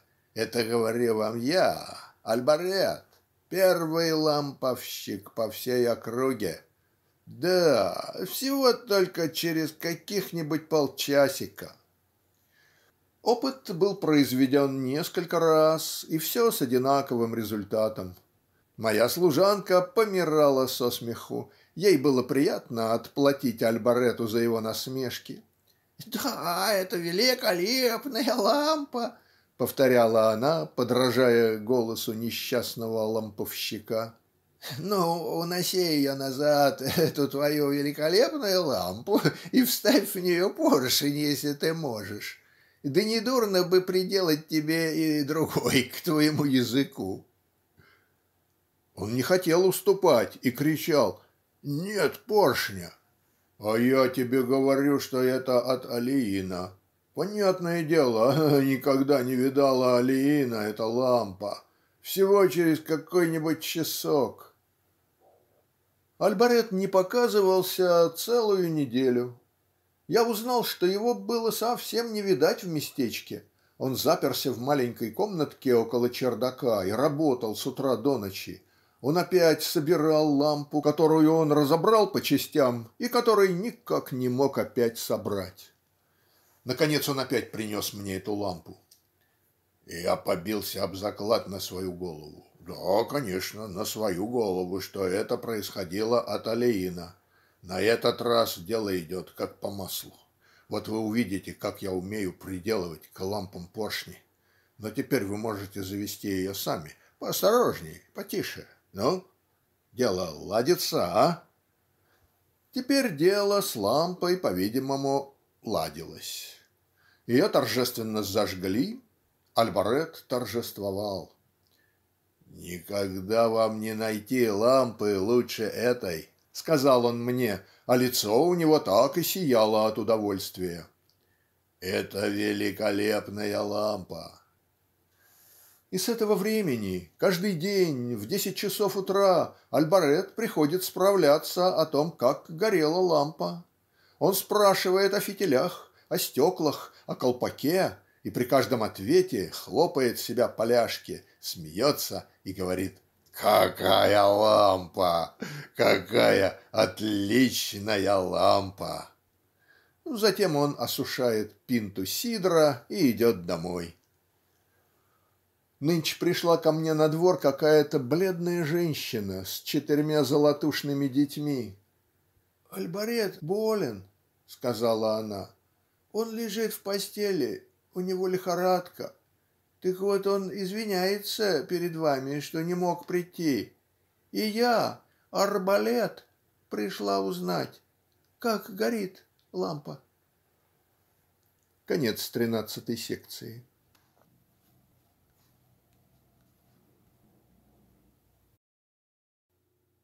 Секция четырнадцатая сборника рассказов "Октава Мирбо". Эта запись сделана для проекта LibriVox и является общественным достоянием. Осенние ландшафты. Жниво чернеет, вспаханные поля кажутся розовыми при солнечном свете, местами расстилается отава люцерны темно-зеленого цвета или четырехугольники свеклы ботва которой приняла самые темные синие тона. Под яблонями женщины нагнувшись собирают яблоки и наполняют ими плетеные корзины и мешки из сурового холста. Две белых лошади кажущиеся огромными на этом открытом месте медленно тащат плуг плужник которого свистит точно куропатки которые разбрелись во ржи в разные стороны и перекликаются между собой а там уходит все дальше и дальше серый силуэт охотника. При легком тумане линия горизонта кажется не такой резкою и более отдаленною а наверху с неба которое принимает такой цвет который похож на лихорадочный румянец льется на землю какая-то чудная грусть какое-то мрачное упоение. Там парит ястреб который кажется неподвижным и летят одна за другою стая ворон которые спешат долететь до больших лесов с покрасневшей листвою.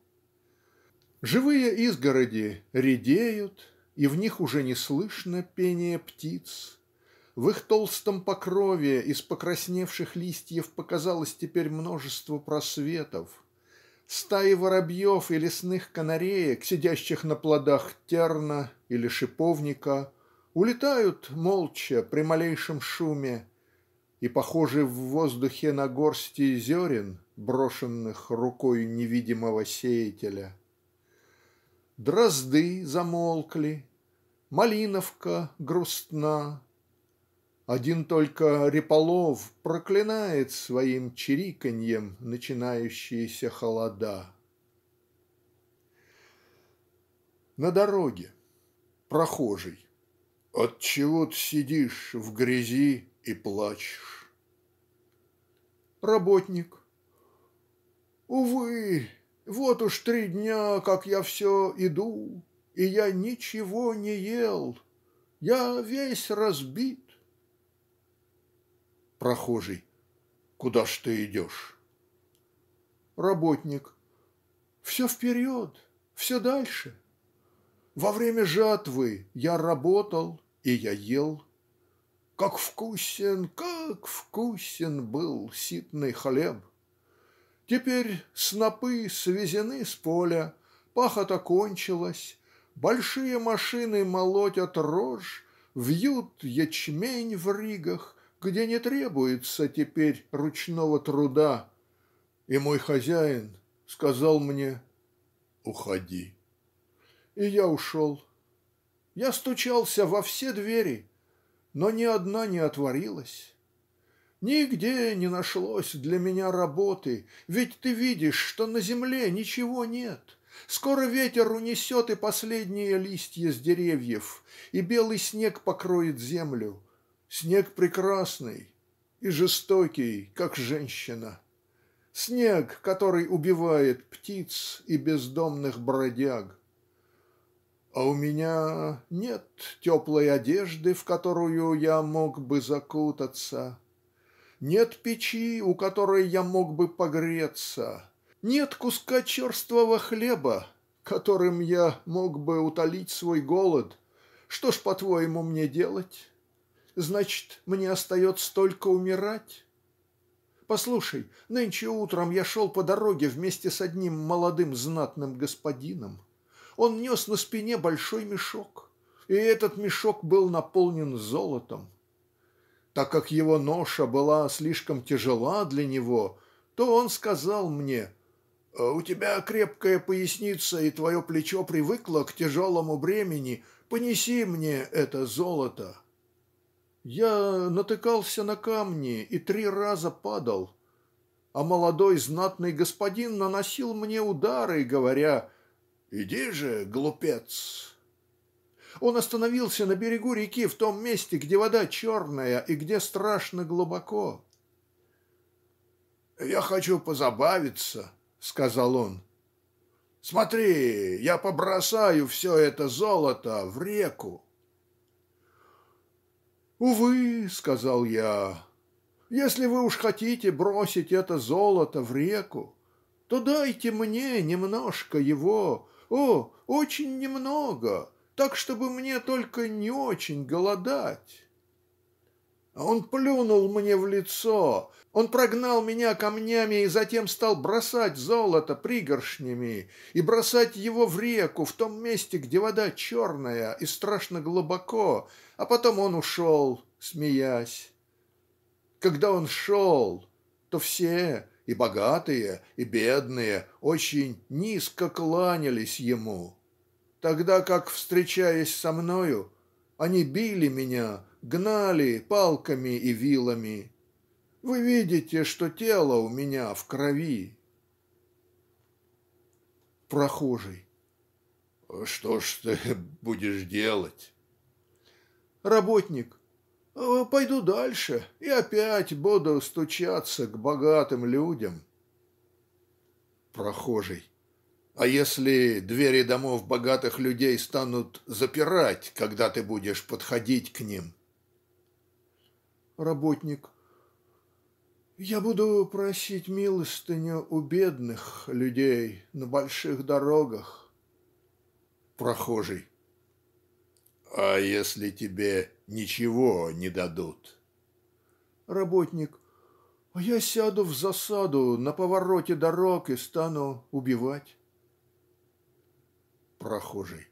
Бог запрещает убивать ближнего. Работник. А закон природы повелевает мне жить. Прохожий. Да хранит тебя Бог. Лес как будто объят пламенем. На красном ковре упавших с деревьев листьев не слышно шума шагов и просветы в чаще расширяются сквозь них проходят лучи света желтого как золото и красного как кровь. В лесу бродят старухи подбирающие хворост с глазами как у совы и с руками как у гарпий они проходят, и их совсем не видно за огромной вязанкой, которая как будто движется сама собой. Несмотря на яркие цвета своего великолепного осеннего наряда, лес смотрит на вас взглядом убийцы, от которого становится страшно. Сучья, которые отсекают кривым ножом, испускают такие же стоны, как человек, как живое тело. Топор исторгает звуки похожие на рыдание ребенка у молодых каштанов. И слышно, как в ельнике ветер надувал свои органы, которые играют погребальную песнь «Помилуй мя, Боже». Можно сказать, что угольщики, которые сидят на корточках вокруг дымящихся углей, занимаются каким-то ужасным и таинственным делом. Всякий отворачивается, крестясь от чеботаря, делающего деревянные башмаки, который сидя со свирепым видом в своем шалаше сделанном из сучьев и из коры напоминает собою все ужасы соединенные с воспоминаниями о бандитах старых времен. Куда идет этот браконьер который пробирается точно дикий зверь через кустарник среди которого блестит ствол его ружья? Когда наступит ночь когда луна обольет своим светом стволы старых дубов которые теперь залило багрянцем солнца то послышатся два выстрела в тишине в лесной тишине полной убийств и предсмертных мук. Будет ли застрелена козуля? Или же будет корчиться на окровавленном вереске сторож с дробью в боку? На деревенской площади вы, добрые люди, которые слышите, что я говорю, богатые и бедные, честные и воры, и вы также глухие и кривоногие, разбитые параличом, прелюбодеи и обманутые мужья, посмотрите на меня, выслушайте меня. Я кандидат, добрый кандидат. Это я даю обильные жатвы, я превращаю в дворцы бедные хижины, я наполняю золотом старые пустые сундуки, я переполняю счастьем наболевшие сердца. Идите, добрые люди, спешите ко мне, я благодетель для бесплодных женщин, для людей, страдающих лихорадкой, и для бедных солдат. Я говорю граду "Не падай", войне "Не убивай", смерти "Не приходи". Я превращаю в вино вонючую воду из луж и из чертополоха к которому я прикоснусь потечет дивный мед. В то время когда кандидат говорил такие слова собралась большая толпа которая окружила его. "Добрый господин", сказала одна старуха, которая плакала. "У меня был сын на войне, далеко, очень далеко, и он умер". "Я верну к тебе его живым", "А у меня, сказал какой-то калека, вы видите, только одна нога". "Я дам тебе две". "Посмотрите на ужасную рану, которая разъедает мне бок", сказал, испуская при этом крики от боли, какой-то несчастный.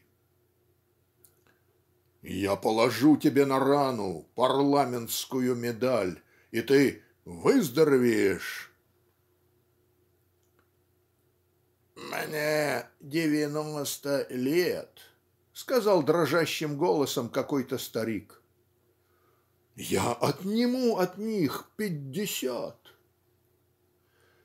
"Я уже три дня не ел хлеба", сказал умоляющим голосом какой-то нищий. "Я накормлю тебя до отвала куличами". Тогда из толпы вышел убийца. "Я убил моего брата и отправляюсь на каторгу", громко закричал он. "Я сравняю с землей остроги для каторжников. Я уничтожу правосудие вместе с гильотиной и сделаю тебя жандармом". "Землевладелец слишком богат сказал один крестьянин и его кролики едят мою рожь а его лисицы таскают моих кур". "Я водворю тебя на его земле и ты прибьешь гвоздями его детей к дверям амбара как сов". "Крестьяне не хотят больше чистить мои пруды", воскликнул землевладелец Я повешу их на вязах твоей аллеи". "Ах, господин, сказала со вздохом одна молодая девушка, эти проклятые колонии отнимают у нас всех наших ухаживателей". "Я уничтожу колонии", а у меня мало рынков для сбыта моих продуктов жаловался один фабрикант. Я распространю до края света область наших завоеваний. Да здравствует республика, сказал один голос. Кандидат отвечал: "Да здравствует республика". "Да здравствует король", сказал другой голос. Кандидат отвечал: "Да здравствует король". "Да здравствует император", сказал третий голос, и кандидат отвечал: "Да здравствует император". В эту минуту из толпы вышла какая-то прекрасная собою, но печальная женщина и подошла к кандидату. "Ты меня не знаешь?" спросила она у него. "Нет", отвечал кандидат. "Где ж я мог бы тебя видеть, проклятая чужестранка?" "Я жизнь. Что ж ты сделаешь для меня?" "А я сделаю то, что делают другие, моя милая. Я буду есть, я буду спать. Мой живот мой животик будет наслаждаться и обрастет жиром. С теми деньгами, которые я возьму в твоем кармане, в твоем неистощимом кармане, у меня будут прекрасные женщины, отличные земли, и кроме того я буду пользоваться уважением, если так тебе будет угодно. А если ты не будешь этим довольна, то я отколочу тебя, моя милая, вот этой палкой. На берегу реки. Она течет медленно, так медленно, что растущие на берегу тополя смотрятся неподвижные и совсем пожелтевшие в ее спокойном зеркале. Ничто не шелохнется, не поет ни один ствол тростника не качается ни один из его гибких стволов. В том месте, где я остановился, под ольхами, вода черная и мрачная, и от нее отделяется резкой линией отражение неба, серого, с нежным отливом, как жемчуг. И вот я слышу голос, который идет как будто бы со дна реки, голос мертвеца голос, в котором слышатся слезы. И этот голос говорит "Я видел тебя в ту ночь. Это было в твоей комнате, в которой была плотно затворена дверь и в которой было так тепло. В окнах были спущенные шторы, бледный свет, Свет ночника падал на драпировки и на мебель. И твое такое хорошенькое и такое грустное личико выделялось на постельном белье чуть-чуть освещенное этим спокойным умеренным светом. Одна из твоих обнаженных рук повисла. На ней был надет у кисти браслет из вороненого золота другая, также обнаженная, была небрежно подложена под твой затылок, твой черный и благоуханный затылок. Ты улыбалась доброю улыбкою, твои губы выражали твою любовь ко мне, и оба твои глаза, смотря на меня, блестели и были влажны, как два освещенные луной озера. Я закричал тебе "Жанна, моя милая Жанна!" А ты с такой любовью ответила мне "Жан, мой милый Жан". Я видел тебя в эту ночь. какой-то мужчина мужчина маленького роста богатый и безобразный собою вошел в твою комнату в которой было так тепло и в которой была плотно затворена дверь. Он раздевался не спеша и не спеша лег на постель около тебя около тебя. И тогда я услыхал смех тихий смех заглушаемый подушкой его смех и твой смех. И тогда я услыхал поцелуи поцелуи заглушенные подушкой его поцелуи и твои поцелуи.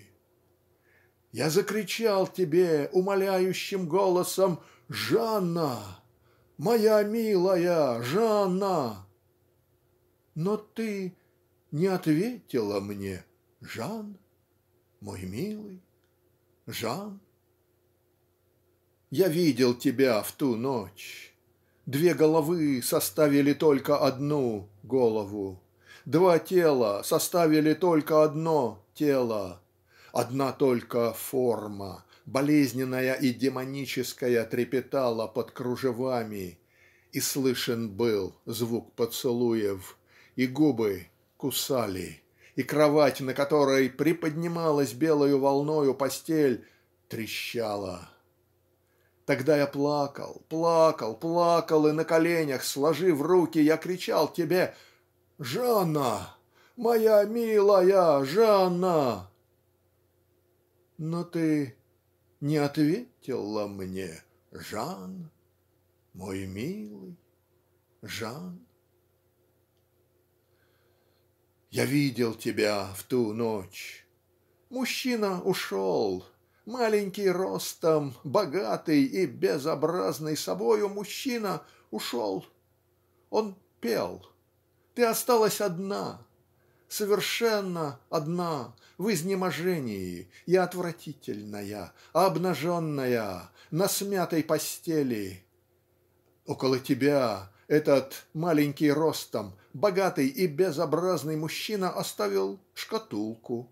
Большую шкатулку. И из нее текло как из фонтана золото которое разливалось вокруг тебя на постели везде вокруг тебя золото все приливало и волна золота поднимала тебя кверху.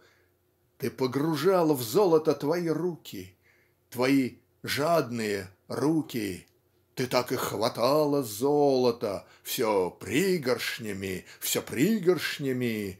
Ты сыпала на себя золото которое падало золотыми каскадами. Золото! Да это золото!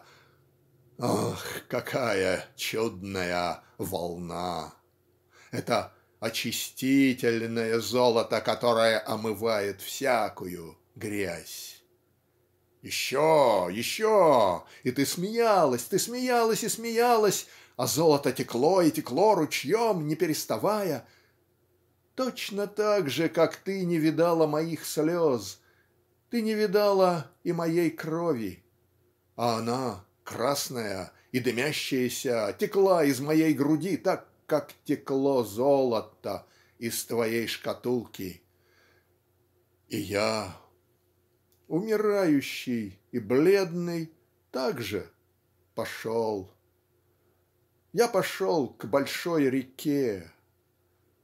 Прощай, милая Жанна. Милого Жана уже нет больше на свете. Конец четырнадцатой секции и конец сборника рассказов Октава Мирбо.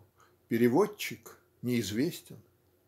Читал Марк Чульский, Массачусетс, Соединенные Штаты Америки, 2024 год.